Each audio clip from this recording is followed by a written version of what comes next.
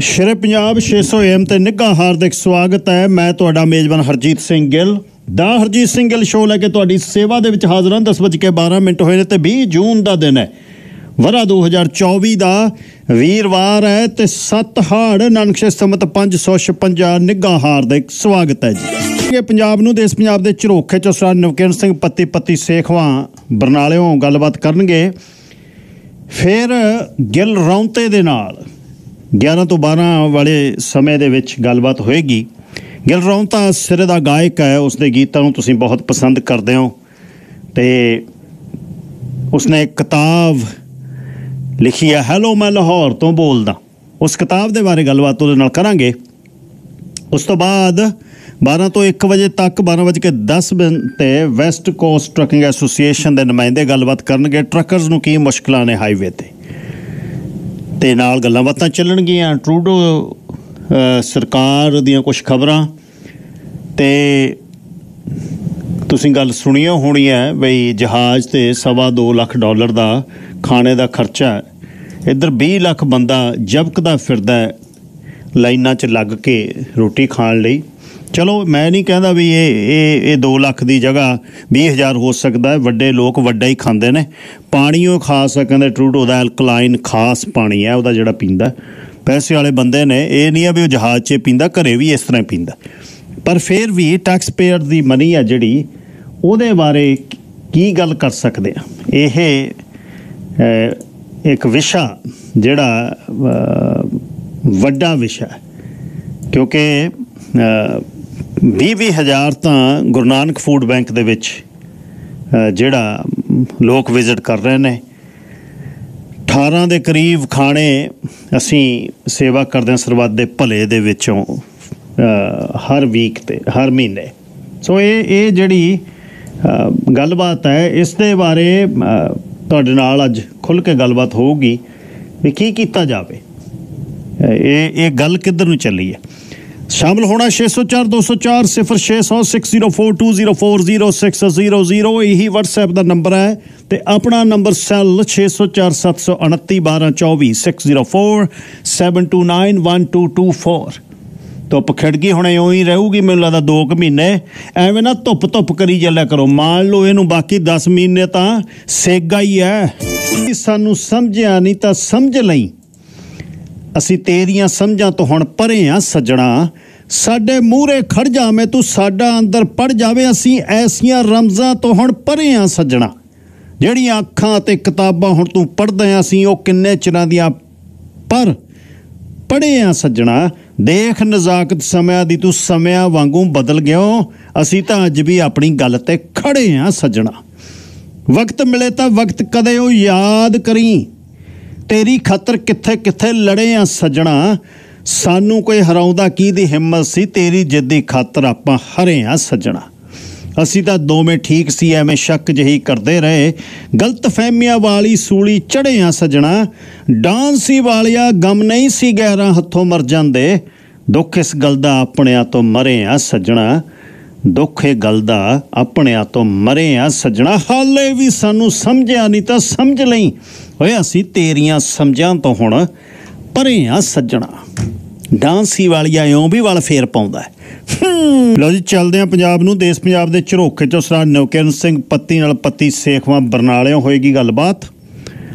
Sponsor ਨੇ Parminder Singh Thind, think insurance 6048287213 thinkinsurance.ca ਦੂਸਰੇ sponsor ਨੇ ਮਨਜੀਤ ਸਿੰਘ ਬਸਰਾਓ ਆਨੰਦ ਪ੍ਰੈਸ਼ਰ ਵਾਸ਼ ਤੇ ਜੰਕਰ ਮੋਬਲ 6049961515 ਘਰ ਧਵਾਉਣ ਤੋਂ ਲੈ ਕੇ ਬਾਧੂ ਘਾਟੂ ਸਮਾਨ ਚਕਾਉਣ ਤੱਕ ਸਾਰਾ ਕੰਮ ਇੱਕ ਜਗ੍ਹਾ ਤੇ 6049967215 champion driving school, Harpreet Singh Gill 6048973600 class 1 ਦਾ ਮੈਲਟ ਪ੍ਰੋਗਰਾਮ, ਜਿਸ ਦੇ ਵਿੱਚ ਤੁਸੀਂ ਟ੍ਰੇਨਿੰਗ ਲੈ ਸਕਦੇ ਹੋ। 2.5 ਮਹੀਨੇ ਦੇ ਵਿੱਚ ਕੰਮ ਨਿਬੜ ਜਾਂਦਾ ਪਰ ਬਣਾ ਦੇਣਗੇ ਸਿਰੇ ਦੇ ਡਰਾਈਵਰ। ਹਰਪ੍ਰੀਤ ਸਿੰਘ ਗਿੱਲ ਪੋਲਾ ਫਤਿਹਗੜੀਆ 6048973600 ਕਲੋਵਰਡੇਲ ਟਾਪ ਸਵਾਲ ਹਰਮੀਤ ਸਿੰਘ ਗਿੱਲ 6048887645 10 ਸਾਲ ਹੋ ਗਏ ਤੁਹਾਡੀਆਂ ਸੇਵਾਵਾਂ ਦੇ ਵਿੱਚ। ਤੇ top soil garden soil bark mulch ਸਾਰਾ ਕੁਝ ਜਿਹੜਾ ਤੁਹਾਨੂੰ ਲੈਂਡਸਕੇਪਿੰਗ ਲਈ ਚਾਹੀਦਾ 6048887645 Fraser view nursery Gulshan Singh Bansi ਕਹਿੰਦੇ 1 ਡਾਲਰ ਦਾ ਇੱਕ ਪਲਾਂਟ ਆ ਹੁਣ, ਸਬਜ਼ੀਆਂ ਬੀਜਦੇ ਹੋ ਪੂਰੀਆਂ। ਮਿਰਚਾਂ ਉੱਪਰ ਨੂੰ ਮੂੰਹ ਵਾਲੀਆਂ ਜਿਹੜੀਆਂ ਨੇੜੇ ਨਹੀਂ ਲੱਗਦੀਆਂ, ਨਾਸਾਂ ਦੇ ਕੋਲ ਕੁੱਤਕੁੱਤੀਆਂ ਕਰਦੀਆਂ ਜੇ ਖਾਣ ਲੱਗੋ। 604 835 1965 ਫਰੇਜ਼ਰ ਹਾਈਵੇ 282 27 ਸਰਨਾਮਾ ਫਰੇਜ਼ਰ ਵਿਊ ਨਰਸਰੀ। ਰਿਓ ਜ਼ਰੂਰ ਲਿਆਓ ਸਬਜ਼ੀਆਂ ਨਾਲ। ਸੰਜ ਸਪ੍ਰਿੰਕਲਰਸ, ਹਰਜਿੰਦਰ ਸਿੰਘ ਢਾਲੀਵਾਲ 604 729 2359 ਪਾਣੀ ਮੁੱਕਦਾ ਜਾਂਦਾ, ਲੋਕੋ ਪਾਣੀ ਨੂੰ ਸਾਂਭ ਲਓ। ਜਦ ਹੱਥ ਨੇ ਛੱਡ ਕੇ ਪਾਈਪ ਖੜ ਜਾਂਦੇ ਹੋ ਨਾ, ਦੂਜੇ ਬੰਨੇ ਫੋਨ ਕੰਨ ਨੂੰ ਲਾਇਆ ਹੁੰਦਾ, ਫਿਰ ਤੁਹਾਨੂੰ ਨਹੀਂ ਪਤਾ ਲੱਗਦਾ ਕਿੰਨੀਆਂ ਕੁ ਬਾਲਟੀਆਂ ਡੋਲਦੇ ਹੋ। ਥੋੜਾ ਲਾਓ ਤੇ ਜਿਵੇਂ ਸਰਕਾਰ ਕਹਿੰਦੀ ਆ, ਉਸ ਤਰ੍ਹਾਂ ਕਰੋ। ਇਹਨੂੰ ਸਾਂਭੋ। 604 729 2359 ਸਪ੍ਰਿੰਕਲਰ ਲਵਾਓ ਘਰਾਂ ਦੇ ਵਿੱਚ। 6047292359 ਸਨ ਸਪ੍ਰਿੰਕਲਰ ਕੀਮਤ ਨਹੀਂ ਵੱਧ ਹੈ, ਐਵੇਂ ਡਰੀ ਜਾਂਦੇ ਆ, ਕਿਤੇ ਫੋਰਿਆਂ ਦੇਖ ਕੇ ਸਸਤਾ ਹੀ ਹੈ ਸਵੱਲਾ ਹੀ ਆ ਕੰਮ। ਸਪਾਈਸ ਕਿਚਨ 604755 ਖਾਣਾ ਤਾਜ਼ਾ ਹੋਊਗਾ, ਬਿਲਕੁਲ। ਫਰੀਜ਼ਰ ਸਾਫ਼ ਹੋਣਗੇ। ਜਦ ਮਰਜ਼ੀ ਦੇਖ ਲਿਓ ਜਾ ਕੇ। Keto vegan dairy free food ਆ ਵੀ ਨੌ ਜਿਹੜੇ ਆ, ਇਹ ਜਿਹਾ ਵੀ ਖਾਣਾ ਬਣਾਉਂਦੇ ਆ। 150 ਜਣਿਆਂ ਦੀ ਪਾਰਟੀ ਆ 604755 ਐਵਸਫੋਰਡ ਚ। United fireplace Kirpal Singh Virk 7783225258 ਹਰ ਕਿਸਮ ਦੀ ਫਾਇਰ ਪਲੇਸ ਟੌਪ ਬ੍ਰਾਂਡ ਇਹਦੇ ਸਰਟੀਫਾਈਡ ਡੀਲਰ ਨੇ ਰਿਪੇਅਰ ਕਰਦੇ ਆ ਅਫੋਰਡੇਬਲ ਕੀਮਤਾਂ ਨੇ। 7783225258 ਮਗ ਦੀਆਂ ਅੰਗੀਠੀਆਂ ਵੇਖਣੀਆਂ ਤਾਂ ਜਿਹਨਾਂ ਨੂੰ 105 134 63 ਐਵਨਿਊ ਹੁਣੇ ਘਰ ਬਣਾ ਰਹੇ ਹੋ ਟਾਊਨ ਹਾਊਸ ਕੌਂਡੋ ਬਹੁਤ ਵਧੀਆ ਸੇਵਾਵਾਂ ਤੇ ਬਹੁਤ ਵਧੀਆ ਰੇਟ ਸਰ ਨਵਕਿਰ ਸਿੰਘ ਪੱਤੀ ਜੀ, ਸਵਾਗਤ ਹੈ। ਸਤਿ ਸ੍ਰੀ ਅਕਾਲ। ਸ਼ੁਕਰੀਆ ਜੀ, ਗਿੱਲ ਸਾਹਿਬ। ਸਭ ਤੋਂ ਪਹਿਲਾਂ ਤੁਹਾਨੂੰ ਤੇ ਸਾਰੇ ਸਰੋਤਿਆਂ ਨੂੰ ਮੇਰੇ ਵੱਲੋਂ ਵੀ ਪਿਆਰ ਭਰੀ ਸਤਿ ਸ੍ਰੀ ਅਕਾਲ ਜੀ ਜੀ ਗਿੱਲ ਸਾਹਿਬ। ਅਰਵਿੰਦ ਕੇਜਰੀਵਾਲ ਨੇ ਤਾਂ ਰੂਹ ਅਫਜਾ ਰੱਜ ਕੇ ਪੀਤਾ ਉਹ ਅੱਜ ਘਰੇ ਆ ਕੇ। ਬਾਕੀ ਜੀ ਅਰਵਿੰਦ ਕੇਜਰੀਵਾਲ ਦੀ ਅੱਜ ਜ਼ਮਾਨਤ ਜਿਹੜੀ ਉਹ ਹੋ ਗਈ ਹੈ ਦਿੱਲੀ ਦੀ ਰਾਉਜ਼ ਐਵੀਨਿਊ ਅਦਾਲਤ ਨੇ ਕਥਿਤ ਸ਼ਰਾਬ ਘਟਾਲੇ ਦੇ ਮਾਮਲੇ 'ਚ ਤਿਹਾੜ ਜੇਲ੍ਹ 'ਚ ਬੰਦ ਦਿੱਲੀ ਦੇ ਮੁੱਖ ਮੰਤਰੀ ਅਰਵਿੰਦ ਕੇਜਰੀਵਾਲ ਨੂੰ ਜ਼ਮਾਨਤ ਦੇ ਦਿੱਤੀ ਆ। ਅਰਵਿੰਦ ਕੇਜਰੀਵਾਲ ਦੀ ਲੱਗਦਾ ਨਹੀਂ ਸੀ ਕਿ ਹੇਠਲੀ ਅਦਾਲਤ ਦੇ ਵਿੱਚ ਜ਼ਮਾਨਤ ਹੋ ਜੂ। ਕਿਉਂਕਿ ਪਹਿਲਾ ਮਸਲਾ ਸੁਪਰੀਮ ਕੋਰਟ ਤੱਕ ਗਿਆ ਸੀ। ਸੁਪਰੀਮ ਕੋਰਟ ਨੇ ਸਿਰਫ ਕੁਝ ਦਿਨਾਂ ਦੀ ਅੰਤਰਿਮ ਜ਼ਮਾਨਤ ਦਿੱਤੀ ਸੀ ਚੋਣ ਪ੍ਰਚਾਰ ਲਈ।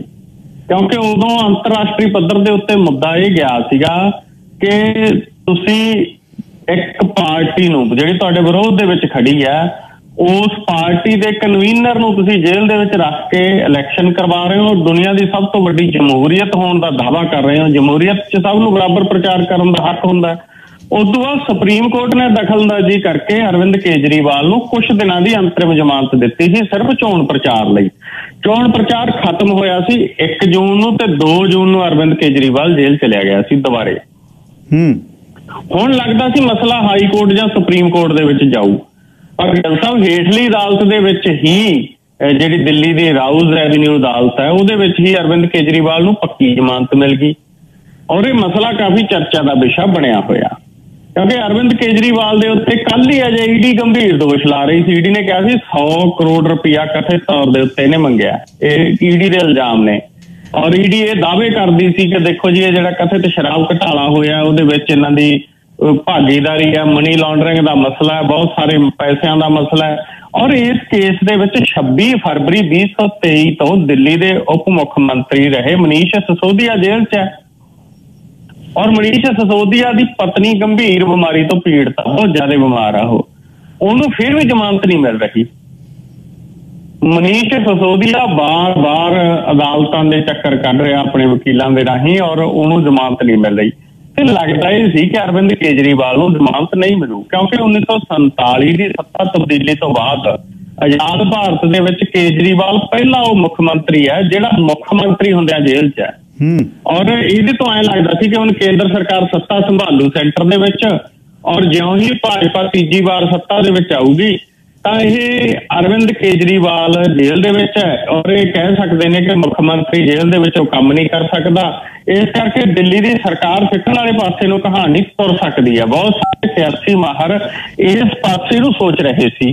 ਪਰ ਅਚਾਨਕ ਦਿੱਲੀ ਦੀ ਇੱਕ ਅਦਾਲਤ ਦੇ ਵੱਲੋਂ ਅਰਵਿੰਦ ਕੇਜਰੀਵਾਲ ਨੂੰ ਜ਼ਮਾਨਤ ਮਿਲ ਗਈ। ਜ਼ਮਾਨਤ ਵੀ ਉਦੋਂ ਮਿਲੀ ਜਦੋਂ ਅਜੇ ਸਰਕਾਰ ਜਿਹੜੀ ਤੀਜੀ ਵਾਰ ਆਪਣਾ ਪਹਿਲਾ ਸੈਸ਼ਨ ਜਿਹੜਾ ਉਹ ਸ਼ੁਰੂ ਕਰਨ ਜਾ ਰਹੀ ਹੈ ਆਉਣ ਵਾਲੇ ਦਿਨਾਂ 'ਚ 24 ਜੂਨ ਤੋਂ। ਤਾਂ ਅਜਿਹੇ ਦੇ ਵਿੱਚ ਇਸ, ਦੇਖੋ ਫੈਸਲਾ ਅਦਾਲਤ ਦਾ ਨਿਆਂ ਪ੍ਰਣਾਲੀ ਨੂੰ ਫੈਸਲੇ ਆ ਜਿਹੜੇ ਉਹਨਾਂ ਦੀ ਹਰ ਕੋਈ ਕਦਰ ਕਰਦਾ ਹੈ ਔਰ ਨਿਆਂ ਪ੍ਰਣਾਲੀ ਦੇ ਫੈਸਲਿਆਂ ਦੇ ਨਾਲ ਇਸ ਦੇਸ਼ ਦੀ ਜਮਹੂਰੀਅਤ ਜਿਹੜੀ ਮਜ਼ਬੂਤ ਹੁੰਦੀ ਹੈ ਇਹ ਬਹੁਤ ਸਾਰੀਆਂ ਦਲੀਲਾਂ ਜਿਹੜੀਆਂ ਉਹ ਵੱਖ-ਵੱਖ ਲੋਕਾਂ ਵੱਲੋਂ ਦਿੱਤੀਆਂ ਜਾਂਦੀਆਂ, ਪਰ ਅਜਿਹੇ ਦੇ ਵਿੱਚ ਕੇਜਰੀਵਾਲ ਦੀ ਜ਼ਮਾਨਤ ਹੈ ਜਿਹੜੀ, ਉਹ ਬੜੀ ਅਹਿਮ ਗੱਲ ਹੈ ਔਰ ਇਹਦੇ ਤੇ ਬਹੁਤ ਸਾਰੇ ਲੋਕ ਚਰਚਾ ਕਰ ਰਹੇ ਨੇ। ਪਰ ਆਪ ਵਾਲੇ ਬਹੁਤ ਖੁਸ਼ ਨੇ, ਪੜਾਕੇ ਚਲਾ ਰਹੇ ਨੇ। ਇਧਰੋਂ ਪੰਜਾਬ ਦੀ ਆਮ ਆਦਮੀ ਪਾਰਟੀ ਖੁਸ਼ ਹੈ। ਬਾਗੋ ਬਾਗ ਹੈ, ਪੰਜ ਜਿਮਣੀ ਚੋਣਾਂ ਆਉਣ ਵਾਲੇ ਦਿਨਾਂ ਦੇ ਵਿੱਚ ਪੰਜਾਬ ਦੀਆਂ ਵਿਧਾਨ ਸਭਾ ਦੀਆਂ ਹੋਣੀਆਂ ਨੇ। ਉਹ ਤੋਂ ਪਹਿਲਾਂ ਕੇਜਰੀਵਾਲ ਦੀ ਗ੍ਰਿਫਤਾਰੀ ਇਹਨਾਂ ਨੂੰ ਘਿਓ ਵਰਗੀ ਲੱਗਦੀ ਹੈ। ਤੇ ਦਿੱਲੀ ਦੇ ਵਿੱਚ ਵੀ ਜਿਹੜੇ ਵਿਧਾਇਕਾਂ ਨੂੰ ਲੱਗਦਾ ਹੋਊਗਾ, ਜਿਹੜੇ ਆ ਪਾਰਟੀ ਦੇ ਲੀਡਰਾਂ ਨੂੰ ਲੱਗਦਾ ਹੋਊ ਕਿ ਸਰਕਾਰ ਗਈ ਕ ਗਈ ਗਈ ਕ ਗਈ ਉਹਨਾਂ ਨੂੰ ਹੁਣ ਕੇਜਰੀਵਾਲ ਦੀ ਜਿਹੜੀ ਜ਼ਮਾਨਤ ਹੈ ਉਹ ਬਹੁਤ ਅਹਿਮੀਅਤ ਜਿਹੜੀ ਉਹ ਰੱਖਦੀ ਹੋਊਗੀ। ਤਾਂ ਬਹੁਤ ਜਲਦ ਉਹ ਰਿਹਾ ਹੋ ਸਕਦੇ ਨੇ ਜੀ। ਔਰ ਜ਼ਮਾਨਤ ਅਰਵਿੰਦ ਕੇਜਰੀਵਾਲ ਨੂੰ ਪੱਕੀ ਮਿਲ ਗਈ ਹੈ। ਜੀ। ਪੇਪਰਾਂ 'ਚ ਕਿਹੜਾ ਕਪਲਾ ਹੋ ਗਿਆ? ਦਿੱਲੀ ਸੜਕਾਂ ਤੇ ਰੋਸ ਮਾਰਚ ਹੋ ਰਿਹਾ ਹੈ। ਗਿੱਲ ਸਾਹਿਬ ਦੋ ਬਹੁਤ ਵੱਡੇ ਪੇਪਰ ਹੋਏ ਨੇ ਪਿਛਲੇ ਦਿਨਾਂ 'ਚ। ਦੋਨਾਂ 'ਚ ਹੀ ਘਪਲੇ ਦੀ ਬੋ ਆਈ ਆ। ਇੱਕ ਤਾਂ ਹੋਇਆ ਮੈਡੀਕਲ ਕੋਰਸਾਂ ਦੇ ਵਿੱਚ ਦਾਖਲੇ ਦੇ ਲਈ ਨੀਟ ਦੀ ਪ੍ਰੀਖਿਆ ਐਨਡਬਲਯੂਟੀ ਨੀਟ ਇਹ ਜਿਹੜਾ ਐਂਟਰੈਂਸ ਟੈਸਟ ਹੁੰਦਾ ਹੈ, ਇਹ ਮੈਡੀਕਲ ਕੋਰਸਾਂ ਖਾਸ ਕਰਕੇ ਐਮਬੀਬੀਐਸ ਬੀਬੀਐਸਸੀ ਜਾਂ ਜਿੰਨੇ ਵੀ ਮੈਡੀਕਲ ਦੇ ਹਾਇਰ ਲੈਵਲ ਦੇ ਕੋਰਸ ਆ, ਉਹਨਾਂ ਦੇ ਦਾਖਲੇ ਲਈ ਹੁੰਦਾ ਹੈ। ਔਰ ਇਹਦੇ ਵਿੱਚ ਇਹ ਪਤਾ ਲੱਗਿਆ ਕਿ ਬਹੁਤ ਵੱਡਾ ਘਟਾਲਾ ਹੋਇਆ। ਘਟਾਲਾ ਹੋਇਆ ਤਾਂ ਜਦੋਂ ਤੁਸੀਂ ਡਾਕਟਰੀ ਘਟਾਲੇ ਦੇ ਨਾਲ ਬਣਾਓਗੇ ਦੇਸ਼ ਦੇ ਵਿੱਚ, ਤਾਂ ਲੋਕਾਂ ਦਾ ਇਲਾਜ ਕਿਵੇਂ ਹੋਊ ਹੈਲਥ ਸਿਸਟਮ ਕਿਵੇਂ ਸੁਧਰੂਗਾ ਫਿਰ ਤਾਂ ਇਹ ਪਤਾ ਲੱਗਦਾ ਨਾ ਹੁਣ ਲੀਡਰ ਆਪਦਾ ਇਲਾਜ ਕਰਾਉਣ ਬਾਹਰ ਕਿਉਂ ਚਲੇ ਜਾਂਦੇ ਨੇ। ਇਹ ਇਹ- ਘਟਾਲਿਆਂ ਤੋਂ ਪਤਾ ਲੱਗਦਾ। ਕਿਉਂਕਿ ਇਹ ਮਸਲੇ 'ਚ ਜਿਹੜੇ ਉਹਨਾਂ ਅਰੈਸਟ ਕੀਤੇ ਨੇ ਵਿਦਿਆਰਥੀ ਵੀ ਕੁਝ ਅਰੈਸਟ ਕੀਤੇ ਨੇ ਕੁਝ ਹੋਰ ਵਿਅਕਤੀ ਵੀ ਅਰੈਸਟ ਕੀਤੇ ਨੇ ਜਿਨ੍ਹਾਂ ਨੇ ਪੇਪਰ ਲੀਕ ਕੀਤਾ। 40 40 ਲੱਖ 'ਚ ਪੇਪਰ ਵਿਕਿਆ ਜੀ। ਉਹ ਕਹਿੰਦੇ ਖੁਲਾਸਾ ਕਰਤਾ ਉਹਨਾਂ ਨੇ ਪੁਲਿਸ ਕੋਲੇ ਜਿਹੜੇ ਅਰੈਸਟ ਕੀਤੇ ਹੋਏ ਨੇ ਵੀ ਸਾਨੂੰ ਤਾਂ ਇੱਕ ਦਿਨ ਪਹਿਲਾਂ ਤਿਆਰੀ ਕਰਾਤੀ ਸੀ ਵੀ ਆ ਪੇਪਰ ਆਊਗਾ ਔਰ ਸਾਰੀ ਟੈਕ ਮਾਰਕ ਰਾਤ ਨੂੰ ਕਰਾ ਕੇ ਦੂਜੇ ਦਿਨ ਪੇਪਰ ਚ ਲਿਜਾ ਕੇ ਵਹਾਤਾ। ਅਸੀਂ ਪੇਪਰ ਕਲੀਅਰ ਕਰ ਗਏ। ਤਾਂ ਇਹਦਾ ਮਤਲਬ ਹੈਗਾ ਕਿ ਦੇਸ਼ ਦੇ ਵਿੱਚ ਕਿਸ ਤਰ੍ਹਾਂ ਦੀ ਕਰਪਸ਼ਨ ਹੈ? ਜੇ 40 40 ਲੱਖ ਰੁਪਇਆ ਪੇਪਰ ਦੇ ਟੈਸਟ ਕਲੀਅਰ ਕਰਨ ਦਾ ਹੋ ਰਿਹਾ ਤਾਂ ਇਹ ਮਤਲਬ ਹੁਣ ਇੱਥੋਂ ਸਾਰੀ ਕਹਾਣੀ ਸਮਝ ਆਉਂਦੀ ਹੈ ਵੀ ਫਲਾਨਾ ਕਿਉਂ ਗੋਡੇ ਪਵਾਉਣ ਵਿਦੇਸ਼ ਜਾਂਦਾ ਹੈ, ਵੀ ਇਹਨਾਂ ਨੇ ਤਾਂ ਆਪਦੇ ਡਾਕਟਰ ਭਰਤੀ ਕੀਤੇ ਹੋਏ ਨੇ, ਔਰ ਫਲਾਨਾ ਅੱਖਾਂ ਦੇ ਇਲਾਜ ਲਈ ਵਿਦੇਸ਼ ਕਿਉਂ ਜਾਂਦਾ ਹੈ? ਤੇ ਇਹ ਇੱਥੋਂ ਸਾਰੀਆਂ ਸਾਰੀਆਂ ਗੱਲਾਂ ਸਮਝ ਆਉਂਦੀਆਂ ਨੇ। ਔਰ ਇੱਕ ਤਾਂ ਇਹਦੇ ਚ ਨੀਟ ਦੇ ਪੇਪਰ 'ਚ ਘਟਾਲਾ ਹੋਇਆ। ਮਸਲਾ ਸੁਪਰੀਮ ਕੋਰਟ ਤੱਕ ਗਿਆ। ਸੁਪਰੀਮ ਕੋਰਟ ਨੇ ਕਿਹਾ ਇਹਨਾਂ ਨੇ ਕੁਝ ਗ੍ਰੇਸ ਮਾਰਕਸ ਦਿੱਤੇ ਸੀਗੇ। ਉਹ ਗ੍ਰੇਸ ਮਾਰਕਸ ਵਾਲੇ ਜਿਹੜੇ ਵਿਦਿਆਰਥੀ ਸੀ 1000 ਤੋਂ ਵੱਧ ਉਹਨਾਂ ਦੀ ਗਿਣਤੀ ਸੀ ਕਿ ਉਹਨਾਂ ਦਾ ਦੁਬਾਰੇ ਪੇਪਰ ਲਾਓ। ਪਰ ਇਹ ਸਾਰਾ ਪੇਪਰ ਰੱਦ ਕਰਨ ਦੀ ਮੰਗ ਹੋ ਰਹੀ ਆ। ਦੂਸਰਾ ਸੀਗਾ ਕਿ ਜਿਹੜੇ ਨੈਟ ਦਾ ਪੇਪਰ ਹੁੰਦਾ UGC NET university grant commission ਦੇ ਵੱਲੋਂ ਪੇਪਰ ਲਿਆ ਜਾਂਦਾ ਹੈ ਨੈਸ਼ਨਲ ਐਲੀਜੀਬਿਲਟੀ ਟੈਸਟ ਹੈ। ਔਰ ਇਹ ਟੈਸਟ ਕਲੀਅਰ ਕਰਕੇ ਯੂਨੀਵਰਸਿਟੀਆਂ ਚ ਕਾਲਜਾਂ ਚ ਪ੍ਰੋਫੈਸਰ ਲੱਗਦੇ ਆ। ਔਰ ਰਿਸਰਚ ਫੈਲੋ ਲੱਗਦੇ ਆ। P H D M Phil ਦੇ ਕੋਰਸ ਹੁੰਦੇ ਨੇ। ਇਹ ਨੈਟ ਦਾ ਪੇਪਰ ਬੜਾ ਅਹਿਮ ਹੁੰਦਾ। ਲੱਖਾਂ ਵਿਦਿਆਰਥੀਆਂ ਨੇ ਪੇਪਰ ਦਿੱਤਾ ਸੀ ਨੈਟ ਦਾ। ਔਰ ਇਹ ਪੇਪਰ 18 ਜੂਨ ਨੂੰ ਹੋਇਆ। 19 ਜੂਨ ਨੂੰ ਇਹ ਪੇਪਰ ਰਾਤ ਨੂੰ ਕੱਲ ਰੱਦ ਕਰਤਾ ਵੀ ਰੱਦ ਆ ਜੀ ਇਹ ਪੇਪਰ ਕਿਉਂ ਰੱਦ ਆ? ਕਹਿੰਦੇ ਜੀ ਕਰਪਸ਼ਨ ਹੋ ਗਈ ਇਹਦੇ 'ਚ। ਹੁਣ ਅੱਜ ਦਿੱਲੀ ਦੀਆਂ ਸੜਕਾਂ ਤੇ ਬਹੁਤ ਵੱਡਾ ਸੰਗਰਾਮ ਹੋਇਆ। ਦਿੱਲੀ ਦੀਆਂ ਸੜਕਾਂ ਦੇ ਉੱਤੇ ਵਿਦਿਆਰਥੀ ਆ ਗਏ। ਉਹ ਕਹਿੰਦੇ ਵੀ ਇਹ ਹੋ ਕੀ ਰਿਹਾ ਦੇਸ਼ ਦੇ ਵਿੱਚ? ਰਾਹੁਲ ਗਾਂਧੀ ਨੇ ਤਾਂ ਕਿਹਾ ਕਿ ਸਾਰਾ ਕੁਝ ਇੱਕ ਖਾਸ ਵਿਚਾਰਧਾਰਾ ਕੋਲੇ ਕੰਟਰੋਲਡ ਹੈ, ਵੀ ਖਾਸ ਕਰਕੇ ਬੀਜੇਪੀ ਤੇ ਆਰਐਸਐਸ ਦਾ ਉਹਨਾਂ ਨੇ ਨਾਂ ਲਿਆਗਾ। ਔਰ ਕਾਂਗਰਸ ਤਾਂ ਕਹਿੰਦੀ ਹੈ ਕਿ ਸਾਰਾ ਕੁਝ ਸਪਾਂਸਰਡ ਔਰ ਕੰਟਰੋਲ ਕਰਕੇ ਕਰਪਸ਼ਨ ਹੋ ਰਹੀ ਆ। ਔਰ ਵਿਦਿਆਰਥੀ ਤਾਂ ਉਹਨਾਂ ਦੇ ਮਾਪੇ ਪੁੱਛ ਰਹੇ ਆ, ਸਾਡਾ ਕਸੂਰ ਕੀ ਆ? ਸਾਨੂੰ ਇਹ ਦੱਸੋ। ਲੱਖਾਂ ਰੁਪਇਆ ਕੋਚਿੰਗਾਂ ਤੇ ਖਰਚ ਕੀਤਾ। ਕਿੰਨੇ ਸਾਡੇ ਪਰਿਵਾਰ ਨੇ ਜਿਹੜੇ ਇਸ ਗਰਮੀ ਦੇ ਵਿੱਚ 50 ਡਿਗਰੀ ਸੈਲਸੀਅਸ ਦੇ ਲਗਭਗ ਟੈਂਪਰੇਚਰ ਦੇ ਵਿੱਚ ਉਹਨਾਂ ਨੇ ਮਤਲਬ ਇਸ ਗਰਮੀ ਦੇ ਵਿੱਚ ਆਪਣੀ ਤਿਆਰੀ ਕੀਤੀ ਪ੍ਰੀਖਿਆ ਦੀ ਔਰ ਇਹ ਆਮ ਵਿਅਕਤੀ ਦਾ ਕੀ ਕਸੂਰ ਹੈ? ਔਰ ਜਿਸ ਰੂਪ ਦੇ ਵਿੱਚ ਪੇਪਰਾਂ 'ਚ ਕਰਪਸ਼ਨ ਦੇ ਮਸਲੇ ਐਂਟਰੈਂਸ ਟੈਸਟਾਂ 'ਚ ਕਰਪਸ਼ਨ ਦੇ ਮਸਲੇ ਸਾਹਮਣੇ ਆ ਰਹੇ ਆ ਉਹਨਾਂ ਨੇ ਸਰਕਾਰ ਦਾ ਚਿਹਰਾ ਮੋਰਾ ਨੰਗਾ ਕਰਕੇ ਰੱਖਤਾ। ਸ਼੍ਰੋਮਣੀ ਅਕਾਲੀ ਦਲ ਬਾਦਲ ਨੇ ਯੂ ਟਰਨ ਲੈ ਕੇ ਅਮਰਤਪਾਲ ਸਿੰਘ ਦੀ ਰਿਹਾਈ ਦੀ ਮੰਗ ਕੀਤੀ ਹੈ ਜੀ ਹੁਣ? ਵਾਕਈ ਜੀ ਸ਼੍ਰੋਮਣੀ ਅਕਾਲੀ ਦਲ ਬਾਦਲ ਦੇ ਵੱਲੋਂ ਇੱਕ ਵੱਡਾ ਯੂ ਟਰਨ ਜਿਹੜਾ ਇਸ ਮਸਲੇ ਦੇ ਵਿੱਚ ਉਹ ਲਿਆ ਨਜ਼ਰ ਆ ਰਿਹਾ ਹੈ। ਦਰਅਸਲ, ਜਾਂ ਇਹ ਕਹਿ ਲਈਏ ਦੇਰ ਹੈ, ਦਰਸਤਾ ਦੀ ਗੱਲ ਵੀ ਹੁੰਦੀ ਹੈ। ਕਿਉਂਕਿ ਅਮਰਤਪਾਲ ਸਿੰਘ ਤੇ ਨੈਸ਼ਨਲ ਸਿਕਿਉਰਿਟੀ ਐਕਟ ਲਾਇਆ ਗਿਆ। ਨੈਸ਼ਨਲ ਸਿਕਿਉਰਿਟੀ ਐਕਟ ਦਾ ਵਿਰੋਧ ਆ ਜਿਹੜਾ, ਉਹ ਡੈਮੋਕ੍ਰੈਟਿਕ ਰਾਈਟਸ ਵਾਲੀਆਂ ਸਾਰੀਆਂ ਆਰਗੇਨਾਈਜੇਸ਼ਨ ਕਰਦੀਆਂ ਨੇ। ਕਿਉਂਕਿ ਦੋ ਤਿੰਨ ਅਜਿਹੇ ਕਾਨੂੰਨ ਨੇ ਆਜ਼ਾਦ ਭਾਰਤ ਦੇ ਵਿੱਚ, ਜਿਨ੍ਹਾਂ ਦੀ ਕੋਈ ਹੋਂਦ ਨਹੀਂ ਹੈ। ਇੱਕ ਤਾਂ ਦੇਸ਼ ਧਰੋਹ ਦਾ ਕਾਨੂੰਨ ਹੈ, ਦੇਸ਼ ਧਰੋਹ ਦਾ ਕਾਨੂੰਨ ਅੰਗਰੇਜ਼ ਹਕੂਮਤ ਵੇਲੇ ਦਾ ਕਾਨੂੰਨ ਹੈ। ਦੇਸ਼ ਧਰੋਹ ਹੁੰਦਾ ਹੀ ਨਹੀਂ ਕੁਝ ਵਹਿ ਰਾਜ ਧਰੋਹ ਹੁੰਦਾ, ਜਾਣਬੁੱਝ ਕੇ ਦੇਸ਼ ਧਰੋਹ ਕਹਿੰਦੇ ਨੇ ਇਹ। ਰਾਜ ਧਰੋਹ ਵੀ ਕੋਈ ਨਹੀਂ ਹੁੰਦਾ, ਮਤਲਬ ਉਹ ਅੰਗਰੇਜ਼ ਹਕੂਮਤ ਵੇਲੇ ਸੀਗਾ। ਔਰ ਉਹ ਕਾਨੂੰਨ ਅੱਜ ਵੀ ਹੈ, ਉਹਨੂੰ ਬਲੈਕ ਲਾਅ ਕਿਹਾ ਜਾਂਦਾ ਆਜ਼ਾਦ ਭਾਰਤ ਦੇ ਵਿੱਚ। ਯੂਏਪੀਏ ਆ ਅਨਲੌਫੁਲ ਐਕਟੀਵਿਟੀ ਪ੍ਰੀਵੈਂਸ਼ਨਲ ਐਕਟ ਉਹ ਬਲੈਕ ਲਾਅ ਆ। ਐਨਐਸਏ ਆ ਨੈਸ਼ਨਲ ਸਿਕਿਉਰਿਟੀ ਐਕਟ ਇਹਦੀ ਆਜ਼ਾਦ ਭਾਰਤ ਦੇ ਵਿੱਚ ਕੋਈ ਹੋਂਦ ਨਹੀਂ ਹੋਣੀ ਚਾਹੀਦੀ, ਜਿਹੇ ਕਾਨੂੰਨਾਂ ਦੀ, ਟਾਡਾ, ਪੋਟਾ, ਸਾਰਾ ਕੁਝ ਇਹਨਾਂ ਦੇ ਵਿੱਚ ਆਉਂਦਾ। ਤਾਂ ਸ਼੍ਰੋਮਣੀ ਅਕਾਲੀ ਦਲ ਨੇ ਅੱਜ ਜਿਹੜਾ ਫੈਸਲਾ ਲਿਆਗਾ ਉਹਦੇ ਵਿੱਚ ਸੁਖਵੀਰ ਸਿੰਘ ਬਾਦਲ ਦੇ ਵੱਲੋਂ ਬਕਾਇਦਾ ਸਟੇਟਮੈਂਟ ਜਾਰੀ ਹੋਈ ਆ ਕਿ ਉਹ ਅਮਰਪਾਲ ਸਿੰਘ ਤੇ ਉਹਨਾਂ ਦੇ ਸਾਥੀਆਂ ਤੇ ਨੈਸ਼ਨਲ ਸਿਕਿਉਰਿਟੀ ਐਕਟ ਵਧਾਉਣ ਦੀ ਜਿਹੜੀ ਨਖੇਦੀ ਕਰਦੇ ਆ, ਉਹ ਕਹਿੰਦੇ ਆ ਕਿ ਇਹ ਗਲਤ ਗੱਲ ਹੈ ਔਰ ਇਹਦੇ ਨਾਲ ਭਗਵੰਤ ਮਾਨ ਸਰਕਾਰ ਦਾ ਚਿਹਰਾ ਮੋਹਰਾ ਨੰਗਾ ਹੋਇਆ ਹੋਇਆਗਾ ਦੇਖੋ, ਕੱਲ ਹੀ ਆਪਾਂ ਜ਼ਿਕਰ ਕੀਤਾ ਸੀ ਕਿ ਪ੍ਰੋਫੈਸਰ ਪ੍ਰੇਮ ਸਿੰਘ ਚੰਦੂ ਮਾਜਰਾ ਨੇ ਕਿਹਾ ਕਿ ਅਮਰਪਾਲ ਸਿੰਘ ਦੀ ਰਿਹਾਈ ਹੋਣੀ ਚਾਹੀਦੀ ਆ।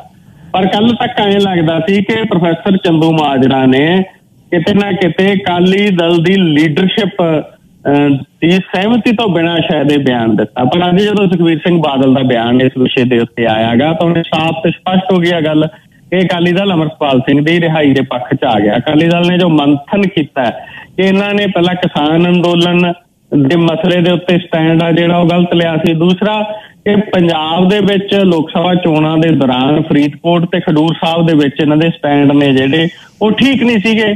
ਔਰ ਮੈਨੂੰ ਲੱਗਦਾ ਇਹ ਰਿਅਲਾਈਜ਼ ਕਰ ਲਿਆ ਇਹਨਾਂ ਨੇ, ਤਾਂ ਅੱਜ ਸ਼੍ਰੋਮਣੀ ਅਕਾਲੀ ਦਲ ਬਾਦਲ ਦੇ ਵੱਲੋਂ ਸਟੈਂਡ ਆ ਜਿਹੜਾ ਆਇਆਗਾ।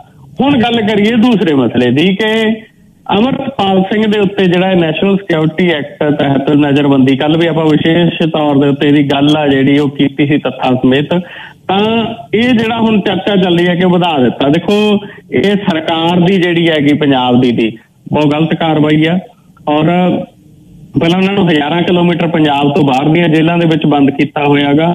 ਔਰ ਉਹਦੇ ਵਿੱਚ ਵੀ ਮਤਲਬ ਭਗਵੰਤ ਸਿੰਘ ਵਰਗੇ ਜੋ ਪ੍ਰਧਾਨ ਮੰਤਰੀ ਬਾਜੇਕੇ ਦੇ ਨਾਲ ਨਾਲ ਜਾਣਿਆ ਜਾਂਦਾ ਹੈਗਾਗਾ ਉਹ ਉਹਨਾਂ ਨੂੰ ਮਤਲਬ ਉਹਨਾਂ ਦੇ ਮਾਪਿਆਂ ਤੋਂ, ਪਰਿਵਾਰਾਂ ਤੋਂ, ਜਿਨ੍ਹਾਂ ਨੂੰ ਜਾ ਕੇ ਮੁਲਾਕਾਤ ਕਰਨੀ ਵੀ ਪਰਿਵਾਰਾਂ ਨੂੰ ਔਖੀ ਹੈਗੀ। ਇਸ ਤਰੀਕੇ ਦੇ ਨਾਲ ਰੱਖਣ ਦਾ ਕੋਈ ਵਾਜਬੀਅਤ ਨਹੀਂ ਬਣਦੀ। ਦੂਸਰਾ ਨੈਸ਼ਨਲ ਸਿਕਿਉਰਿਟੀ ਐਕਟ ਲਾਉਣ ਦੀ ਕੋਈ ਗੱਲ ਨਹੀਂ ਬਣਦੀ। ਕੋਈ ਹੋਰ ਕਾਨੂੰਨ ਹੈਗਾ ਉਹਨਾਂ ਦੇ ਖਿਲਾਫ ਆ ਆਲਰੇਡੀ ਕੋਈ ਧਾਰਾ ਲੱਗੀ ਹੋਈ ਆ ਕੋਈ ਐਫ ਆਈ ਆਰ ਦਰਜ ਹੈ। ਉਹਦੇ ਤਹਿਤ ਜੋ ਕਾਰਵਾਈ ਆ ਪੰਜਾਬ ਦੀ ਜੇਲ੍ਹ 'ਚ ਹੋਣੀ ਚਾਹੀਦੀ ਆ। ਕਿਸੇ ਨੂੰ ਤੁਸੀਂ ਮਹੀਨਿਆਂ ਬੱਧੀ ਸਾਲਾਂ ਬੱਧੀ ਅਗਰ ਜੇਲ੍ਹਾਂ ਦੇ ਵਿੱਚ ਨੈਸ਼ਨਲ ਸਿਕਿਉਰਿਟੀ ਐਕਟ ਵਰਗੇ ਬਦਨਾਮ ਕਾਨੂੰਨਾਂ ਤਹਿਤ ਰੱਖੋਗੇ ਤਾਂ ਇਹਦੇ ਨਾਲ ਸਰਕਾਰ ਦਾ ਚਿਹਰਾ ਮੋਰਾਗਾ ਜਿਹੜਾ ਉਹ ਲੋਕਾਂ ਦੇ ਵਿੱਚ ਬੇਪਰਦ ਹੋਵੇਗਾ। ਜੀ। ਅੱਛਾ ਜੀ ਇਹ ਭਾਰਤ ਵੱਲੋਂ ਕੈਨੇਡਾ ਵਿੱਚ ਕਨਿਸ਼ਕ ਕਾਂਡ ਦੀ ਵਰਸੀ ਮਨਾਉਣ ਦੀ ਗੱਲ ਹੋਈ ਹੈ ਜੀ? ਬਾਕੀ ਜੀ। ਭਾਰਤ ਸਰਕਾਰ ਦੇ ਵੱਲੋਂ ਕੈਨੇਡਾ ਦੇ ਵਿੱਚ ਕਨਿਸ਼ਕ ਕਾਂਡ ਦੀ ਜਿਹੜੀ ਵਰਸੀ ਹੈਗੀ ਉਹ ਮਨਾਈ ਜਾਊਗੀ। ਦਰਅਸਲ ਕੈਨੇਡਾ ਦੀ ਸੰਸਦ ਦੇ ਵਿੱਚ ਹਰਦੀਪ ਸਿੰਘ ਨਿੱਜਰ ਦੀ ਪਹਿਲੀ ਵਰਸੀ ਮੌਕੇ ਜਿਹੜਾ ਮੰਗਲਵਾਰ ਨੂੰ ਕੈਨੇਡੀਅਨ ਸੰਸਦ ਦੇ ਵਿੱਚ ਇੱਕ ਮਿੰਟ ਦਾ ਮੌਨ ਰੱਖ ਕੇ ਸ਼ਰਧਾਂਜਲੀ ਦਿੱਤੇ ਜਾਣ ਤੋਂ ਬਾਅਦ ਭਾਰਤ ਦੇ ਵੱਲੋਂ ਫੈਸਲਾ ਲਿਆ ਗਿਆ ਲੱਗਦਾਗਾ।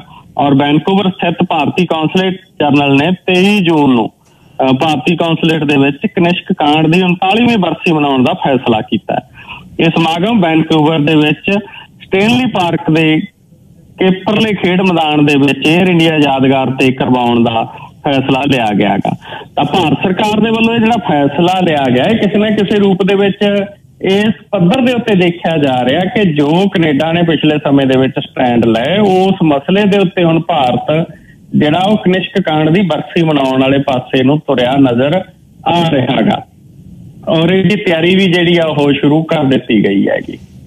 ਜੀ। ਭੁਪਿੰਦਰ ਸਿੰਘ ਹੁੱਡਾ ਹਰਿਆਣੇ ਦੇ ਰਾਜਪਾਲ ਨੂੰ ਕਹਿੰਦਾ ਵੀ ਸਰਕਾਰ ਖਾਰਜ ਕਰੋ। ਬਿਲਕੁਲ ਜੀ। ਭੁਪਿੰਦਰ ਸਿੰਘ ਹੁੱਡਾ ਸਾਬਕਾ ਮੁੱਖ ਮੰਤਰੀ ਹੈ ਕਾਂਗਰਸ ਦਾ ਹਰਿਆਣੇ ਦਾ। ਔਰ ਭੁਪਿੰਦਰ ਸਿੰਘ ਹੁੱਡਾ ਅੱਜ ਪੰਜਾਬ ਹਰਿਆਣੇ ਦੇ ਗਵਰਨਰ ਨੂੰ ਮਿਲੇ ਨੇ ਔਰ ਉਹਨਾਂ ਨੇ ਮੰਗ ਕੀਤੀ ਹੈ ਕਿ ਹਰਿਆਣਾ ਸਰਕਾਰ ਨੂੰ ਜਿਹੜਾਗਾ ਉਹ ਕਾਰਜ ਕਰਕੇ ਉੱਥੇ ਰਾਸ਼ਟਰਪਤੀ ਰਾਜ ਲਾਉਣਾ ਚਾਹੀਦਾ ਔਰ ਉੱਥੇ ਚੋਣਾਂ ਦੁਬਾਰੇ ਹੋਣੀਆਂ ਚਾਹੀਦੀਆਂ। ਹੁਣ ਭੁਪਿੰਦਰ ਸਿੰਘ ਹੁੱਡਾ ਦੀ ਗੱਲ ਤਾਂ ਹੈਗੀ ਹੈਗੀ ਇਹ ਵਜਨਦਾਰ ਵਜਨਦਾਰ ਇਸ ਰੂਪ ਦੇ ਵਿੱਚ ਹੈ ਜੀ ਕਿ ਹਰਿਆਣੇ 'ਚ ਜਿਹੜੀ ਸਰਕਾਰ ਚੱਲ ਰਹੀ ਹੈ ਉਹਦੇ ਕੋਲ ਬਹੁਮਤ ਹੈ ਨਹੀਂ। ਪਹਿਲਾਂ ਇਹ ਜਿਹੜੀ ਹਰਿਆਣੇ ਦੀ ਸਰਕਾਰ ਸੀਗੀ, ਉਹਦੇ ਕੋਲੇ ਬੀਜੇਪੀ ਆ ਜਿਹੜੀ ਉਹ ਬਹੁਮਤ ਦੇ ਵਿੱਚ ਹੈ ਹੀ ਨਹੀਂ ਸੀ ਜਿਵੇਂ ਸੈਂਟਰ ਦੇ ਵਿੱਚ ਹੈ ਨਹੀਂ ਨਹੀਂਗੀ ਉਹਨਾਂ ਨੇ ਕੀ ਕੀਤਾ ਸੀਗਾ ਚਟਾਲਿਆਂ ਤੋਂ ਅਲੱਗ ਹੋਇਆ ਇੱਕ ਧੜਾ ਗਾ ਜਿਹੜਾ ਇਹਨਾਂ ਦਾ ਉਸ ਧੜੇ ਨੂੰ ਆਪਦੇ ਨਾਲ ਰਲਾਇਆ ਔਰ ਉਹਨਾਂ ਨੂੰ ਉਪ ਮੁੱਖ ਮੰਤਰੀ ਦਾ ਅਹੁਦਾ ਦਿੱਤਾ ਤੇ ਸਰਕਾਰ ਚਲਾ ਲਈ। ਉਹ ਹੋ ਗਏ ਵੱਖ ਭਾਜਪਾ ਤੋਂ। ਛੇ ਸੀ ਉੱਥੇ ਆਜ਼ਾਦ ਵਿਧਾਇਕ। ਆਜ਼ਾਦ ਵਿਧਾਇਕਾਂ ਦੀ ਲਈ ਹਮਾਇਤ। ਤੇ ਫਿਰ ਸਰਕਾਰ ਜਿਹੜੀ ਉੱਥੇ ਚੱਲਦੀ ਰਹੀ। ਪਰ ਹੁਣ ਜਦੋਂ ਅਹ, ਜਨਹਿਤ ਪਾਰਟੀ ਲੱਗ ਹੋ ਗਈ ਤਾਂ ਅਜਿਹੇ ਦੇ ਵਿੱਚ ਕਾਂਗਰਸ ਨੇ ਕਹਤਾ ਵੀ ਫਲੋਰ ਟੈਸਟ ਕਰਾਓ ਜੀ ਤੇ ਬਹੁਮਤ ਸਾਬਤ ਕਰੋ। ਉਦੋਂ ਤਾਂ ਆਜ਼ਾਦ ਵਿਧਾਇਕ ਪੱਖ ਤੇ ਖੜ ਗਏ ਸੀ ਭਾਜਪਾ ਦੇ, ਹਰਿਆਣੇ ਚੋਂ ਬਹੁਮਤ ਸਾਬਤ ਕਰ ਗਏ ਸੀ। ਲੋਕ ਸਭਾ ਚੋਣਾਂ ਦੇ ਦੌਰਾਨ ਆਜ਼ਾਦ ਵਿਧਾਇਕ ਭਾਜਪਾ ਤੋਂ ਹੋ ਗਏ ਪਾਸੇ। ਹੁਣ ਬਹੁਮਤ ਹੈ ਨਹੀਂ ਸਰਕਾਰ ਕੋਲੇ, ਹਰਿਆਣੇ ਦੀ ਕੋਲੇ। ਤੁਸੀਂ ਦੇਖੋ ਇਹ ਵੀ ਇਤਿਹਾਸ ਦੇ ਵਿੱਚ ਕਈ ਚੀਜ਼ਾਂ ਬੜੀਆਂ ਦਿਲਚਸਪ ਵਾਪਰਦੀਆਂ ਨੇ ਕਿ ਹਰਿਆਣਾ ਦੀ ਸਰਕਾਰ ਬਿਨਾਂ ਬਹੁਮਤ ਤੋਂ ਚੱਲ ਰਹੀ ਆ। ਚੱਲ ਇਸ ਰੂਪ ਦੇ ਵਿੱਚ ਰਹੀ ਆ ਕਿ ਇੱਕ ਪ੍ਰੋਵੀਜ਼ਨ ਹੈ ਕਿ ਜਦੋਂ ਤੁਸੀਂ ਇੱਕ ਵਾਰ ਬਹੁਮਤ ਸਾਬਤ ਕਰਵਾ ਲਿਆ ਫਲੋਰ ਟੈਸਟ ਕਰਵਾ ਲਿਆ 6 ਮਹੀਨੇ ਤੱਕ ਤੁਸੀਂ ਜਿਹੜਾ ਉਹ ਦੁਬਾਰੇ ਬਹੁਮਤ ਸਾਬਤ ਕਰਨ ਦੇ ਲਈ ਸਰਕਾਰ ਨੂੰ ਨਹੀਂ ਕਹਿ ਸਕਦੇ। 6 ਮਹੀਨਿਆਂ 'ਚ ਉੱਥੇ ਵੈਸੇ ਵੋਟਾਂ ਪੈਣ ਵਾਲੀਆਂ ਨੇ, ਕਿਉਂਕਿ ਇਸ ਸਾਲ ਦੇ ਅਖੀਰ 'ਚ ਵੋਟਾਂ ਪੈਣੀਆਂ ਨੇ ਹਰਿਆਣੇ ਦੇ ਵਿੱਚ। ਤਾਂ ਹੁਣ ਉਹ ਐਂ ਤਾਂ ਕਹਿ ਨਹੀਂ ਸਕਦੇ, ਜੇ ਭੁਪਿੰਦਰ ਸਿੰਘ ਹੁੱਡਾ ਉਦੋਂ ਨਾ ਬਹੁਮਤ ਸਾਬਤ ਕਰਵਾਉਂਦੇ, ਉਦੋਂ ਕਾਂਗਰਸ ਨੇ ਬਹੁਤ ਵੱਡੀ ਗਲਤੀ ਕੀਤੀ ਹੈ ਇਹ ਜਿਹੜਾ ਉਹਨਾਂ ਨੇ ਬਹੁਮਤ ਸਾਬਤ ਕਰਨ ਦੇ ਲਈ ਕਹਿਤਾ। ਉਦੋਂ ਪਤਾ ਸੀ ਇਹਨਾਂ ਨੂੰ ਯਾਦ ਵਿਧਾਇਕ ਭਾਜਪਾ ਦੇ ਪੱਖ 'ਚ ਖੜੇ ਨੇ, ਫਿਰ ਵੀ ਕਹਿਤਾ। ਜੇ ਹੁਣ ਬਹੁਮਤ ਸਾਬਤ ਕਰਨਾ ਹੋਵੇ, ਹਰਿਆਣੇ ਦੀ ਸਰਕਾਰ ਕੋਲੇ ਬਹੁਮਤ ਹੈ ਨਹੀਂ, ਸਰਕਾਰ ਡਿੱਗ ਪੂ ਪਰ ਹੁਣ ਇਹ ਮੰਗ ਨਹੀਂ ਕਰ ਸਕਦੇ। ਗਵਰਨਰ ਸਾਹਿਬ ਕਰ ਸਕਦੇ ਕਿ ਹਾਂ, ਤੁਸੀਂ ਭਾਈ ਬਹੁਮਤ ਸਾਬਤ ਕਰੋ। ਹੁਣ ਗਵਰਨਰ ਕਿਉਂ ਕਹਿਣਗੇ? ਗਵਰਨਰ ਤਾਂ ਭਾਜਪਾ ਦੇ ਲਾਏ ਹੋਏ ਨੇ ਸੈਂਟਰ ਸਰਕਾਰ ਦੇ ਲਾਏ ਹੋਏ ਨੇ। ਹੁਣ ਅਜਿਹੇ ਦੇ ਵਿੱਚ ਭੁਪਿੰਦਰ ਸਿੰਘ ਹੁੱਡਾ ਸਿਰਫ ਅਪੀਲਾਂ ਕਰ ਸਕਦੇ ਨੇ ਗਵਰਨਰ ਸਾਹਿਬ ਕੋਲੇ ਜਾ ਕੇ। ਅੱਜ ਵੀ ਬੇਨਤੀ ਕਰਕੇ ਆਏ ਨੇ। ਜੀ। ਅੱਛਾ ਜੀ, ਕਰਨਾਲ ਤੇ ਫਰੀਦਾਬਾਦ ਦੇ ਬੂਥਾਂ ਤੇ ਕੋਈ ਈਵੀਐਮ ਦਾ ਰੌਲਾ? ਈਵੀਐਮ ਦਾ ਰੌਲਾ ਖਾਸਾ ਪੈ ਰਿਹਾ। ਕੁਛ ਉਹ ਜਾਨ ਹੈ ਜਾਂ ਨਹੀਂ? ਈਵੀਐਮ ਜੇ ਮਦਦ ਕਰਨੀ ਹੁੰਦੀ ਤਾਂ ਫੇਰ ਤਾਂ ਬਹੁਤ ਸੀਟਾਂ ਆ ਜਾਣੀਆਂ ਸੀ। ਕੁਛ ਇਹ ਚ ਤੰਤ ਹੈ ਜਾਂ ਨਹੀਂ? ਦੇਖੋ ਜੀ, ਇਹਦੇ ਚ ਆਏ ਆ ਗੱਲ ਸਾਹਿਬ, ਹੁਣ ਇਹ ਦੋ ਬੂਥ ਨੇ। ਦੋਨੇ ਹਰਿਆਣੇ ਦੇ ਨੇ, ਦੋ ਸੀਟਾਂ ਨੇ, ਇੱਕ ਕਰਨਾਲ ਤੇ ਫਰੀਦਾਬਾਦ। ਔਰ ਦੋਨਾਂ ਸੀਟਾਂ ਦੇ ਉੱਤੇ ਕੁਝ ਬੂਥਾਂ ਦੇ ਉੱਤੇ ਕੱਲ ਨੂੰ ਈਵੀਐਮ ਦੀ ਚੈਕਿੰਗ ਹੋਊ। ਪਰ ਇਹ ਬੂਥਾਂ ਤੇ ਆ ਕੁਝ ਤੇ ਸਾਰੇ ਹਲਕੇ 'ਚ ਨਹੀਂ ਹੈ। ਬੂਥਾਂ ਦੇ ਉੱਤੇ ਤਾਂ ਕੀ ਫ਼ਰਕ ਪੈ ਜੂ ਕਿੰਨਾ ਕੁ ਫ਼ਰਕ ਪੈ ਜੂ, ਕੋਈ ਬੜਾ ਫ਼ਰਕ ਨਹੀਂ ਪੈਂਦਾ। ਕਿਉਂਕਿ ਐ ਹੈ ਹੀ ਨਹੀਂ ਹੈਗਾ ਕਿ ਤੁਸੀਂ ਸਾਰੀਆਂ ਵੋਟਾਂ ਦੁਬਾਰੇ ਗਿਣਿਆ ਰਹੋ। ਇਹਦਾ ਜਿਵੇਂ ਮੰਨ ਲਓ, ਅਹ ਹੁਣ ਲੋਕ ਸਭਾ ਹਲਕੇ ਦੇ ਵਿੱਚ 9 ਵਿਧਾਨ ਸਭਾ ਹਲਕੇ ਪੈਂਦੇ ਨੇ। 9 ਵਿਧਾਨ ਸਭਾ ਹਲਕਿਆਂ ਦੇ ਵਿੱਚੋਂ ਗਾਹਾਂ ਜਾ ਕੇ ਤੁਸੀਂ ਸਿਰਫ ਪੰਜ ਚਾਰ ਪੋਲਿੰਗ ਬੂਥਾਂ ਨੇ ਦੀਆਂ ਜਿਹੜੀਆਂ, ਜਿਵੇਂ 100 ਪਿੰਡ ਦੇ ਵਿੱਚੋਂ ਤੁਸੀਂ ਇੱਕ ਪਿੰਡ ਦੀਆਂ ਵੋਟਾਂ ਦੀ ਗਿਣਤੀ ਦੁਬਾਰੇ ਕਰਾ ਲਓਗੇ। ਇੰਨਾ ਕੁ ਹੈਗਾ। ਔਰ ਉਹਦੇ ਨਾਲ ਕੀ ਫ਼ਰਕ ਪੈਣਾ ਹੈਗਾ? ਉਹਦੇ ਨਾਲ ਕੋਈ ਬੜਾ ਵੱਡਾ ਫ਼ਰਕ ਹੈਗਾ ਜਿਹੜਾ ਉਹ ਲੱਗਦਾ ਨਹੀਂ ਪਊਗਾ। ਖੈਰ, ਫਿਰ ਵੀ ਇਹਦੇ ਨਾਲ ਸਥਿਤੀ ਹੈ ਜਿਹੜੀ ਉਹ ਥੋੜੀ ਕਲੀਅਰ ਹੋ ਜਾਊਗੀ। ਤਾਂ ਕਰਨਾਲ ਤੇ ਫਰੀਦਾਬਾਦ, ਹਰਿਆਣਾ ਦੇ ਦੋ ਬੂਥ ਨੇ। ਇੱਕ ਤੋਂ ਮਨੋਹਰ ਲਾਲ ਖੱਟਰ ਵੀ ਜਿੱਤੇ ਹੋਏ ਨੇ ਔਰ ਉੱਥੇ ਦੁਬਾਰੇ ਕੁਝ ਬੂਥਾਂ ਦੇ ਉੱਤੇ ਜਿਹੜੀ ਈਵੀਐਮ ਦੀ ਗਿਣਤੀ ਆ, ਉਹ ਹੋਊਗੀ। ਇਹ ਕਾਂਗਰਸ ਪਾਰਟੀ ਦੇ ਹਾਰੇ ਹੋਏ ਮੈਂਬਰ ਪਾਰਲੀਮੈਂਟਾਂ ਨੇ ਅਪੀਲ ਕੀਤੀ ਸੀ ਚੋਣ ਕਮਿਸ਼ਨ ਕੋਲੇ। ਉਹਨਾਂ ਦੀ ਅਪੀਲ ਦੇ, ਉਹਨਾਂ ਦੀ ਮੰਗ ਦੇ ਆਧਾਰ ਦੇ ਉੱਤੇ ਹੀ ਇਹ ਦੁਬਾਰੇ ਗਿਣਤੀ ਹੈਗੀ ਜਿਹੜੀ ਉਹ ਹੋਊਗੀ। ਉਹਦੇ 'ਚ ਪਤਾ ਲੱਗੂਗਾ ਕਿ ਕਿੰਨਾ ਕੁ ਫ਼ਰਕ ਕੀ ਕੋਈ ਗੱਲ ਲੱਗਦੀ ਆ, ਪਰ ਲੱਗਦਾ ਨਹੀਂ ਕੋਈ ਵਾਲਾ ਫ਼ਰਕ ਨਿਕਲੂਗਾ। ਲੱਗਦਾ ਹੈਗਾ ਕਿ ਅੰਕੜਿਆਂ ਦੇ ਹਿਸਾਬ ਨਾਲ ਤਾਂ ਸਾਰਾ ਕੁਝ ਜਿਹੜਾ ਉਹ ਪਹਿਲਾਂ ਵਾਂਗ ਹੀ ਸਾਬਤ ਹੋਵੇਗਾ। ਜੀ। ਅੱਛਾ ਜੀ ਇੱਕ ਦੱਸਿਓ ਬਈ ਜਲੰਧਰ ਤੋਂ ਉਮੀਦਵਾਰ ਹੋਰ ਕਿਸੇ ਪਾਰਟੀ ਨੇ ਐਲਾਨੇ? ਬਾਕੀ ਜੀ ਹੁਣ ਲਗਭਗ ਸਾਰੀਆਂ ਪਾਰਟੀਆਂ ਦੇ ਉਮੀਦਵਾਰ ਆ ਜਿਹੜਾ ਮੇਨ ਨੇ ਉਹ ਐਲਾਨ ਦਿੱਤੇ ਨੇ। ਕਿਉਂਕਿ ਇਹਨਾਂ ਨੇ ਤਾਂ ਦੋਨਾਂ ਪਾਰਟੀਆਂ ਨੇ ਉਮੀਦਵਾਰ ਆ ਗਏ ਜਿਹੜੇ ਉਹ ਉਸੇ ਰੂਪ ਦੇ ਵਿੱਚ ਹੀ ਐਲਾਨ ਤੇ ਸੀ ਵੀ ਜਿਹੜਾ ਬੀਜੇਪੀ ਦਾ ਉਮੀਦਵਾਰ ਸੀਗਾ 2.5 ਸਾਲ ਪਹਿਲਾਂ। ਮਹਿੰਦਰ ਭਗਤ, ਉਹ ਤਾਂ ਐਲਾਨ ਤਾਂ ਆਮ ਆਦਮੀ ਪਾਰਟੀ ਨੇ। ਜਿਹੜਾ ਆਮ ਆਦਮੀ ਪਾਰਟੀ ਦਾ ਉਮੀਦਵਾਰ ਸੀਗਾ, ਸ਼ੀਤਲ ਅੰਗਰਾਲ, ਉਹ ਐਲਾਨ ਦਿੱਤਾਗਾ ਭਾਜਪਾ ਨੇ। ਇਹ ਦੋਨਾਂ ਦੇ ਤਾਂ ਉਮੀਦਵਾਰ ਇੰਟਰਚੇਂਜ ਹੋ ਗਏ। ਹੁਣ ਕਾਂਗਰਸ ਤੇ ਅਕਾਲੀ ਦਲ ਦੇ ਵੱਲੋਂ ਔਰਤ ਉਮੀਦਵਾਰ ਆ ਗਏ, ਜਿਹੜੇ ਉਹ ਐਲਾਨੇ ਗਏ ਨੇ। ਕਾਂਗਰਸ ਪਾਰਟੀ ਨੇ ਜਲੰਧਰ ਪੱਛਮੀ ਦੀ ਜਿਮਣੀ ਚੋਣ ਦੇ ਲਈ ਸੁਰਿੰਦਰ ਕੌਰ ਨੂੰ ਉਮੀਦਵਾਰ ਐਲਾਨਿਆ। ਸੁਰਿੰਦਰ ਕੌਰ ਕਾਂਗਰਸ ਪਾਰਟੀ ਦੀ ਜਲੰਧਰ ਪੱਛਮੀ ਤੋਂ ਕਾਉਂਸਲਰ ਰਹੀ ਹੈਗੀ। ਔਰ ਇਹ ਜਲੰਧਰ ਦੀ ਜਿਹੜੀ ਆ ਉਹ ਡਿਪਟੀ ਮੇਅਰ ਵੀ ਰਹੀ ਹੈਗੀ। ਤੇ ਲਗਾਤਾਰ ਕਾਉਂਸਲਰ ਜਿੱਤਦੀ ਆ ਰਹੀ ਸੀ। ਜਿਸ ਕਰਕੇ ਇਸ ਨੂੰ ਜਿਹੜਾ ਜਲੰਧਰ ਤੋਂ ਉਮੀਦਵਾਰ ਐਲਾਨਿਆਗਾ ਦੂਜੇ ਪਾਸੇ ਸ਼੍ਰੋਮਣੀ ਅਕਾਲੀ ਦਲ ਨੇ ਜਲੰਧਰ ਪੱਛਮੀ ਤੋਂ ਉਮੀਦਵਾਰ ਸਰਜੀਤ ਕੌਰ ਨੂੰ ਚੋਣ ਮੈਦਾਨ ਦੇ ਵਿੱਚ ਉਤਾਰਿਆ ਹੈਗਾ। ਸਰਜੀਤ ਕੌਰ ਵੀ ਜਲੰਧਰ ਪੱਛਮੀ ਨੂੰ ਬਿਲੋਂਗ ਕਰਦੇ ਆ ਜੀ। ਉਹ ਵੀ ਦੋ ਵਾਰ ਜਲੰਧਰ ਪੱਛਮੀ ਦੀ ਕਾਉਂਸਲਰ ਵੀ ਰਹੀ ਆ ਉਸ ਅਹ, ਉੱਥੇ ਮਿਊਨਿਸਪੈਲਿਟੀ ਦੀ। ਔਰ ਕਾਉਂਸਲਰ ਰਹਿਣ ਦੇ ਨਾਲ ਨਾਲ ਉਹ ਪਾਰਟੀ ਦੇ ਵਿੱਚ ਲਗਾਤਾਰ ਸਰਗਰਮ ਆ ਜਿਹੜੀ ਉਹ ਰਹੀ ਹੈਗੀ। ਇਹ ਸਾਬਕਾ ਅਕਾਲੀ ਲੀਡਰ ਮਰਹੂਮ ਪ੍ਰੀਤਮ ਸਿੰਘ ਦੀ ਧਰਮ ਪਤਨੀ ਹੈ ਜੀ। ਔਰ ਸਰਜੀਤ ਕੌਰ ਦੇ ਪਤੀ ਪ੍ਰੀਤਮ ਸਿੰਘ ਵੀ ਇੱਕ ਵਾਰ ਕਾਉਂਸਲਰ ਆ ਜਿਹੜੇ ਉਹ ਉੱਥੋਂ ਰਹੇ ਆ। ਤਾਂ ਸਰਜੀਤ ਸਿੰਘ ਅਕਾਲੀ ਦਲ ਦੇ ਟਕਸਾਲੀ ਲੀਡਰ ਦੀ ਪਤਨੀ ਨੂੰ ਜਿਹੜਾ ਇਹਨਾਂ ਨੇ ਚੋਣ ਮੈਦਾਨ ਦੇ ਵਿੱਚ ਉਤਾਰਿਆਗਾ ਜੀ। ਅੱਛਾ ਇੱਕ ਦੱਸਿਓ, ਭਗਵੰਤ ਮਾਨ ਹੋਣੀ ਕਹਿੰਦੇ ਵੀ ਨਸ਼ੇ ਦੇ ਮਾਮਲੇ 'ਚ ਗ੍ਰਿਫਤਾਰ ਕੀਤੇ ਬੰਦੇ ਦੀ ਜਾਇਦਾਦ ਕੁਰਕ ਕਰ ਦੇਣੀ ਹੈ, ਇੱਕ ਹਫ਼ਤੇ 'ਚ ਹੈ ਇਹ ਗੱਲ, ਹੋ ਸਕਦੀ ਹੈ? ਦੇਖੋ ਜੀ, ਇੱਕ ਹਫ਼ਤੇ ਵਾਲੀ ਗੱਲ ਤਾਂ ਨਹੀਂ ਲੱਗਦੀ। ਇਹ ਅਸਲ ਦੇ ਵਿੱਚ ਜਿਵੇਂ ਮੁੱਖ ਮੰਤਰੀ ਸਾਹਿਬ ਪਹਿਲਾਂ ਵੱਧਵੇਂ ਬਿਆਨ ਦਿੰਦੇ ਨੇ, ਉਵੇਂ ਦਾ ਬਿਆਨ ਹੀ ਜਿਹੜਾ ਉਹ ਲੱਗਦਾਗਾ। ਔਰ ਮੁੱਖ ਮੰਤਰੀ ਸਾਹਿਬ ਨੇ ਤਾਂ ਹੁਣ ਕਹਤਾ ਵੀ ਇੱਕ ਹਫ਼ਤੇ ਦੇ ਵਿੱਚ ਵਿੱਚ ਅਸੀਂ ਜਿਹੜੀ ਆ ਉਹ ਜ਼ਮੀਨ ਕੁਰਕ ਕਰ ਲਾਂਗੇ, ਉਹਦੀ ਜਾਇਦਾਦ ਕੁਰਕ ਕਰ ਲਾਂਗੇ, ਜਿਹੜਾ ਬੰਦਾ ਨਸ਼ਿਆਂ ਦੇ ਮਸਲੇ 'ਚ ਗ੍ਰਿਫਤਾਰ ਹੁੰਦਾ। ਫਸਟਲੀ ਕੋਈ ਬੰਦਾ ਨਸ਼ਿਆਂ ਦੇ ਮਸਲੇ 'ਚ ਅਰੈਸਟ ਹੋ ਗਿਆ। ਉਦੋਂ ਬਾਅਦ ਅਦਾਲਤ ਦੇ ਵਿੱਚ ਇਹ ਤਾਂ ਪ੍ਰੂਵ ਕਰਨਾ ਪਊਗਾ ਨਾ, ਸਾਲਾਂ ਬੱਧੀ ਕਿ ਹਾਂ ਭਾਈ ਇਹ ਨਸ਼ੇ ਤੋਂ ਹੀ ਫੜੇ ਗਏ ਆ ਜਾਂ ਇਹ ਬੰਦਾ ਦੋਸ਼ੀ ਹੈ ਜਦੋਂ ਉਹਦਾ ਜਦੋਂ ਫੜਿਆ ਗਿਆ ਤੁਸੀਂ, ਉਹ ਤੱਕ ਮੁਲਜ਼ਮ ਆਗਾ ਔਰ ਇਹ ਕਿਹਨੇ ਸਾਬਤ ਕੀਤਾ ਹੋਇਆ? ਫਿਰ ਇੱਕ ਹਫ਼ਤੇ ਦੇ ਵਿੱਚ ਕਿ ਹਾਂ ਇਹ ਦੋਸ਼ੀ ਹੈ ਪਹਿਲਾਂ ਤਾਂ ਉਹਨੂੰ ਸਾਲਾਂ ਬੱਧੀ ਲੱਗਣਗੇ ਇਹ ਸਾਬਤ ਕਰਨ ਦੇ ਲਈ, ਜਾਂ ਮਹੀਨਿਆਂ ਬੱਧੀ ਤਾਂ ਘੱਟੋ ਘੱਟ ਇੱਕ ਪ੍ਰੋਸੈਸ ਹੈ ਨਾ, ਜਿਹਦੇ ਤਹਿਤ ਚਲਾਨ ਪੇਸ਼ ਹੋਊ, ਅਦਾਲਤ 'ਚ ਜਾਊ, ਅਦਾਲਤ ਭੇਜ ਦੱਸੂਗੀ ਜੱਜ ਦੱਸਾਂਗੇ ਕਿ ਇਹ ਵਿਅਕਤੀ ਜਿਹੜਾਗਾ ਉਹ ਦੋਸ਼ੀ ਹੈ ਜਾਂ ਨਹੀਂ ਹੈ। ਸੈਕੰਡ ਪੁਆਇੰਟ ਜੇ ਕਿਸੇ ਵਿਅਕਤੀ ਦੇ ਕੋਲੇ ਜਿੰਨੀ ਜਾਇਦਾਦ ਆ, ਜਿੰਨੀ ਮਰਜ਼ੀ ਪ੍ਰਾਪਰਟੀ ਆ, ਉਹ ਨਸ਼ਿਆਂ ਦੇ ਮਸਲੇ 'ਚ ਅਰੈਸਟ ਹੁੰਦਾ। ਉਹਦੀ ਜੇ ਤਾਂ ਜਾਇਦਾਦ ਜੱਦੀ ਆ, ਉਹਨੂੰ ਕੁਰਕ ਕਰਨ ਦਾ ਕੋਈ ਅਧਿਕਾਰ ਨਹੀਂ ਹੈ ਕਿਸੇ ਨੂੰ ਵੀ। ਸਿਰਫ ਉਹ ਹੀ ਜਾਇਦਾਦ ਕੁਰਕ ਕੀਤੀ ਜਾ ਸਕਦੀ ਹੈ ਜਿਹੜੀ ਉਹਨੇ ਨਸ਼ਿਆਂ ਤੋਂ ਬਣਾਈ ਹੋਵੇ। ਔਰ ਇਹਦੇ ਚ ਸਾਫ਼ ਕਹਿੰਦੇ ਨੇ ਐਡਵੋਕੇਟ ਅਹ, ਪੰਜਾਬ ਤੇ ਹਰਿਆਣਾ ਹਾਈ ਕੋਰਟ ਦੇ ਹਰਿੰਦਰਪਾਲ ਸਿੰਘ ਸਰ ਨੇ। ਉਹ ਦੱਸਦੇ ਨੇ ਕਿ ਨਾਰਕੋਟਿਕਸ ਡਰੱਗਸ ਐਂਡ ਜਿਹੜਾ ਐਕਟ ਹੈਗਾ ਧਾਰਾ 68 ਆ ਉਹਦੀ ਉਹਦੇ ਤਹਿਤ ਮੁਲਜ਼ਮਾਂ ਦੀਆਂ ਜਾਇਦਾਦਾਂ ਕੁਰਕ ਕੀਤੀਆਂ ਜਾ ਸਕਦੀਆਂ ਨੇ। ਪਰ ਮੁਲਜ਼ਮ ਦੀ ਸਾਰੀ ਜਾਇਦਾਦ ਨਹੀਂ ਕੁਰਕ ਕੀਤੀ ਜਾ ਸਕਦੀ, ਸਿਰਫ ਉਹੀ ਜਾਇਦਾਦ ਕੁਰਕ ਕੀਤੀ ਜਾ ਸਕਦੀ ਹੈ ਜਿਹੜੀ ਅਪਰਾਧ ਦੀ ਕਮਾਈ ਨਾਲ ਬਣਾਈ ਹੋਵੇ ਜਾਂ ਜਿਸ ਕਾਰੋਬਾਰ ਜਾਂ ਜਾਇਦਾਦ 'ਚ ਅਪਰਾਧ ਦਾ ਪੈਸਾ ਲੱਗਿਆ ਹੋਵੇ।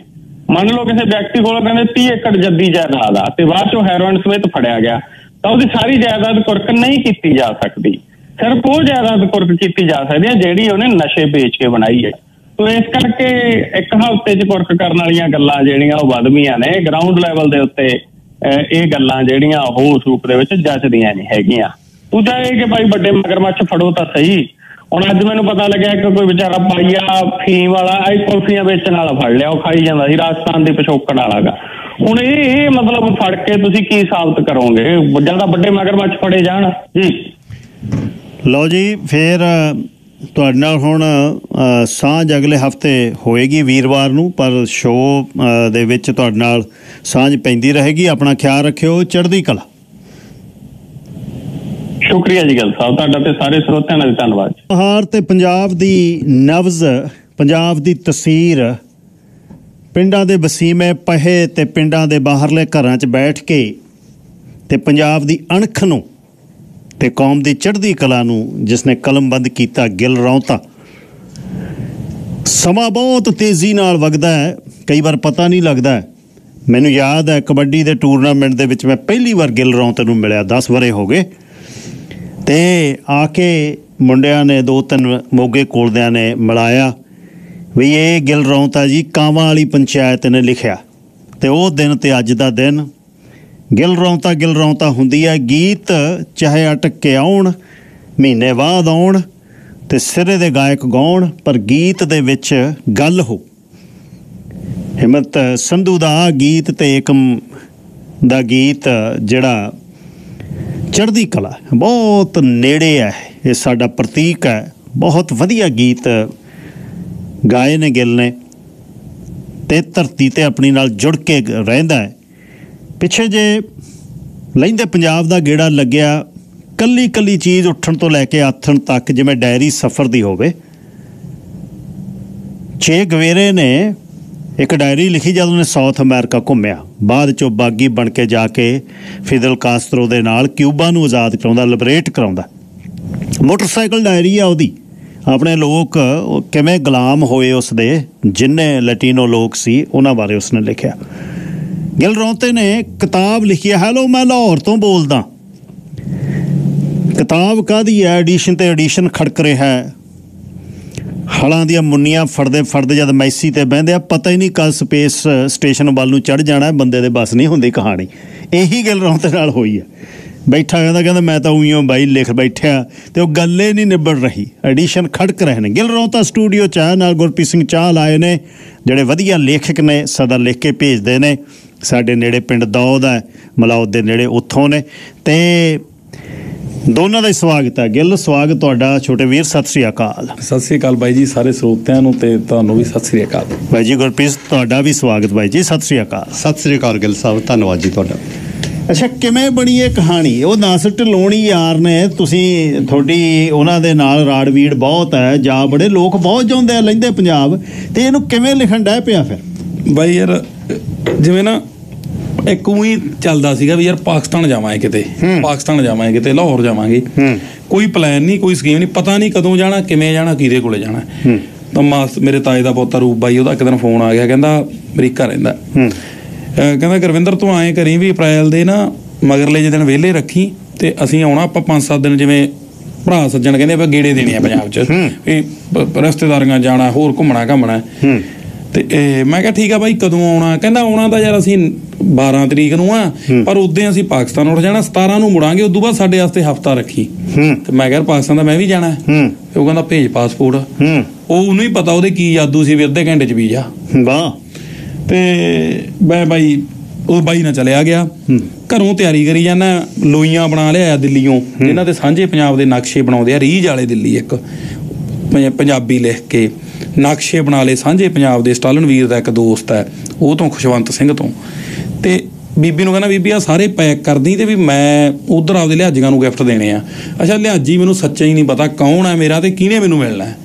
ਕੁਦਰਤੀ ਸਬੱਬ ਬਣਦਾ, ਮੈਂ ਬਾਰਡਰ ਲੰਘਦਾ ਮੂਰੇ ਹਰਿੰਦਰ ਭੁੱਲਰ ਦੇ ਨਾਸਾ ਢਿੱਲੋਂ ਖੜੇ ਆ। ਹੁਣ ਹਰਿੰਦਰ ਭੁੱਲਰ ਨੂੰ ਮੈਂ ਜਾਣਦਾ ਜੱਫੀ ਪੈ ਗਈ। ਤੇ ਬਾਈ ਰੂਪਣਾ ਤੋਂ ਮੈਂ ਕਿਤਾਬ 'ਚ ਵੀ ਮਾਫੀ ਮੰਗੀ, ਇੱਥੇ ਵੀ ਮੰਗਦਾ ਵੀ ਜਿਵੇਂ ਉਹ ਕਹਿੰਦੇ ਨੇ ਜ਼ਿਮੀਂਦਾਰਾਂ ਦੇ ਵੀ ਫਿਰ ਟਰਾਲੀ ਦੀ ਹੁੱਕ ਹੀ ਕੱਢਤੀ। ਮੈਂ ਤਾਏ ਦੇ ਮੁੰਡੇ ਹੁਣਾਂ ਦੀ ਤਾਂ ਹੁੱਕ ਕੱਢਤੀ ਟਰਾਲੀ ਦੀ ਉੱਥੇ ਹੀ। ਨਾਲ ਨਹੀਂ। ਕਿਉਂਕਿ ਉਹ ਸੀਗਾ ਬਾਈ ਬਹੁਤ ਬਾਈ ਹੁਣਾਂ ਦਾ ਸੁਖਨਾ ਕਾਰੋਬਾਰ ਬਹੁਤ ਵੱਡਾ ਸਾਨੂੰ ਮਾਣ ਆ ਸਾਡੇ ਪਰਿਵਾਰ ਤੇ। ਉਹਨਾਂ ਦਾ ਜਗਾੜ ਜ਼ਿਆਦਾ ਵੱਡਾ ਤੇ ਉਹਦੇ ਮੂਰੇ ਰੇਂਜਰ ਖੜੇ ਸੀ ਜਿਪਸੀਆਂ ਲੱਗੀਆਂ ਹੋਈਆਂ ਸੀ ਸਾਰੀਆਂ। ਤੇ ਮੈਨੂੰ ਲੱਗਦਾ ਸੀ ਵੀ ਆਏ ਤਾਂ ਮੈਂ ਨਹੀਂ ਆਇਆ ਕਰਨ।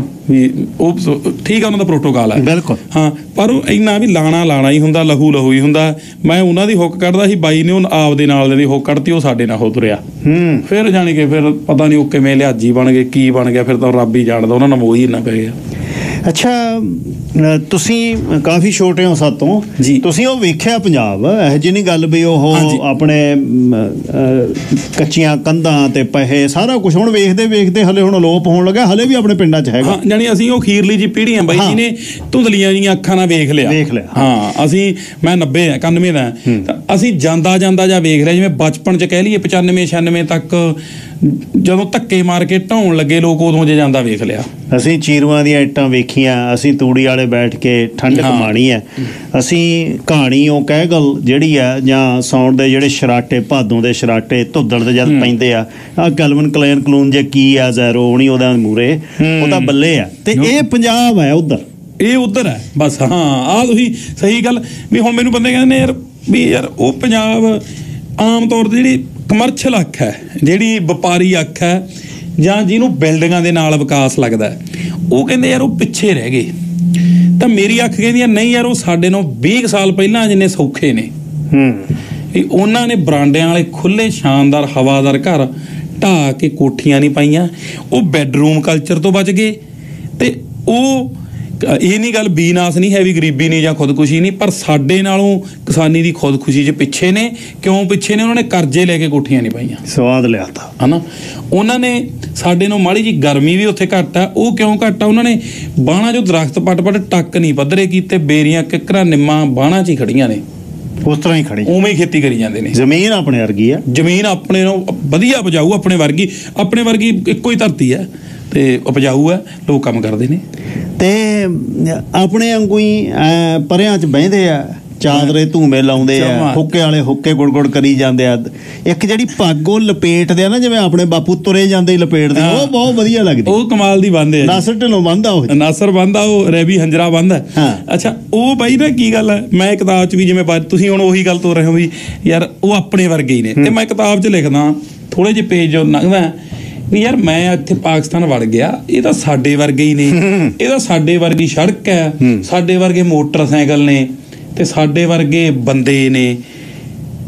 ਸਾਡੇ ਵਰਗੀ ਨਹਿਰ ਆ ਪਾਣੀ ਆ ਤਾਂ ਉੱਥੇ ਨਾਲ ਹੀ ਮੈਂ ਲਿਖ ਦਿੰਦਾ ਵੀ ਹੁਣ ਤੁਸੀਂ ਐਂ ਵੀ ਸੋਚਦੇ ਹੋਵੋਗੇ ਵੀ ਵਾਹ ਯਾਦ ਜਾਂ ਲਿਖਾਰੀ ਹੈ ਇਹ ਕਿਹੜੀ ਲਿਖਣ ਵਾਲੀ ਗੱਲ ਹੋਈ ਵੀ ਸਾਡੇ ਵਰਗੀਆਂ ਸੜਕਾਂ ਨੇ ਤੇ ਸਾਡੇ ਵਰਗੇ ਮੋਟਰਸਾਈਕਲ ਨੇ? ਫਿਰ ਉਹ ਮੈਂ ਲਾਸਟ 'ਚ ਕਲੀਅਰ ਕਰ ਕੀਤੀ ਹੈ ਗੱਲ ਮੈਂ ਤਾਂ ਲਿਖਦਾ ਕਿਉਂਕਿ ਸਾਨੂੰ ਐਂ ਵਿਖਾਉਂਦੇ ਨੇ ਵੀ ਉੱਥੇ ਸਾਡੇ ਵਰਗੇ ਨੇ ਉਹ ਤਾਂ ਗੋਲੀਆਂ ਹੀ ਚਲਾਈ ਜਾਂਦੇ ਨੇ। ਉਹਦਾ ਬੰਬ ਹੀ ਚੱਕੀ ਫਿਰਦੇ ਨੇ। ਤੇ ਮੇਰੇ ਲਈ ਇਹ ਗੱਲ ਤਾਂ ਚੰਬੇ ਵਾਲੀ ਆ ਵੀ ਯਾਰ ਸਾਡੇ ਵਰਗਾ ਹੀ ਆ ਸਾਰਾ ਕੁਝ। ਜਿਵੇਂ ਦਿਖਾਇਆ ਗਿਆ ਪੰਜਾਬ ਆ ਉਧਰਲਾ ਜਿਵੇਂ ਉਹਨਾਂ ਦੀ ਸ਼ਕਲ ਸੂਰਤ ਬਣਾ ਕੇ ਸਾਨੂੰ ਵਿਖਾਈ ਉਹਦੇ ਜਾਨੀ ਕਿ ਧਰਤੀ ਦੇ ਸਮਾਨ ਜਿੰਨਾ ਫ਼ਰਕ ਹੈ। ਹਾਂ ਇੱਕਾ ਦੁੱਕਾ ਗਲਤੀਆਂ ਉੱਥੇ ਵੀ ਹੈਗੀਆਂ ਨੇ ਸਾਡੇ ਵੀ। ਹੈਗੀਆਂ ਨੇ ਕੈਨੇਡਾ ਵੀ ਨੇ ਪੈਰਿਸ ਵੀ ਨੇ ਦੁਨੀਆ 'ਚ ਨੇ। ਐਡੀਲੀਡ ਵੀ ਨੇ। ਹਾਂ। ਬੀਨਾਸ ਕਿਸੇ ਚੀਜ਼ ਦਾ ਨਹੀਂ ਗਰੀਬੀ ਵੀ ਉੱਥੇ ਵੀ ਆ ਉਹ ਸਾਰੇ ਕਿਤੇ ਆ। ਜੇ ਗਰੀਬੀ ਇੱਕ ਇਹ ਸਭ ਤੋਂ ਵੱਡੀ ਗੱਲ ਪ੍ਰੇਰਦੀ ਗਈ ਆ ਬਾਈ ਹਨਾ? ਹਰੇਕ ਕਹਿੰਦਾ ਕਹਿੰਦੇ ਪਾਕਿਸਤਾਨ ਗਰੀਬੀ ਬਹੁਤ ਹੈ। ਤੇ ਮੈਂ ਕਿਹਾ ਜੀ ਗਰੀਬੀ ਦੇਖਣ ਵਾਲੀ ਅੱਖ ਤਾਂ ਵੇਖੋ ਵੈਨਕੂਵਰ ਦਾ ਡਾਊਨਟਾਊਨ ਭਰਿਆ ਪਿਆ। ਹਾਂ। ਲੋਕਾਂ ਕੋਲੇ ਛੱਤ ਨਹੀਂ ਹੈ। ਬਿਲਕੁਲ। ਹਾਂਗਕਾਂਗ 'ਚ ਲੋਕ ਪਿੰਜਰਿਆਂ ਵਾਂਗੂ ਰਹਿੰਦੇ ਨੇ। ਮੈਂ ਹੀ ਨਹੀਂ ਕਹਿੰਦਾ ਗਰੀਬੀ ਉੱਥੇ ਖਤਮ ਹੀ ਨਾ ਹੋਵੇ ਮੈਂ ਉਹਨੂੰ ਸਲਾਉਣਾ ਹੈ। ਪਰ ਗਰੀਬੀ ਕਿਸੇ ਧਰਤੀ ਦੀ ਸਮੱਸਿਆ ਨਹੀਂ। ਮਾੜਾ ਹੋਣਾ ਜਾਂ ਮਾੜੇ ਬੰਦੇ ਆ ਜਾਣੇ ਉਹ ਕਿਸੇ ਧਰਤੀ ਦੀ ਸਮੱਸਿਆ ਨਹੀਂ। ਉਹ ਯੂਨੀਵਰਸਲ ਸਮੱਸਿਆ ਹੈ। ਦੁਨੀਆ 'ਚ ਚੰਗੇ ਮਾੜੇ ਲੋਕ ਸਾਰੇ ਥਾਂ ਹੀ ਹੁੰਦੇ ਨੇ। ਆਪਣੇ ਵਾਲੇ ਗੋਤ ਨੇ ਖਹਿਰੇ ਨੇ ਵਿਰਕ ਨੇ ਬੜੈਚ ਨੇ ਚੀਮੇ, ਨੇ ਚੱਠੇ, ਨੇ। ਐਨ ਵੇਰ ਕੇ ਕਹਿੰਦੇ ਨੇ ਫਿਰ ਬਹੁਤ। ਆਪਣੀ ਤਾਂ ਆਪਾਂ ਤਾਂ ਗੱਲਾਂ ਵਾਲੇ ਆ। ਆਪਾਂ ਤਾਂ ਪੀ ਕੇ ਲਲਕਰਾ ਮਾਰਦੇ ਆ ਉਹ ਸਦਾ ਹੀ ਲਲਕਰਾ ਮਾਰਦੇ ਸਦਾ ਹੀ ਲਲਕਾ ਮਾਰਦੇ ਇੱਕ ਪਿੱਛੇ ਜੇ ਵੀਡੀਓ ਨਹੀਂ ਆਈ ਸੀ। ਉਹ ਕਹਿੰਦਾ ਜਿਵੇਂ ਉਹ ਇੰਨਾ ਮਾਣ ਕਰਦੇ ਨੇ ਆਪਦਿਆਂ ਤੇ ਉਹ ਕਹਿੰਦਾ ਤੂੰ ਕੀ ਮੈਨੂੰ ਲਲਕਾਰਦਾ ਮੈਂ ਗਿੱਲਾਂ ਦਾ ਪੁੱਤ? ਆ ਮੇਰੇ ਛੇ ਪਿੰਡ ਆਪਦੇ ਨੇ ਤੇਰੇ ਜਿੰਨੀਆਂ ਸਾਰੀਆਂ ਵੋਟਾਂ ਦਾ ਮੈਨੂੰ ਮੇਰੇ ਘਰ ਦੇ ਪਾ ਦੇਣਗੇ। ਉਹ ਗੱਲ ਇਹ ਆ ਵੀ ਉਹ ਮਾਣ ਕਰਦੇ ਨੇ ਆਪਦਿਆਂ ਤੇ। ਸਵਾਦ ਦੀ ਗੱਲ। ਅੱਛਾ ਉਹ ਕੀ ਕਹਿੰਦੇ ਆ? ਫਿਰ ਵੀ ਇਹ ਗੋਤ ਸਾਡੇ ਕਿਵੇਂ ਰਹਿ ਗਏ ਵੀ ਕਿਤੇ ਨਾ ਕਿਤੇ ਪੀੜ੍ਹੀ ਸਿੱਖਾਂ ਦੀ ਸੀ। ਨਹੀਂ ਇਹ ਗੋਤ ਸਿੱਖ ਅਸਲ ਜਿਹੜਾ ਗੋਤ ਦਾ ਇਤਿਹਾਸ ਹੈ ਜੀ ਗੋਤ ਦਾ ਸੰਬੰਧ ਧਰਮ ਨਾਲ ਨਹੀਂ ਹੈ। ਗੋਤ ਤਾਂ ਪਿੱਛੇ ਤੋਂ ਆਉਂਦਾ ਹੈ ਹੈਨਾ? ਜਿਵੇਂ ਰਾਜਪੂਤਾਂ ਚੋਂ ਚੱਲਦੇ ਆਉਨੇ ਆਪਾਂ ਜਿੱਧਰੋਂ ਮੈਂ ਸਮਝ ਗਿਆ। ਗੱਲ। ਉਹ ਪਿੱਛੋਂ ਨੇ। ਉਹ ਮੁਸਲਮਾਨਾਂ 'ਚ ਪਹਿਲਾਂ ਤੋਂ ਹੀ ਗੋਤ ਸੀਗੇ ਜੀ ਚੀਮੇ ਚੱਠੇ ਪਹਿਲਾਂ ਸੀ। ਹਾਂ ਬਸ ਉਹ ਐ ਵੀ ਉਹ ਉਹਨਾਂ ਦਾ ਧਰਮ ਮੁਸਲਮਾਨ ਹੈ ਸਾਡਾ ਸਿੱਖ ਹੈ। ਤੇ ਗੋਤ ਤਾਂ ਉਹੀ ਹੈ। ਢਿੱਡੋਂ ਬਾਹਲਾ ਤੇ ਉਹ ਕਰਦੇ ਹਨ? ਉਹ ਯਾਰ ਬਾਈ ਉਹ ਨਾ ਗੱਲ ਆਉਂ ਵੀ ਸਾਡੇ ਕੋਲੇ ਹੋ ਸਕਦਾ ਉਹਨਾਂ ਟਾਈਮ ਨਾ ਹੋਵੇ ਜੇ ਉਹ ਆਉਣ। ਹੂੰ। ਅਸੀਂ ਤਾਂ ਮਿੰਟ ਗਿਣੀ ਫਿਰਦੇ ਹੁੰਨੇ ਆ ਆਪਦੇ। ਉਹ ਤਾਂ ਛੱਡੇ ਹੀ ਦਿੰਦੇ ਆ। ਉਹਦਾ ਕਹਾਣੀ ਛੱਡ ਹੀ ਦਿੰਦੇ ਆ। ਤੇ ਇੱਥੇ ਇਹ ਗੱਲ ਦੱਸਣੀ ਜ਼ਰੂਰੀ ਆ। ਹੁਣ ਅਗਲਾ ਕਹਿੰਦਾ ਉਹ ਵਿਹਲੇ ਹੋਣਗੇ ਤਾਂ ਛੱਡ ਦਿੰਦੇ ਆ। ਘਰ-ਬਾਰ ਉਹਨਾਂ ਦੇ ਵੀ ਨੇ ਪਰਿਵਾਰ ਉਹਨਾਂ ਦੇ ਵੀ ਨੇ। ਕਾਰੋਬਾਰ ਆਪਣੇ ਜਿੰਨੇ ਉਲਝੇ ਉਹਨਾਂ ਦੇ ਤੰਦਤਾਣੀਆਂ ਨੇ। ਪਰ ਉਹਨਾਂ ਦੀ ਮੁਹੱਬਤ ਆ ਵੀ ਫਿਰ ਉਹ ਕਹਿੰਦੇ ਹੁਣ ਛੱਡੋ ਖੜਾ ਇਹਦੇ ਬੰਦੇ ਦੇ ਆਲੇ-ਦਾਲੇ ਬੈਠੋ ਇਹ ਉਧਰੋਂ ਆਇਆ ਇਹ ਪਾਰੋਂ ਆਇਆ। ਕਮਾਲ ਦੀ ਗੱਲ ਹੈ। ਤੇ ਫਿਰ ਪੁੱਛਦੇ ਆ ਜਿਵੇਂ ਆਪਾਂ ਪੁੱਛਦੇ ਆ ਹੁਣ ਆਪਾਂ ਮੈਂ ਪੁੱਛਦਾ ਉਧਰ ਲਾ ਉਹ ਆਪਾਂ ਤੋਂ ਪੁੱਛਦਾ ਵੀ ਉਧਰ ਕਿਵੇਂ ਯਾਰ ਉਹ ਪੁੱਛਦੇ ਤੜਫਦੇ ਆ ਵੀ ਯਾਰ ਅਸੀਂ ਬਠਿੰਡੇ ਜਾਣਾ ਅਸੀਂ ਜਲੰਧਰ ਜਾਣਾ ਹੈ।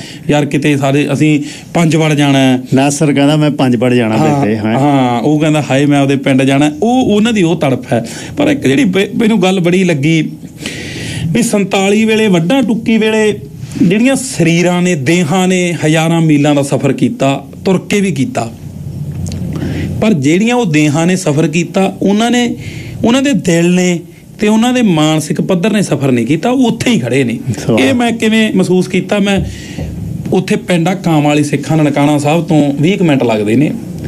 ਉਸ ਪਿੰਡ ਦੋ ਬਜ਼ੁਰਗ ਨੇ ਰਾਣਾ ਮੁਹੰਮਦ ਜਕੂਬ ਤੇ ਰਾਣਾ ਮੁਹੰਮਦ ਉਹਨਾਂ ਨੂੰ ਮੈਂ ਕਿਤਾਬ ਸਮਰਪਿਤ ਕੀਤੀ ਹੈ। ਅੱਛਾ। ਉਹ ਪਿੰਡ ਰੌਂਤੇ ਦੇ ਨੇ ਤੇ ਮੈਨੂੰ ਪਤਾ ਲੱਗ ਗਿਆ ਵੀ ਉਹ ਜਿਉਂਦੇ ਨੇ ਤੇ ਉਹਨਾਂ ਨੂੰ ਮਿਲੀਏ। ਮੈਂ ਗਿਆ ਚਲੋ ਬਹੁਤ ਵੱਡਾ ਸਵਾਗਤ ਉਹਨਾਂ ਨੇ। ਉਹਦੇ ਬਾਰੇ ਵੀ ਆਪਾਂ ਗੱਲ ਕਰਾਂ ਕੀਤਾ। ਮੈਂ ਉਹਨਾਂ ਨੂੰ ਮਿਲਿਆ। ਮੈਂ ਮਹਿਸੂਸ ਕੀਤਾ ਵੀ ਇਹ ਉੱਥੇ ਹੀ ਖੜੇ ਨੇ ਅੱਜ ਵੀ। ਇੰਨੀ ਦੂਰ ਆ ਕੇ ਵੀ। ਉਹਨਾਂ ਦਾ ਮਿਲਣਸਾਰ ਪਹਿਲੀ ਗੱਲ ਇਹ ਸੀ ਕਹਿੰਦੇ ਆਪਣੇ ਪਿੰਡ ਵਾਲੀ ਢਾਬ ਸੁੱਕ ਤਾਂ ਨਹੀਂ ਗਈ ਪਾਣੀ ਹੈਗਾ। ਹਾਂ ਹਾਂ ਹਾਂ ਹਾਂ ਹਾਂ। ਧਰੂ ਨਿਕਲ ਗਿਆ ਅੰਦਰੋਂ ਮੇਰੇ। ਕਹਿੰਦੇ ਪੱਤੋ ਵਾਲੇ ਰਾਹ ਤੇ ਕਬਰਾਂ ਕੋਲੇ ਅਸੀਂ ਇੱਕ ਕਮਰਾ ਪਾਇਆ ਸੀ ਉਹ ਤਾਂ ਨਹੀਂ ਢਾਤਾ ਕਿਸੇ ਨੇ। ਤਾਂ ਮੈਂ ਕਿਹਾ ਯਾਰ ਕਿੱਥੇ ਗੱਲ ਖੜੀ ਐ? ਭੁੱਲੇ ਹੀ 4 ਸਾਲ ਤੇ 6 ਸਾਲ ਦੀ ਉਮਰ ਸੀ ਉਹਨਾਂ ਦੀ। ਜਿਵੇਂ ਮੈਂ ਕਹਿੰਦਾ ਮੈਂ 95 ਵਾਲਾ ਧੁੰਦਲਾ ਜਾ ਦੇਖਿਆ ਉਹ ਧੁੰਦਲੇ ਜਿਹੀ ਸੀ ਉਦੋਂ। ਸਾਰੀ ਜ਼ਿੰਦਗੀ ਕੱਢਤੀ ਉਧਰ ਜਾ ਕੇ। ਬਾਲ ਬੱਚੇ ਨੇ ਕਾਰੋਬਾਰ ਨੇ ਪਰ ਗੱਲ ਉੱਥੇ ਹੀ ਖੜੀ ਐ ਵੀ ਢਾਬ 'ਚ ਪਾਣੀ ਹੈਗਾ। ਬੜਿਆਂ ਨੂੰ ਪੁਰਖਿਆਂ ਨੂੰ ਜਾਂ ਮਿਲਿਆ ਹੈ ਸਵਾਦ ਹੀ ਆ ਗਿਆ ਮੈਂ ਨਾ ਬਾਈ ਜਿਵੇਂ ਮੇਰੇ ਨਾਲ ਦੇ ਬੰਦੇ ਸੀ ਜਿਹੜੇ ਹਾਂ। ਹਰਿੰਦਰ ਭੁੱਲਰ ਬਾਈ ਹੁਣੀ ਹੋਰ ਉੱਥੇ ਕਦੋਂ ਪੰਜਾਬੀ ਮਿਲੇ। ਹੂੰ। ਉਹ ਬੜਾ ਕਹਿੰਦੇ ਸੀ ਵੀ ਕਿੱਥੇ ਗਏ ਕਹਿੰਦੇ ਕੱਲ ਮੈਂ ਆਪਦੇ ਪਿੰਡ ਗਿਆ ਮੈਂ ਆਪਦੇ ਘਰ ਦੀ ਇੱਟ ਲਿਆਇਆ। ਕੋਈ ਆਏ ਕਵੇ ਕੋਈ ਕਵੇ ਮੈਂ ਆਪਦੇ ਪਿੰਡ ਘਰ ਵੇਖ ਕੇ ਆਇਆ। ਹੁਣ ਮੈਨੂੰ ਜੀ ਕਰੇ ਵੀ ਮੈਂ ਵੀ ਕਹਾਂ ਮੇਰਾ ਇੱਧਰ ਪਿੰਡ ਆ ਤੇ ਮੈਂ ਇੱਧਰ ਜਾਣਾ ਹੈ। ਹੁਣ ਇੱਕ ਤਾਂ ਗੱਲ ਇਹ ਆ ਵੀ ਜੇ ਉਧਰ ਪਿੰਡ ਕਹਾਉਣ ਵਾਸਤੇ ਕੁਰਬਾਨੀ ਹੋਣੀ ਚਾਹੀਦੀ ਹੈ ਲਹੂ ਦੀ। ਜਿਨ੍ਹਾਂ ਦਾ ਉਧਰ ਪਿੰਡ ਆ ਉਹਨਾਂ ਦਾ ਵੱਡਾ ਟੁੱਕੀ ਵੀ ਹੋਈ ਹੈ। ਉਹਨਾਂ ਨੇ ਵਕਤ ਵੀ ਭਰਿਆ। ਇੱਕ ਤਾਂ ਇਹ ਗੱਲ ਆ ਵੀ ਮੈਨੂੰ ਵਕਤ ਨਹੀਂ ਭਰਨਾ ਪਿਆ ਮੇਰੇ ਲਹੂ ਨੂੰ ਉਧਰ ਇਹ ਇੱਧਰ ਹੀ ਸੀਗੇ ਰਹੇ ਪਰ ਮੇਰਾ ਜੀ ਕਰੇ ਯਾਰ ਵੀ ਮੈਂ ਊਣਾ ਮੈਨੂੰ ਐ ਲੱਗੇ ਕੋਈ ਘਾਟ ਹੈ। ਚਲੋ ਮੈਨੂੰ ਕਾਂ ਵਾਲੀ ਸਿੱਖਾਂ ਵਾਲੇ ਬਜ਼ੁਰਗਾਂ ਦਾ ਪਤਾ ਲੱਗ ਗਿਆ ਮੈਂ ਮਿਲਣ ਉੱਠ ਗਿਆ। ਫਿਰ ਮੈਂ ਉਹਨਾਂ ਨੂੰ ਬਹਿ ਕੇ ਕਿਹਾ ਮੈਂ ਕਿਹਾ ਯਾਰ ਬਾਪੂ ਤੁਸੀਂ ਇਹਨਾਂ ਨੂੰ ਕਹੋ ਵੀ ਇਹ ਅਸੀਂ ਰੌਂਤੇ ਦੇ ਆਂ ਤੇ ਇਹਦਾ ਪਿੰਡ ਕਾਂ ਵਾਲੀ ਸਿੱਖਾਂ ਤੇ ਹੁਣ ਮੈਂ ਕਿਹਾ ਕਰਨਾ ਵੀ ਮੇਰਾ ਭਾਈ ਉਧਰ ਪਿੰਡ ਹੈਗਾ ਪਿੰਡ ਕਾਂ ਵਾਲੀ ਸਿੱਖਾਂ। ਹਾਂ। ਤਾਂ ਉਹ ਕਹਿੰਦੇ ਭਾਈ ਸਾਡਾ ਪੁੱਤ ਹੈ ਪੀਡੀ ਹੋ ਜੂ ਪੂਰੀ। ਮੈਂ ਕਿਹਾ ਉਹ ਕਹਿੰਦੇ ਸਾਡਾ ਪੁੱਤ ਹੈ ਫਿਰ ਉਹਨਾਂ ਦੀ ਬਾਈ ਜਿਹੜੀ ਗੱਲ ਕਰਦੇ ਉਹ ਗੱਲਾਂ ਮਿਲਦੇ ਕਿਵੇਂ ਨੇ? ਰੋਜ਼ਿਆਂ ਦੇ ਦਿਨ ਚੱਲਦੇ ਸੀ ਬਾਈ। ਅੰਨ ਨੂੰ ਹੱਥ ਨਹੀਂ ਲਾਉਂਦੇ ਉਹ। ਦੋ ਬੰਦੇ ਸੀ ਸਿੱਖਾਂ ਦੇ ਮੈਂ ਤੇ ਹਰਿੰਦਰ ਭੁੱਲਰ। ਸਾਡੇ ਵਾਸਤੇ ਇੱਕ ਪਲੇਟ ਪਕੌੜਿਆਂ ਦੀ ਲਿਆ ਕੇ ਸਰ ਸਕਦਾ ਸੀ। ਦੋ ਪਲੇਟਾਂ ਲਿਆਉਂਦੇ ਇੱਕ ਠੰਡੇ ਦੀ ਬੋਤਲ ਲਿਆਉਂਦੇ ਦੋ ਕੱਪ ਚਾਹ ਬਣਾ ਬਸ ਇੰਨਾ ਹੀ ਕੰਮ ਸੀ। ਇੰਨਾ ਹੀ ਕੰਮ ਸੀ। ਪਰ ਬਾਈ ਉਹਨਾਂ ਦੇ ਹਲਵਾਈ ਚਾੜੇ ਹੋਏ ਸੀ। ਓ ਹੋ ਹੋ ਹੋ ਪਿੰਡ ਤੋਂ ਬਾਹਰ ਆਇਆ ਖੜਾ ਸੀ 200 ਬੰਦਾ। ਤੇ ਮੁਕੱਦਸ ਦਿਨ ਚੱਲ ਰਹੇ ਨੇ। ਮੁਕੱਦਸ ਦਿਨ ਚੱਲ ਰਹੇ ਨੇ। 200 ਬੰਦਾ ਬਾਹਰ ਆਇਆ ਖੜਾ ਗੁਲਾਬ ਦੇ ਫੁੱਲਾਂ ਦੇ ਹਾਰ ਨੇ ਤਿੰਨ ਚਾਰ ਢੋਲ ਵਾਲੇ ਨੇ। ਮੈਂ ਕਿਹਾ ਮੈਨੂੰ ਲੱਗਦਾ ਹੀ ਨਹੀਂ ਵੀ ਕਿਸੇ ਵੱਡੇ ਮੰਤਰੀ ਸ਼ੰਤਰੀ ਦਾ ਵੀ ਆਏ। ਅਸੀਂ ਕਰ ਹੀ ਨਹੀਂ ਸਕਦੇ। ਹੀ ਹਾਂ, ਅਸੀਂ ਨਹੀਂ ਕਰ ਸਕਦੇ। ਹੁੰਦਾ ਹੋਵੇ ਹਾਂ। ਸਵਾਗਤਾਂ ਏ ਤਾਂ ਮੈਨੂੰ ਐਂ ਲੱਗਦਾ ਸੀ ਵੀ ਮੰਤਰੀ ਸ਼ੰਤਰੀ ਸਾਰਾ ਕੁਝ ਆਪਾਂ ਤੋਂ ਥੱਲੇ ਅੱਜ। ਉਹਨਾਂ ਨੇ ਜੱਫੀਆਂ ਪਾਈਆਂ। ਜਿਵੇਂ ਤੁਸੀਂ ਪੰਜਾਬ ਦੇਖਿਆ ਹੋਊ ਵੀ ਕੋਈ ਪ੍ਰਾਹੁਣਾ ਆਉਂਦਾ ਸੀ ਸਾਰੇ ਪਿੰਡ ਦੇ ਸਾਰੇ ਪਿੰਡ ਦਾ ਹੀ ਪ੍ਰਾਹੁਣਾ ਸੀ। ਉਹ ਕਹਿੰਦਾ ਕੱਲ ਨੂੰ ਜਾ ਵੜੀ ਉੱਥੇ ਵੀ ਘੁੱਟ ਪੀਣੀਆ ਇੱਥੇ ਪੈ ਜਾ ਕੱਲ ਨੂੰ ਛੱਡ ਕੇ ਆਵਾਂਗੇ। ਉਰਲੇ ਬੰਨੇ ਹੀ ਰੱਖ ਲੈਂਦੇ। ਹਾਂ ਤੇ ਜਵਾਕ ਜਿਵੇਂ ਹੁੰਦੇ ਸੀ ਮੈਂ ਸੁਣੀਆਂ ਸੀ ਗੱਲਾਂ ਜਿਵੇਂ ਤੁਹਾਡੇ ਵਰਗੇ ਬਾਈਆਂ ਤੋਂ ਬੀਬੀਆਂ ਤੋਂ ਵੀ ਇੱਕ ਆਉਂਦਾ ਸੀ ਤੇ ਜਵਾਕ ਸਾਰੇ ਪਿੰਡ ਦੇ ਭੱਜੇ ਫਤੇ ਬਾਈ 200 ਜਵਾਕ ਭੱਜਿਆ ਫਿਰੇ ਸਾਡੇ ਆਲੇ ਦਾਲੇ। ਬੈਠ ਕੇ ਜੇ ਅਸੀਂ ਜਿੱਥੇ ਬੈਠੇ ਨੇ ਉਹਨੂੰ ਆਏ ਲੱਗੇ ਜਿਵੇਂ ਘੇਰੀ ਵੀ ਹੁੰਦੀ ਆ ਹਜੂਮ ਦੀ ਆਲੇ ਦਾਲੇ ਨੂੰ। ਤੇ ਉਹਨਾਂ ਨੂੰ ਆਏ ਕੋਈ ਮੇਰਾ ਹੱਥ ਫੜ ਕੇ ਵੇਖੇ ਕੋਈ ਬਾਹ ਨੂੰ ਹੱਥ ਲਾ ਲੇ। ਬਾਈ ਯਾਰ ਉਹ ਜੋ ਫਿਰ ਉਹਨਾਂ ਨੇ ਬਾਪੂ ਉਹਨਾਂ ਨੇ ਗੱਲਾਂ ਕਰੀਆਂ ਜਗਰਾਵਾਂ ਰੋਸ਼ਨੀ ਦੇ ਮੇਲੇ ਦੀਆਂ ਗੱਲਾਂ ਬੋਲੀਆਂ ਸੁਣਾਉਣ ਲੱਗ ਗਏ ਸਾਰਾ ਪਿੰਡ ਨਾਲ ਗਾਉਣ ਲੱਗ ਗਿਆ ਉੱਥੇ ਬੈਠ ਕੇ। ਬੱਲਾ ਬੱਲਾ ਮੈਂ ਕਿਹਾ ਮੈਨੂੰ ਐਂ ਲੱਗਦਾ ਵੀ ਮੈਂ 90 ਚ ਜੰਮਿਆ ਤਾਂ ਲੇਟ ਸੀ ਪਰ ਮੈਂ 70 ਚ ਜੰਮ ਕੇ 90 ਵਾਲਾ ਪੰਜਾਬ ਜਵਾਨੀ ਚ ਦੇਖ ਲਿਆ। ਅੱਛਾ ਉੱਥੇ ਵੀ ਦੋਨੇ ਪੋਚ ਨੇ। ਜਿਹੜੇ ਸਾਡੇ ਵਾਲੇ ਚੰਡੀਗੜ੍ਹ ਚਲੇ ਜਾਂਦੇ ਨੇ ਉਹ ਕਹਿੰਦੇ ਸਵੇਰ ਸੁਖਨਾ ਲੇਕ ਪਰ ਗਏ ਥੇ ਹਿੰਦੀ ਬੋਲਦੇ ਨੇ ਲਾਹੌਰ 'ਚ ਹੈਗੇ ਨੇ ਹਲੇ ਉੱਥੇ ਪਰ ਉਹਨਾਂ ਨੇ ਬੋਲੀ ਨਹੀਂ ਛੱਡੀ। ਹਾਂ ਲਾਹੌਰ ਚ ਜਿਵੇਂ ਡਿਫੈਂਸ ਕਲੋਨੀ ਅੱਡ ਹੈ, ਹਾਂ, ਉੱਥੇ ਜਾਣ ਦੇ ਹਾਂ। ਜਿਹੜਾ ਜਿਵੇਂ ਉਹ ਸਾਰੇ ਸਮੱਸਿਆ ਹੈ ਯੂਨੀਵਰਸਲ ਐਲੀਟ ਵਾਲੀ ਹੂੰ। ਵੀ ਅਸੀਂ ਬਾਹਲੇ ਹਾਂ, ਸਾਡੇ। ਵਰਗਾ ਨਹੀਂ ਕੋਈ। ਹਾਂ ਸਾਡੇ ਵਰਗਾ ਨਹੀਂ ਕੋਈ ਇਹ ਭਲੇਖਾ ਜਿਹੜਾ ਜਿਵੇਂ ਆਪਾਂ ਹੁਣ ਜਿਵੇਂ ਤੁਸੀਂ ਇਸ ਸਟਾਈਲ 'ਚ ਗੱਲ ਕਰਦੇ ਹੋ ਪੰਜਾਬ ਦੇ ਰੰਗ ਨਾਲ ਤਾਂ ਇਹਨੂੰ ਜਿਵੇਂ ਆਪਣੇ ਵਾਲੇ ਕਹਿੰਦੇ ਆ ਉਹੀ ਬੋਲੀ ਜਾਂਦੇ ਹਨਾ ਸਹੀ ਗੱਲ ਆ ਹਾਂ। ਮੈਨੂੰ ਕਹਿੰਦੇ ਨੇ ਯਾਰ ਇਹ ਐਂ ਥੋੜੋ ਹੁੰਦਾ ਪਰ ਨਹੀਂ ਇਹ ਚੀਜ਼ ਮਾਣ ਵਾਲੀ ਹੈ ਤੇ ਉਹ ਉਹਨਾਂ 'ਚ ਸਾਡੇ ਨਾਲੋਂ ਵੱਧ ਹੈ ਉਹ ਲਾਹੌਰ ਦੀ ਵੀ ਲਾਹੌਰ ਦੀਆਂ ਅਲੀਟ ਬਾਜ਼ਾਰਾਂ 'ਚ ਵੀ ਕਈ ਵਾਰੀ ਜਦੋਂ ਨਾਸਰ ਹੁਣੀ ਜਿਹੜੇ ਕੁੜਤੇ ਪਾਈ ਫਿਰਦੇ ਨੇ ਨਾ ਚਾਦਰੇ। ਉਹਨਾਂ ਨੂੰ ਕਹਿੰਦੇ ਆ ਉਹ? ਹਾਂ ਉਹ ਉਹਨਾਂ ਨੂੰ ਕਹਿੰਦੇ ਆ। ਪਰ ਉਹ ਅੜ ਕੇ ਰਹਿੰਦੇ ਨੇ।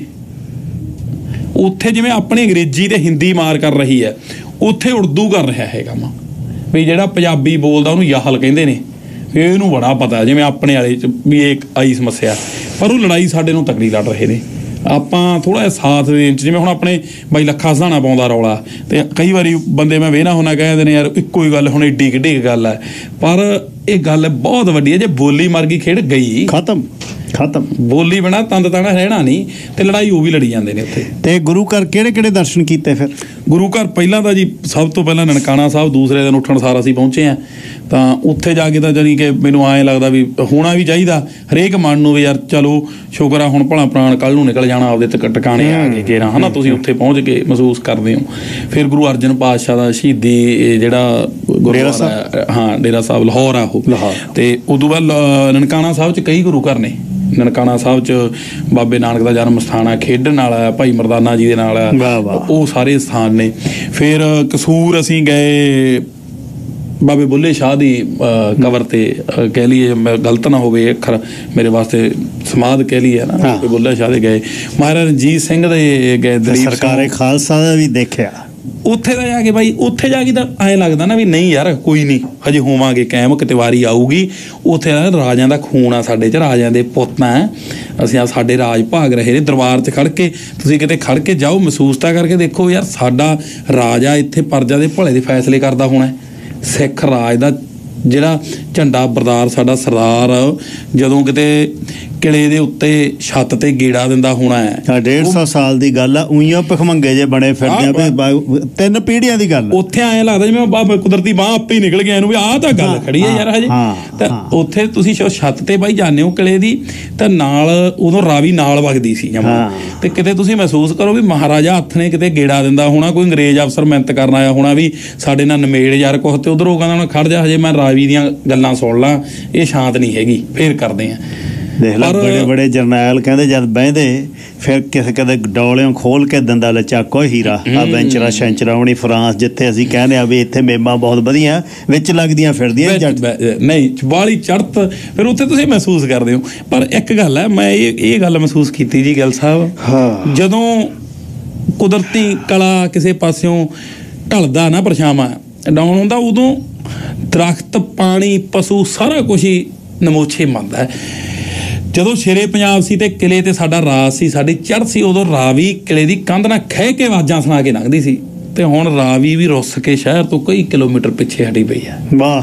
ਪਾਣੀ ਵੀ ਰੁੱਸ ਜਾਂਦੇ ਨੇ। ਅੱਛਾ ਕਿਤਾਬ ਦੇ ਵਿੱਚ ਫਿਰ ਹੂਬ ਹੂਈ ਛਾਪ ਤਾਂ ਕੋਈ ਛੱਡਿਆ ਹੀ ਨਹੀਂ।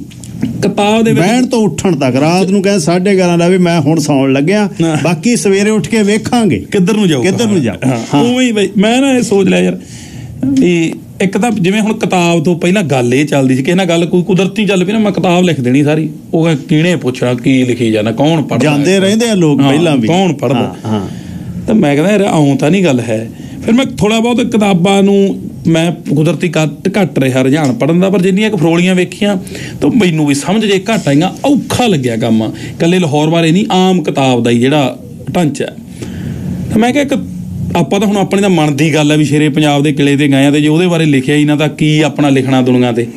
ਹਨਾ ਜੇ ਅਸੀਂ ਆਪਦੇ ਉਸ ਧਰਤੀ ਨੂੰ ਉਹਨਾਂ ਇੱਟਾਂ ਨੂੰ ਮੈਂ ਮੱਥਾ ਲਾ ਕੇ ਆਇਆ ਤੇ ਉਹਨਾਂ ਬਾਰੇ ਤੇ ਕੰਮ ਮੈਂ ਲਿਖਣ ਦਾ ਕਰਦਾ ਤੇ ਮੈਂ ਆਪਦੀ ਬਾਤ ਹੀ ਨਾ ਪਾਈ ਤਾਂ ਕਦੋਂ ਪਾਉਣੀ ਹਨ ਮੈਂ ਤਾਂ ਲਿਖਣਾ ਹੀ ਸੀ ਪਰ ਮੈਂ ਕਹਿੰਦਾ ਜੇ ਕੋਸ਼ਿਸ਼ ਇਹ ਕਰ ਲਈਏ ਵੀ ਇਹਨੂੰ ਸੌਖਾ ਲਿਖ ਦਈਏ।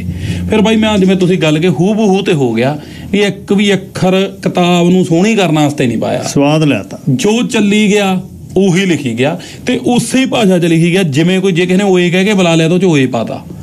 ਤਾਂ ਉਹ ਬਾਈ ਫਿਰ ਉਹਦਾ ਰਿਜ਼ਲਟ ਇਹ ਨਿਕਲਿਆ ਵੀ ਜਿਵੇਂ ਤੁਸੀਂ ਪਹਿਲਾਂ ਦੱਸ ਹਟੇ ਹੋ ਵੀ ਪੂਰੀ ਨਹੀਂ ਆ ਰਹੀ ਆਪਾਂ ਤੋਂ।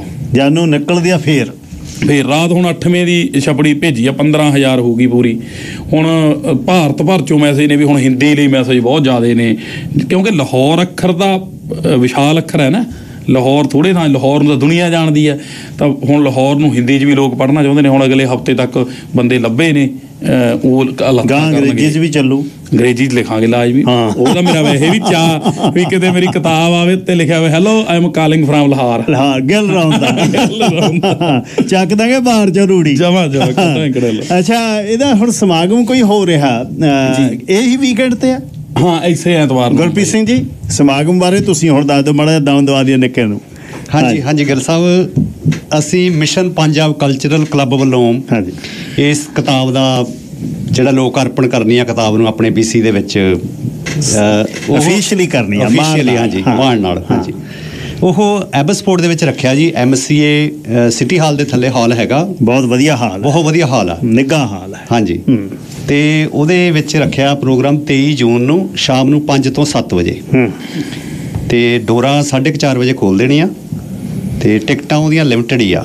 ਤੇ ਸਾਨੂੰ ਇੰਨੀਆਂ ਕਾਲਾਂ ਆ ਰਹੀਆਂ ਤੇ ਟਿਕਟਾਂ ਵਿਕ ਵੀ ਰਹੀਆਂ ਆਨਲਾਈਨ ਬਿਲ ਵਿਕਣ ਗਿਆ ਲੋਕ ਪਹਿਲਾ ਪ੍ਰੋਗਰਾਮ ਹੈ ਜਿਹੜਾ ਕਿਤਾਬ ਨੂੰ ਲੋਕ ਟਿਕਟਾਂ ਲੈ ਕੇ ਆ ਰਹੇ ਆ ਨਹੀਂ ਹੁੰਦੇ ਨਹੀਂ। ਨਹੀਂ ਤਾਂ ਕਿਤਾਬਾਂ ਦੇਣੀਆਂ ਪੈਂਦੀਆਂ ਪੱਲਿਓਂ। ਚਾਹ ਪਿਲਾਉਣੀ ਪੈਂਦੀ। ਚਾਹ। ਪਿਆ ਕੇ ਨਾਲ ਪੱਲਿਓਂ ਕਿਤਾਬ ਦੇਣੀ ਪੈਂਦੀ ਆ। ਤੇ ਮੈਨੂੰ ਪਿਛਲੀ ਵਾਰ ਘਰੇ ਅਸੀਂ ਬੈਠੇ ਸੀ ਦੋਨੇ ਹੀ ਬੈਠਕ 'ਚ ਬਾਹਰਲੀ 'ਚ। ਮੈਨੂੰ ਆ ਗਿਲ ਕਹਿੰਦਾ ਕਹਿੰਦਾ ਮੈਂ ਸਟੇਜ ਤੇ ਬਹਿ ਜਾਣਾ।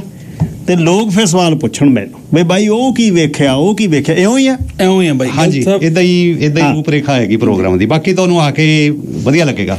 ਹਾਂ। ਇਹ- ਬਾਈ ਬਿਉਂਤ ਕੀਤੀ ਨਾ ਮੈਂ ਵੇਖਦਾ ਸੀ ਵੀ ਹੁਣ ਲਿਖਣ ਦੇ ਕੰਮ 'ਚ ਹਰੇਕ ਕੰਮ 'ਚ ਬਾਈ ਜੱਦੋ ਜਹਿਦ ਤੇ ਲੜਾਈ ਹੈ। ਬਿਲਕੁਲ। ਤੇ ਉਹ ਮਿਹਨਤ ਲੜਾਈ ਮਤਲਬ ਕਿ ਅੱਗੇ ਜਾਣਾ ਜਾਂ ਆਪਦੇ ਜਿਹੜੇ ਤੁਸੀਂ ਮੇਰਾ ਮਤਲਬ ਹੁੰਦਾ ਜੇ ਤੁਸੀਂ ਕਿਸੇ ਚੀਜ਼ ਨੂੰ ਲੈ ਕੇ ਤੁਰੇ ਹੋ ਜੇ ਸਾਨੂੰ ਪਿੰਡਾਂ ਨੇ ਇੰਨੇ ਜੋਗੇ ਕੀਤਾ ਵੀ ਮੈਂ ਰੇਡੀਓ ਤੇ ਬਹਿ ਕੇ ਬੋਲ ਰਿਹਾ ਤਾਂ ਸਾਡਾ ਫਰਜ਼ ਆ ਵੀ ਸਾਡੇ ਪਿੰਡ ਤੇ ਸਾਡੀ ਬੋਲੀ ਵੀ ਗਾਂ ਵੱਡੀਆਂ ਲੜਾਈਆਂ 'ਚ ਸ਼ਾਮਲ ਹੋਣ। ਹੁਣ ਜਦੋਂ ਗੋਰਿਆਂ ਦੇ ਰਾਈਟਰ ਲਿਖਦੇ ਨੇ ਅੰਗਰੇਜ਼ੀ ਵਾਲੇ ਤਾਂ ਉਹਨਾਂ ਦੇ ਇਵੈਂਟ ਹੁੰਦੇ ਨੇ। ਉਹਨਾਂ ਦੀਆਂ ਕਿਤਾਬਾਂ ਉਹਨਾਂ ਦੇ ਰਾਈਟਰਾਂ ਨੂੰ ਲੋਕ ਟਿਕਟਾਂ ਤੇ ਮਿਲਦੇ ਨੇ ਤੇ ਗੱਲਬਾਤ ਚੱਲਦੀ ਹੈ। ਜਦੋਂ ਅੱਖਰ ਦੀ ਗੱਲ ਚੱਲੂ ਤਾਂ ਅੱਖਰ ਬਾਰੇ ਗਿਆਨ ਹੋਊ। ਸਾਨੂੰ ਤਾਂ ਗੁਰੂ ਪਾਤਸ਼ਾਹ ਨੇ ਜੋੜੇ ਹੀ ਅੱਖਰ ਨਾਲ। ਤੇ ਸਾਡੇ ਅੱਖਰ ਦਾ ਇਹ ਹਾਲ ਹੋ ਗਿਆ ਵੀ ਕਿਤਾਬ ਤੇ ਬੰਦੇ ਮਿਹਨਤਾਂ ਸੱਦਣੇ ਪੈਂਦੇ ਨੇ ਦੱਸ ਹਨਾ? ਬਹੁਤ ਔਖਾ। ਤਾਂ ਇਹ ਮੇਰੇ ਮਨ 'ਚ ਨਾ ਇੱਕ ਵਿਰਾਗ ਤੇ ਇੱਕ ਗੁੱਸਾ ਸੀ ਤੇ ਇੱਕ ਇਸ ਗੱਲ ਦਾ ਇੱਕ ਤਾਂ ਇਹ ਪੱਖ ਸੀ ਤੇ ਇੱਕ ਜਿਹੜਾ ਤੁਹਾਡੇ ਅੰਦਰ ਵਾਲਾ ਜੱਟ ਹੁੰਦਾ ਉਹ ਨਹੀਂ ਮਰਦਾ। ਉਹ ਇਹ ਚੀਜ਼ ਤੋਂ ਸਮੱਸਿਆ ਮੰਨਦਾ ਸੀ ਵੀ ਕਣਕ ਵੀ ਸਿੱਟੀ ਗਏ ਝੋਨਾ ਵੀ ਸਿੱਟੀ ਗਏ। ਯਾਰ ਸਾਡਾ ਕਦੇ ਕੋਈ ਸੌਦਾ ਕਦੇ ਵਿਕਣਾ ਹੀ ਨਹੀਂ ਦੁਨੀਆ ਤੇ। ਹੀ ਤੇ ਸਿੱਟਦਾ ਹੀ ਆ ਹਾਂ ਅਸੀਂ ਸਿੱਟੇ ਹੀ ਜਾਂਦੇ ਆ ਹਨਾ? ਵੀ ਸਿੱਟਣਾ ਨਹੀਂ। ਤਾਂ ਉਹ ਲੋਕਾਂ ਨੇ ਪਿਆਰ ਕੀਤਾ ਉਹ ਲੋਕਾਂ ਵਰਗੀ ਲਿਖਣ ਦੀ ਕੋਸ਼ਿਸ਼ ਕੀਤੀ। ਤਾਂ ਫਿਰ ਉਹ ਸੁਪਨਾ ਮੇਰਾ ਹੁਣ ਐਵੇਂ ਪੂਰਾ ਹੋ ਗਿਆ ਪਿਛਲੇ ਹਫ਼ਤੇ ਕੈਲਗਰੀ ਕਰਕੇ ਆਇਆ। ਤਾਂ ਲੋਕ ਆਉਂਦੇ ਨੇ। ਹੁਣ ਇਹ ਜ਼ਰੂਰ ਆ ਜਿਵੇਂ ਤੁਸੀਂ ਥੋੜਾ ਖੋਲ ਕੇ ਦੱਸਤਾ ਲੋਕਾਂ ਨੂੰ ਕਹਿੰਦੇ ਨੂੰ ਇਹ ਲਿਖਿਆ ਉਹਦੇ ਕੀ ਹੋਊ ਕਿਤਾਬ ਦੇ ਪ੍ਰੋਗਰਾਮ 'ਚ। ਤਾਂ ਉਹਦੇ ਤੇ ਇਹ ਆ ਵੀ ਇੱਕ ਦੋ ਬੁਲਾਰੇ ਕਿਤਾਬ ਬਾਰੇ ਗੱਲ ਕਰਨਗੇ। ਬਿਲਕੁਲ। ਪੰਜ ਪੰਜ ਚਾਰ ਚਾਰ ਮਿੰਟ ਉਹ ਨਹੀਂ ਬਹੁਤ ਲੰਬੇ ਭਾਸ਼ਣ ਨਹੀਂ ਹੋਣਗੇ। ਉਦੋਂ ਬਾਅਦ ਜਿਵੇਂ ਤੁਸੀਂ ਦੱਸਤਾ ਤਾਂ ਇੱਕ ਕੁੜੀ ਜੈਸਮੀਨ ਹੈ ਉਹਨਾਂ ਨੇ ਇੰਗਲਿਸ਼ ਦੀਆਂ ਕਿਤਾਬਾਂ ਦੇ ਪ੍ਰੋਗਰਾਮ ਕੀਤੇ ਨੇ ਲਿਟਰੇਚਰ ਨਾਲ ਜੁੜੀ ਹੋਈ ਕੁੜੀ ਹੈ। ਤਾਂ ਉਹ ਤੇ ਮੈਂ ਸਟੇਜ ਤੇ ਹੋਵਾਂਗੇ ਕਿਤਾਬ ਬਾਰੇ ਦੋ ਮਾਈਕ ਹੋਣਗੇ ਗੱਲਬਾਤ ਚੱਲੂ ਫਿਰ। ਦੋ ਮਾਈਕ ਪਬਲਿਕ ਚ ਹੋਣਗੇ। ਲੈ ਪੁੱਛੋ। ਆ ਜਾਓ ਉਹ ਸਾਰਾ ਕੁਝ ਰਿਕਾਰਡ ਹੋਊਗਾ ਤੇ ਅਸੀਂ ਇਸ ਗੱਲ ਦੀ ਇਹ ਜਾਨੀ ਕਿ ਮਾਣ ਮਹਿਸੂਸ ਕਰਾਂਗੇ ਤੇ ਗੱਲ ਕਹਿਣ ਜੋਗੇ ਹੋ ਜਾਾਂਗੇ ਜਿੱਦੇ ਕਿਤੇ ਕਿਉਂਕਿ ਤੁਸੀਂ ਗਿੱਲ ਸਾਹਿਬ ਵਿਚਰਦੇ ਹੋ ਲੋਕਾਂ 'ਚ। ਇਹ ਜੇ ਰਿਪਰੈਜ਼ੈਂਟਰ ਤੁਹਾਨੂੰ ਪੰਜਾਬ ਦੇ ਪੰਜਾਬੀਆਂ ਦੇ ਲੋਕ ਗਾਂਹ ਸਾਦੇ ਨੇ ਹੋਰ ਕਮਿਊਨਿਟੀਆਂ ਦੇ ਉੱਥੇ ਫਿਰ ਤੁਸੀਂ ਜਵਾਬ ਦੇਣਾ ਹੁੰਦਾ ਨਾ ਅਸੀਂ ਕੀ ਕਰ ਰਹੇ ਹਾਂ? ਬਿਲਕੁਲ ਠੀਕ ਹੈ। ਤੁਸੀਂ ਜਿਹੜੇ ਬੀਸੀ ਵਾਲੇ ਹੋ ਜਾਂ ਸਾਰੇ ਪੰਜਾਬੀ ਹੋ ਮੈਨੂੰ ਗਾਂਹ ਬਹਿ ਕੇ ਇੰਨੇ ਯੋਗਾ ਕਰਦੇ ਹੋ ਵੀ ਸਾਡੇ ਵੀ ਇਵੈਂਟ ਹੁੰਦੇ ਨੇ ਬਈ। ਬਿਲਕੁਲ ਠੀਕ ਹੈ। ਸਾਡੀਆਂ ਕਿਤਾਬਾਂ ਨੂੰ ਵੀ ਲੋਕ ਐਂ ਮਿਲਦੇ ਨੇ। ਲਈ ਵਾਹ ਦੇਣੀ ਆ ਹਾਂ ਉਹ ਕੋਸ਼ਿਸ਼ ਹੈ। ਹਾਂ। ਤੇ ਬੈਠੇ ਬੰਦੇ ਮਹਿਸੂਸ ਕਰਨਗੇ ਕਿਉਂਕਿ ਗੱਲ ਜਮਾ ਹੀ ਜੈਵਿਕ ਹੈ ਜਮਾ ਹੀ ਆਰਗੈਨਿਕ ਆ ਪਿੰਡ ਦੇ ਪਰੇ ਦੀ ਗੱਲ ਹੈ ਉਸ ਤਰ੍ਹਾਂ ਹੀ ਬੋਲਦਾ ਉਸ ਤਰ੍ਹਾਂ ਹੀ ਲਿਖਦਾ ਉਸ ਤਰ੍ਹਾਂ ਹੀ ਤੁਸੀਂ ਹੁਣ ਗੱਲ ਸੁਣੀ ਹੈ। ਤੇ ਬੈਠੇ ਮਹਿਸੂਸ ਉੱਥੇ ਤੁਸੀਂ ਐਬਸਪੋਰਟ ਕਰੋਗੇ ਵੀ ਸ਼ੇਖੂਪੁਰੇ ਆ ਫੈਸਲਾਬਾਦ ਆ ਤੇ ਹੁਣ ਕਿੱਥੇ ਕੁ ਬੈਠੇ ਆ ਜਾਂ ਤੋਰੂ ਨਾਲ? ਸਵਾਲ ਤੁਸੀਂ ਪੁੱਛਿਓ ਹੰਗਾਰਾ ਭਰਿਓ ਨਾਲ ਤੇ ਗਿਲ ਰੌਂਦਾ ਦੋ ਜਵਾਬ। ਜੀ। ਤੇ ਇਹ ਅੱਜ ਲਈ ਸਮਾਂ ਇੰਨਾ ਹੀ ਹੈ। ਜੀ। ਤੇ ਅਗਲੀ ਵਾਰ ਜੁਲਾਈ ਦੇ ਵਿੱਚ ਆ ਮੈਂ ਹਫ਼ਤਾ ਖੰਡ ਜਾਇਆ ਵਾਂ ਮਾੜਾ ਜਿਹਾ ਨਿੰਬਲ ਹੋ ਜਾਵਾਂ ਤੇ ਆ ਕੇ ਫਿਰ ਇੱਕ ਦਿਨ ਸਿੱਧੂ ਦੀ ਗੱਲ ਕਰਨੀ ਆ। ਜੀ ਬਾਈ ਜੀ। ਇੱਕ ਅਲੱਗ ਕੋਣ ਤੋਂ ਹਾਂਜੀ। ਯਾਰੀ ਨਿਭਾਈ ਆ ਬਹੁਤ ਦੋਨਾਂ ਨੇ। ਜੀ। ਤੇ ਬਹੁਤ ਜਗ੍ਹਾ ਵਰਜੇ ਆ ਜਿਹਨੂੰ ਲੋਕ ਜਿਹਦੇ ਹਸਤ ਮਿਲਾਉਣ ਲਈ ਨੇੜੇ ਲੱਗਣ ਲਈ ਤਰਸਦੇ ਸੀ। ਗਿਲ ਰੌਂਤਾ ਨੂੰ ਵਰਜਦਾ ਰਿਹਾ ਓਏ ਇੱਥੋਂ ਓਏ ਇੱਥੋਂ ਓਏ ਇੱਥੋਂ ਓਏ ਇੱਥੋਂ। ਬਹੁਤ ਘੱਟ ਹੁੰਦੇ ਆ ਨਹੀਂ ਤਾਂ ਅਗਲਾ ਕਹਿੰਦਾ ਹੂਟਰ ਵੱਜਦਾ ਬਹਿ ਜਾ ਸਿੱਧਾ ਜਾਓ ਕਿ ਤੈਂ ਲੈਣਾ ਕੀ ਹੈ ਇਹਦੇ ਤੋਂ? ਮਾਰਦੇ ਹੱਥਾਂ ਥਾਪੀ ਹੋਰ ਵੀ, ਨਾ ਨਾ ਬਾਈ, ਤੇਰੇ ਵਰਗਾ ਕੋਈ ਨਹੀਂ। ਢਿੱਡੋਂ ਪਿਆਰ ਕਰਨ ਵਾਲੇ ਤੁਹਾਨੂੰ ਵਰਜਣਗੇ। ਵੀ ਨਾ ਬਾਈ, ਬਚੀ ਇੱਥੋਂ। ਗਿਲ ਰੌਂਤੇ ਦਾ ਉਹ ਸਥਾਨ ਹੈ।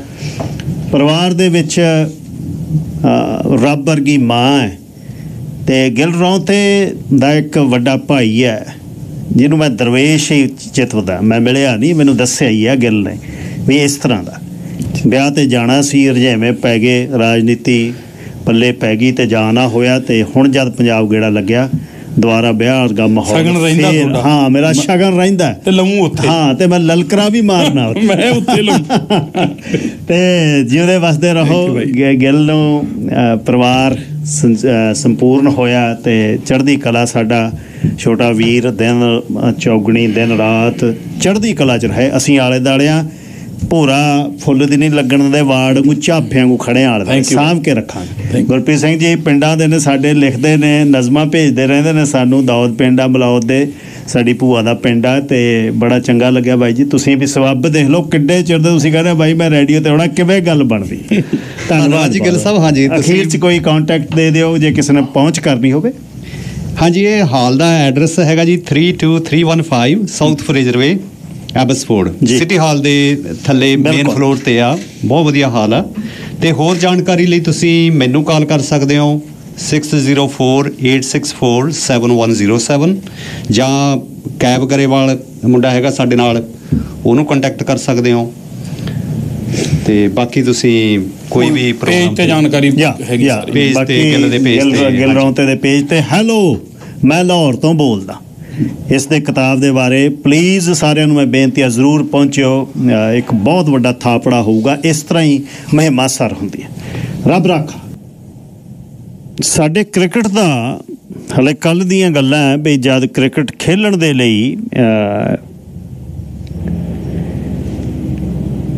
ਗਰਾਊਂਡਸ ਦੀ ਪਰਮਿਸ਼ਨ ਨਹੀਂ ਸੀ ਮਿਲਦੀ। ਡੈਲਟਾ ਦੇ ਵਿੱਚ ਪਰਮਿਸ਼ਨ ਲਈ ਵਕੀਲ ਦੀਪਕ ਗੌਤਮ ਜੀ, ਵਕੀਲ ਜੋਸ਼ੀ ਜੀ, ਜੋਸ਼ੀ ਉਹਨਾਂ ਨਾਲ ਜਦ ਗੱਲ ਕੀਤੀ ਸੀ। ਇੱਕ ਬਹੁਤ ਵੱਡਾ ਇਵੈਂਟ ਜਿਹੜਾ ਹੋ ਰਿਹਾ ਹੈ T20 ਕ੍ਰਿਕਟ ਟੂਰਨਾਮੈਂਟ ਹੋ ਰਿਹਾ ਕ੍ਰਿਕਟ BC ਵੱਲੋਂ ਆਰਗੇਨਾਈਜ਼ ਕੀਤਾ ਜਾ ਰਿਹਾ ਹੈ, ਜਿਹਦੇ ਵਿੱਚ ਵੱਡੇ ਇਨਾਮ ਨੇ 75000 ਡਾਲਰ ਤੱਕ। ਕੈਨੇਡਾ ਦੀਆਂ ਸਾਰੀਆਂ ਟੀਮਾਂ ਆ ਰਹੀਆਂ ਤੇ ਕੈਨੇਡੀਅਨ ਨੈਸ਼ਨਲ ਟੀਮ ਦੇ ਹੁਣ ਦੇ ਪਲੇਅਰ ਤੇ ਪਿਛਲੇ ਪਲੇਅਰ ਉਹ ਵੀ ਆ ਰਹੇ ਨੇ। ਮੇਰੇ ਨਾਲ ਕ੍ਰਿਕਟ BC ਦੇ ਪ੍ਰੈਜ਼ੀਡੈਂਟ ਨੇ ਵਿਮਲ ਹਰਦੱਤ ਜੀ ਉਹਨਾਂ ਨਾਲ ਗੱਲ ਕਰਦੇ ਆ ਵਿਮਲ ਜੀ ਸਵਾਗਤ ਸਤਿ ਸ੍ਰੀ ਅਕਾਲ। ਸਤਿ ਸ੍ਰੀ ਅਕਾਲ ਜੀ ਸਾਰਿਆਂ ਨੂੰ ਤੁਹਾਨੂੰ ਤੇ ਸਾਰੇ ਦਰਸ਼ਕਾਂ ਨੂੰ ਜੀ। ਅੱਛਾ ਜੀ ਇਹ ਜਿਹੜਾ ਟੂਰਨਾਮੈਂਟ ਹੋ ਰਿਹਾ ਸੌਰੀ ਮੈਂ ਇੱਕ ਮਿੰਟ ਨਾਲ ਦੀਪਕ ਗੌਤਮ ਉਹਨਾਂ ਨੂੰ ਵੀ ਲੈ ਲਵਾਂ ਹੋਲਡ ਕਰਿਓ।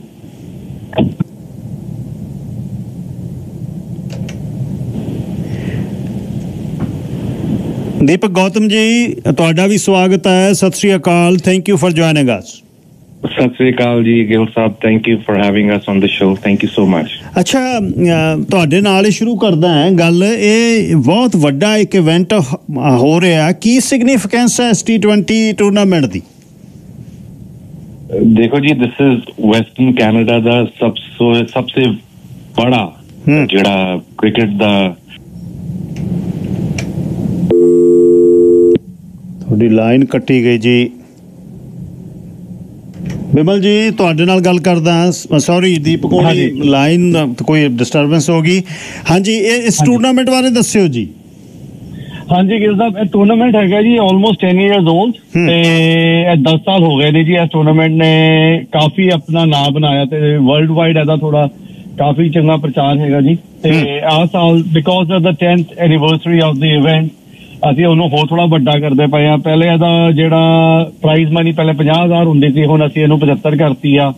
ਤੇ ਪਲੱਸ ਅਸੀਂ we are attracting a lot of good players ਜਿਹੜੇ ਕਿ ਹੁਣ ਜਿਵੇਂ ਹੁਣ ਆਪਣੀ ਕੈਨੇਡਾ ਟੀਮ ਹੈਗੀ ਜਿਹੜੀ ਕਿ ਵਰਲਡ ਕੱਪ T20 ਵੀ ਗਈ ਸੀ। ਉਹ ਜਿਹੜੀ ਟੀਮ ਦੇ ਮੈਜੋਰਟੀ ਪਲੇਅਰਸ ਆਣਗੇ ਜੀ ਇੱਥੇ ਖੇਡਣ ਆਪਣੇ T20 ਚ ਬਿਗ ਬੈਸ਼ ਚ।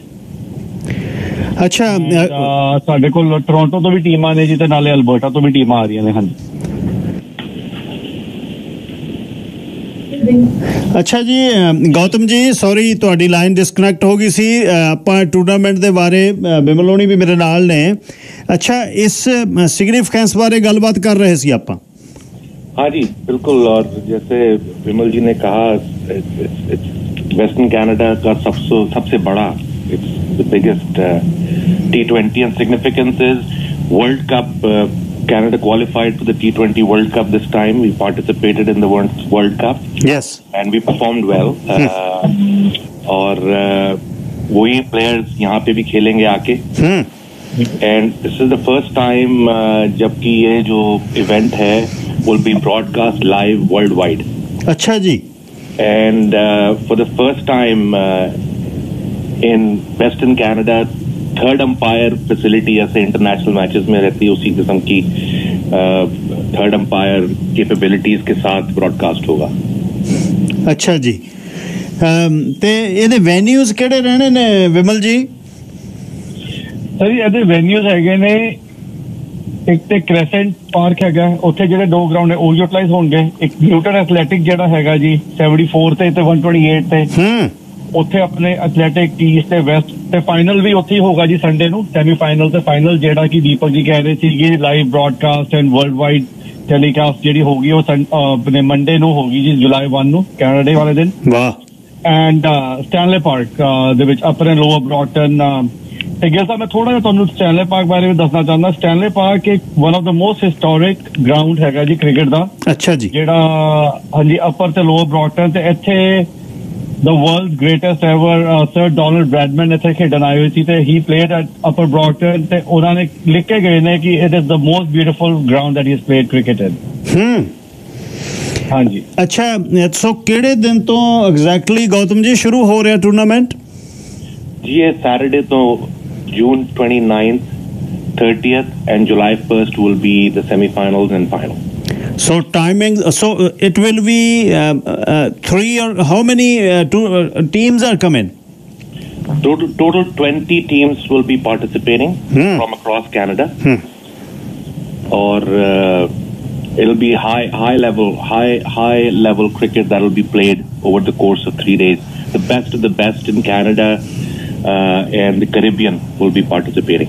Amazing Bimal ਜੀ ਇਹ ਤਾਂ ਫਿਰ ਤਿੰਨੇ ਗਰਾਊਂਡਸ ਸਾਈਮਲਟੇਨੀਅਸਲੀ ਯੂਜ਼ ਹੋਣਗੇ ਜੀ ਫਿਰ ਹਾਂਜੀ ਹਾਂਜੀ ਤੇ ਆਪਣਾ ਜਿਵੇਂ ਦੀਪਕ ਜੀ ਕਹਿ ਰਹੇ ਸੀ ਸੈਟਰਡੇ ਨੂੰ ਬਟ ਹੋ ਸਕਦਾ ਆਪਾਂ ਥੋੜੀ ਜਿਹੀ ਕੁਝ ਗੇਮਾਂ ਫਰਾਈਡੇ ਵੀ ਕਰਾਉਣੀ ਪਈ ਤੇ ਕਰਾਵਾਂਗੇ ਬਟ ਐਨੀਵੇਜ਼ ਜਿਹੜਾ ਗਰਾਊਂਡ ਹੈਗਾ simultaneously will be used for round robin ਉਹ ਤੁਹਾਡਾ ਜੇ ਫਰਾਈਡੇ ਲੋਡ ਪੈਂਦਾ ਫਰਾਈਡੇ ਨਹੀਂ ਤੇ ਸੈਟਰਡੇ ਸੰਡੇ ਨੂੰ ਹੈਗਾ। ਤੇ ਸੰਡੇ ਤੇ ਜਿਹੜਾ ਮੰਡੇ ਹੈਗਾ ਉਹਦੇ ਵਿੱਚ ਉੱਥੇ ਹੈਗਾ ਜੀ ਸੈਮੀਫਾਈਨਲ ਦਾ ਫਾਈਨਲ ਉਹ ਨਿਊਟਨ ਐਥਲੈਟਿਕ ਜੀ ਹੋਊਗਾ ਕੱਲੇ ਵੈਰੀ ਗੁੱਡ ਤੇ ਉੱਥੇ ਸਾਰੇ ਆਉਣਗੇ ਤੇ ਵਧੀਆ। ਉੱਥੇ ਸਬਜੈਕਟ ਟੂ ਪਰਮਿਟ ਅਸੀਂ ਉੱਥੇ ਬੀਅਰ ਗਾਰਡਨ ਵੀ ਲਾ ਰਹੇ ਤੇ ਸਾਰਾ ਕੁਝ ਉੱਥੇ ਬਹੁਤ ਬਹੁਤ ਵੱਡਾ ਪ੍ਰੋਗਰਾਮ ਆਪਾਂ ਕਰਨ ਦੀ ਟਰਾਈ ਕਰਦੇ ਪਏ ਹਾਂ ਜੀ। ਸੋ ਐਂਟਰੀ ਬਿਲਕੁਲ ਫ੍ਰੀ ਹੈ ਕੋਈ ਟਿਕਟਸ ਤਾਂ ਨਹੀਂ? ਨੋ ਜੀ ਐਂਟਰੀ ਇਜ਼ ਆਲ ਫ੍ਰੀ ਹਾਂਜੀ। ਤੇ ਪ੍ਰਾਈਜ਼ਸ ਤੁਸੀਂ ਮੈਨੂੰ ਪਤਾ ਲੱਗਿਆ 75000 ਡਾਲਰ ਤੱਕ ਪ੍ਰਾਈਜ਼ਸ ਨੇ ਜਿਹੜੀਆਂ ਟੀਮਸ ਨੇ ਉਹਨਾਂ ਲਈ। ਜੀ ਜੀ for the teams and man of the match batsman of the match bowler of the match amazing normally ਇੱਕ ਗੇਮ ਲਈ ਕਿੰਨਾ ਕੁ ਸਮਾਂ ਲੱਗਦਾ ਡਿਪੈਂਡ ਕਰਦਾ ਖੈਰ ਕਿੰਨਾ ਕੁ ਚਿਰ ਕੋਈ ਖੇਲਦੇ ਨੇ ਪਰ ਟੈਂਟੇਟਿਵਲੀ ਕਿੰਨਾ ਸਮਾਂ ਲੱਗਦਾ ਜੀ ਇੱਕ ਇੱਕ ਗੇਮ ਲਈ?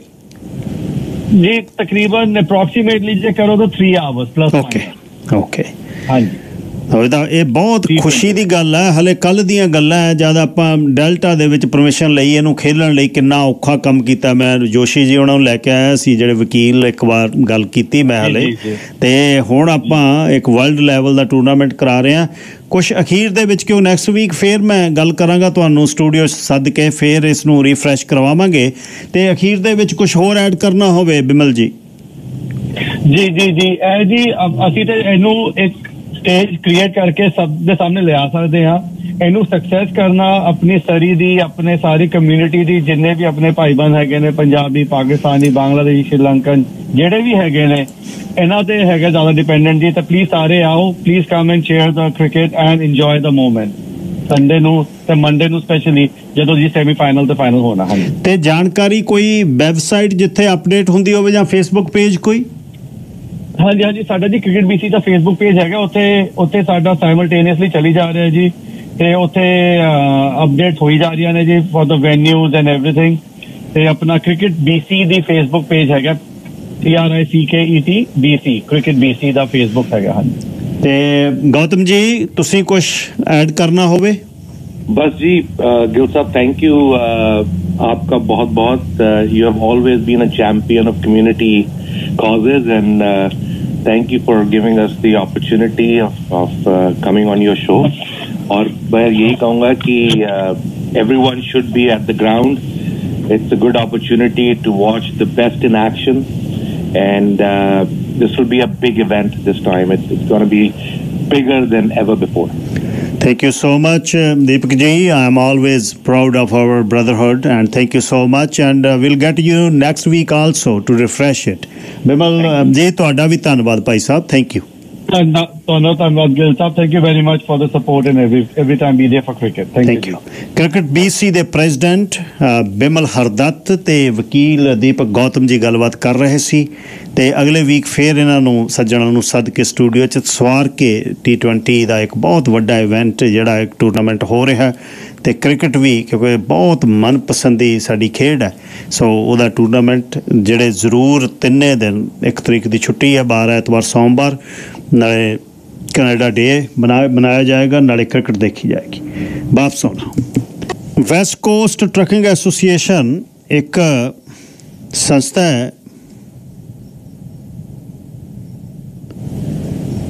ਜੇ ਜਿਹੜੇ ਕੋਸ਼ਿਸ਼ ਕਰ ਰਹੇ ਨੇ ਕਿ ਜਿਹੜੇ ਸਾਡੇ ਹਾਈਵੇ ਦੇ ਟਰੱਕ ਨੇ, ਉਹਨਾਂ ਦਾ ਕੋਈ ਹੀਲਾ ਹੋ ਜਾਏ। ਉਹਨਾਂ ਦੀ ਕੋਈ ਮਦਦ ਹੋ ਜਾਏ, ਉਹਨਾਂ ਲਈ ਕੋਈ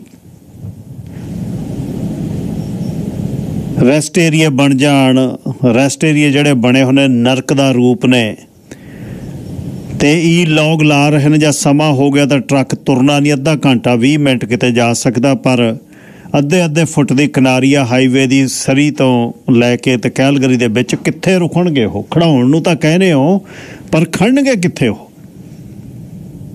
ਇਹ ਨਵੀਂ ਜਥੇਬੰਦੀ ਆ, ਕੋਸ਼ਿਸ਼ ਕਰ ਰਹੇ ਨੇ, ਮੁੰਡੇ ਸਾਸੀ ਹੋਣੀ ਸ਼ਰਮਾ ਹੋਣੀ ਬਾਈ ਕੁਲਵੰਤ ਸਿੰਘ ਗਿੱਲ ਹੋਣੀ ਤੇ ਅਜੇਪਾਲ ਰੰਧਾਵਾ, ਸਾਰੇ ਇਹ ਕੋਸ਼ਿਸ਼ ਕਰ ਰਹੇ ਨੇ ਤੇ ਸਾਨੂੰ ਜਦ ਵੀ ਇਹਨਾਂ ਨੇ ਆਵਾਜ਼ ਮਾਰਦੇ ਆ ਤੇ ਅਸੀਂ ਉਸੇ ਸਮੇਂ ਨਾਲ ਆ ਇਹਨਾਂ ਦੇ।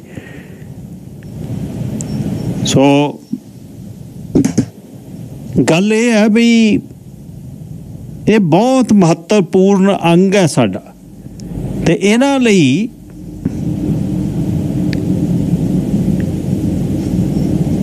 ਬਹੁਤ ਤਾੜੀਆਂ ਵਜਾਈਆਂ ਜਦ ਕੋਵਿਡ ਦੇ ਦੌਰਾਨ ਨਾ ਇਹ ਢੋਂਦੇ ਰਹੇ ਸਮਾਨ ਬਹੁਤ ਚੰਗੇ ਨੇ, ਬਹੁਤ ਸਿਰੇ ਨੇ। ਉਹ ਕੋਈ ਇਹਨਾਂ ਦੀ ਪੁੱਛ ਪ੍ਰਤੀਤ ਵੀ ਕਰ ਲੋ ਜੇ ਇਹ ਤਾਂ ਹੁਣ ਪੂਰਾ ਜਥੇਬੰਦਕ ਹਲੇ ਢਾਂਚਾ ਨਹੀਂ ਖੜਾ, ਜੇ ਕਿਤੇ ਟਰੱਕ ਇੱਕ ਦਿਨ ਲਾ ਤੇ ਸੜਕਾਂ ਤੋਂ ਤੇ 5-4 ਦਿਨ ਵੀ ਨਹੀਂ ਕੱਢਣੇ 10 ਡਾਲਰ ਵਾਲੀ ਚੀਜ਼ 30 ਦੀ ਵਿਕੋ। ਜਿਹੜੇ ਵਪਾਰੀ ਨੇ, ਵਪਾਰੀਆਂ ਦਾ ਕਹਿਣਾ ਵੀ ਹੁਣ ਚੀਜ਼ਾਂ 10 ਨੇ, ਖਰੀਦਣ ਵਾਲੇ 100 ਨੇ, ਕੀਮਤ ਵਧਾ ਦਿਓ। ਮਨੋਜ ਸ਼ਰਮਾ ਜੀ ਨਾਲ ਗੱਲ ਕਰਦਾ ਸ਼ਰਮਾ ਜੀ ਸਵਾਗਤ ਹੈ ਸਤਿ ਸ੍ਰੀ ਅਕਾਲ। ਸਤਿ ਸ਼੍ਰੀ ਅਕਾਲ ਬਾਈ ਜੀ ਸਤਿ ਸ਼੍ਰੀ ਅਕਾਲ ਤੁਹਾਡੇ ਸਾਰੇ ਸੁਣਨ ਵਾਲਿਆਂ ਨੂੰ ਵੀ। ਅੱਛਾ ਹੁਣ ਪੂਰਾ ਜਥੇਬੰਦਕ ਢਾਂਚਾ ਤੁਸੀਂ ਸੈਟਅਪ ਕਰਤਾ ਤੇ ਹੁਣ ਵੱਡੀਆਂ ਮੰਗਾਂ ਕਿਹੜੀਆਂ ਨੇ ਵੈਸਟ ਕੋਸਟ ਟਰੱਕਿੰਗ ਐਸੋਸੀਏਸ਼ਨ ਦੀਆਂ? ਮੰਗਾਂ ਦਾ ਵੀ ਜੀ ਅਸੀਂ ਅੱਗੇ ਵੀ ਆਪਣੀ ਬਹੁਤ ਵਾਰੀ ਗੱਲ ਹੋਈ ਹੈ। ਅਸੀਂ ਤਾਂ ਜੀ ਉਹਨਾਂ ਤੋਂ ਸਾਡੀਆਂ ਮੁੱਢਲੀਆਂ ਮੰਗਾਂ ਹੀ ਮੰਗਦੇ ਆ ਕੋਈ ਅਸੀਂ ਉਹਨਾਂ ਤੋਂ ਬਾਹਲਾ ਲੰਬਾ ਚੌੜਾ ਨਹੀਂ ਉਹ ਕਰਦੇ ਬਿਕੋਜ਼ ਸ਼ਾਇਦ ਲੰਬਾ ਚੌੜਾ ਕਰਨ ਦੇ ਉਹਦੇ 'ਚ ਵੀ ਨਹੀਂ ਹੈਗੇ। ਤਾਂ ਸਾਡੀ ਇੱਕ ਛੋਟੀਆਂ ਜਿਹੀਆਂ ਮੰਗਾਂ ਨੇ ਜੀ ਵੀ ਟਰੱਕਰਸ ਨੂੰ ਵੀ ਕੈਨੇਡੀਅਨ ਫੈਡਰਲ ਜਿਹੜਾ ਇਹਨਾਂ ਦਾ ਹੈਗਾ ਜੀ ਲੇਬਰ ਸਟੈਂਡਰਡ ਰੈਗੂਲੇਸ਼ਨ ਉਹਦੇ ਤਹਿਤ ਲੈ ਕੇ ਆਂਦਾ ਜਾਵੇ ਬਿਕੋਜ਼ ਜਿਹੜੇ ਟਰੱਕਿੰਗ ਦੇ ਦਾ ਮਿਆਰ ਹੈ ਉਹ ਬਹੁਤ ਥੱਲੇ ਪੈਸੇ ਦਾ ਮਿਆਰ ਕਹਿ ਲਓ ਜਾਂ ਟਰੱਕਿੰਗ ਥੱਲੇ ਬਹੁਤ ਨਿੱਘਰਦੀ ਜਾਂਦੀ ਹੈ ਜੀ। ਪਹਿਲਾਂ ਵਾਲੀ ਗੱਲ ਰਹੀ ਨਹੀਂ ਲੋਕ ਟਰੱਕਿੰਗ ਨੂੰ ਛੱਡ ਰਹੇ ਨੇ ਬਹੁਤ ਹੀ ਘਾਟੇ 'ਚ ਜਾ ਰਹੀ ਹੈ। ਅਸੀਂ ਇੱਕ ਉਹਨਾਂ ਤੋਂ ਛੋਟੀਆਂ ਜਿਹੀਆਂ ਮੰਗਾਂ ਮੰਗੀਆਂ ਨੇ ਵੀ ਸਾਨੂੰ ਵੀ ਸਾਰੇ ਬਾਕੀ ਕਾਮਿਆਂ ਮੁਤਾਬਕ ਸਾਡੇ ਬਣਦੇ ਹੱਕ ਦਿੱਤੇ ਜਾਣ।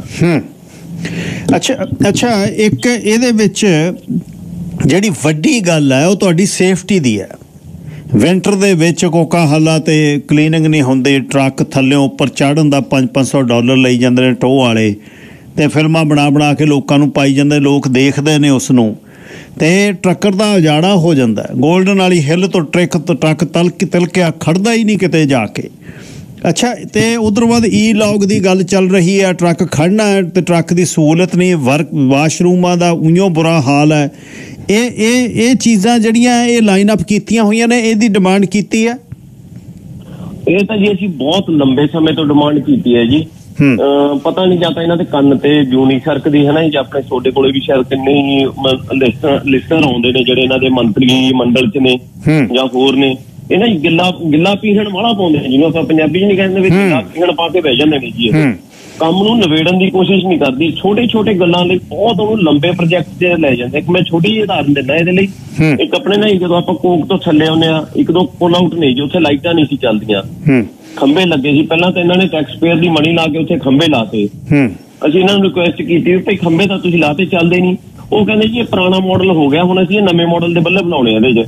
ਤੇ ਪਹਿਲਾਂ ਹੀ ਤੁਸੀਂ ਨਵੇਂ ਮਾਡਲ ਦੇ ਲਾ ਦਿਓ ਕਿਉਂ ਉਹ ਕਰਦੇ ਹੋ ਖੱਜਲ ਖੁਆਰੀ ਕਰਦੇ ਹੋ? ਫਿਰ ਕਹਿੰਦੇ ਜੀ ਬੀਸੀ ਹਾਈਡਰੋ ਦੀ ਪ੍ਰੋਬਲਮ ਹੈ। ਅਸੀਂ ਕਿਹਾ ਵੀ ਸਾਡੇ ਬੰਦਿਆਂ ਨੇ ਰਾਤ ਨੂੰ ਖੜਨਾ ਹੁੰਦਾ ਉੱਥੇ ਜਾਨਵਰ ਵੀ ਆ ਸਕਦਾ ਲੋਡ ਵੀ ਚੈੱਕ ਕਰਨਾ ਟਾਇਰ ਟੱਪਾ ਵੀ ਚੈੱਕ ਕਰਨਾ। ਕਹਿੰਦੇ ਜੀ ਅਸੀਂ ਤੁਹਾਡੇ ਲਈ ਜਨਰੇਟਰ ਦਾ ਪ੍ਰਬੰਧ ਕਰ ਦਿੰਦੇ ਆ ਇਹਨਾਂ ਨੇ ਜਨਰੇਟਰ ਤੇ ਲਾਈਟਾਂ ਚਲਵਾਤੀਆਂ। ਉਹ ਲਾਈਟਾਂ ਫਿਰ ਇਹੋ ਜਿਹੀਆਂ ਚਲਾਈਆਂ ਦਿਨ ਰਾਤੀ ਜਨਰੇਟਰ ਚੱਲੀ ਜਾਇਆ ਕਰੇ। ਫਿਰ ਇਹਨਾਂ ਨੂੰ ਕਿਹਾ ਵੀ ਸਾਡਾ ਟੈਕਸ ਪੇਅਰ ਦਾ ਮਨਾ ਵੀ ਤੁਸੀਂ ਕਾਹ ਤੋਂ ਇਹ ਗੱਲਾਂ ਕਰਦੇ ਹੋ? ਛੋਟੀਆਂ ਛੋਟੀਆਂ ਗੱਲਾਂ ਲਈ ਸਾਨੂੰ ਜੀ ਪਰਮਿਸ਼ਨ ਲੈਣੀ ਪੈਂਦੀ ਹੈ, ਸਾਨੂੰ ਆਹ ਕਰਨਾ ਪੈਂਦਾ ਵੀ ਜਾਨੀ ਪਾਣੀ ਚ ਮਧਾਣੀ ਪਾ ਕੇ ਬਹਿ ਜਾਂਦੇ ਨੇ ਜੀ ਇਹ।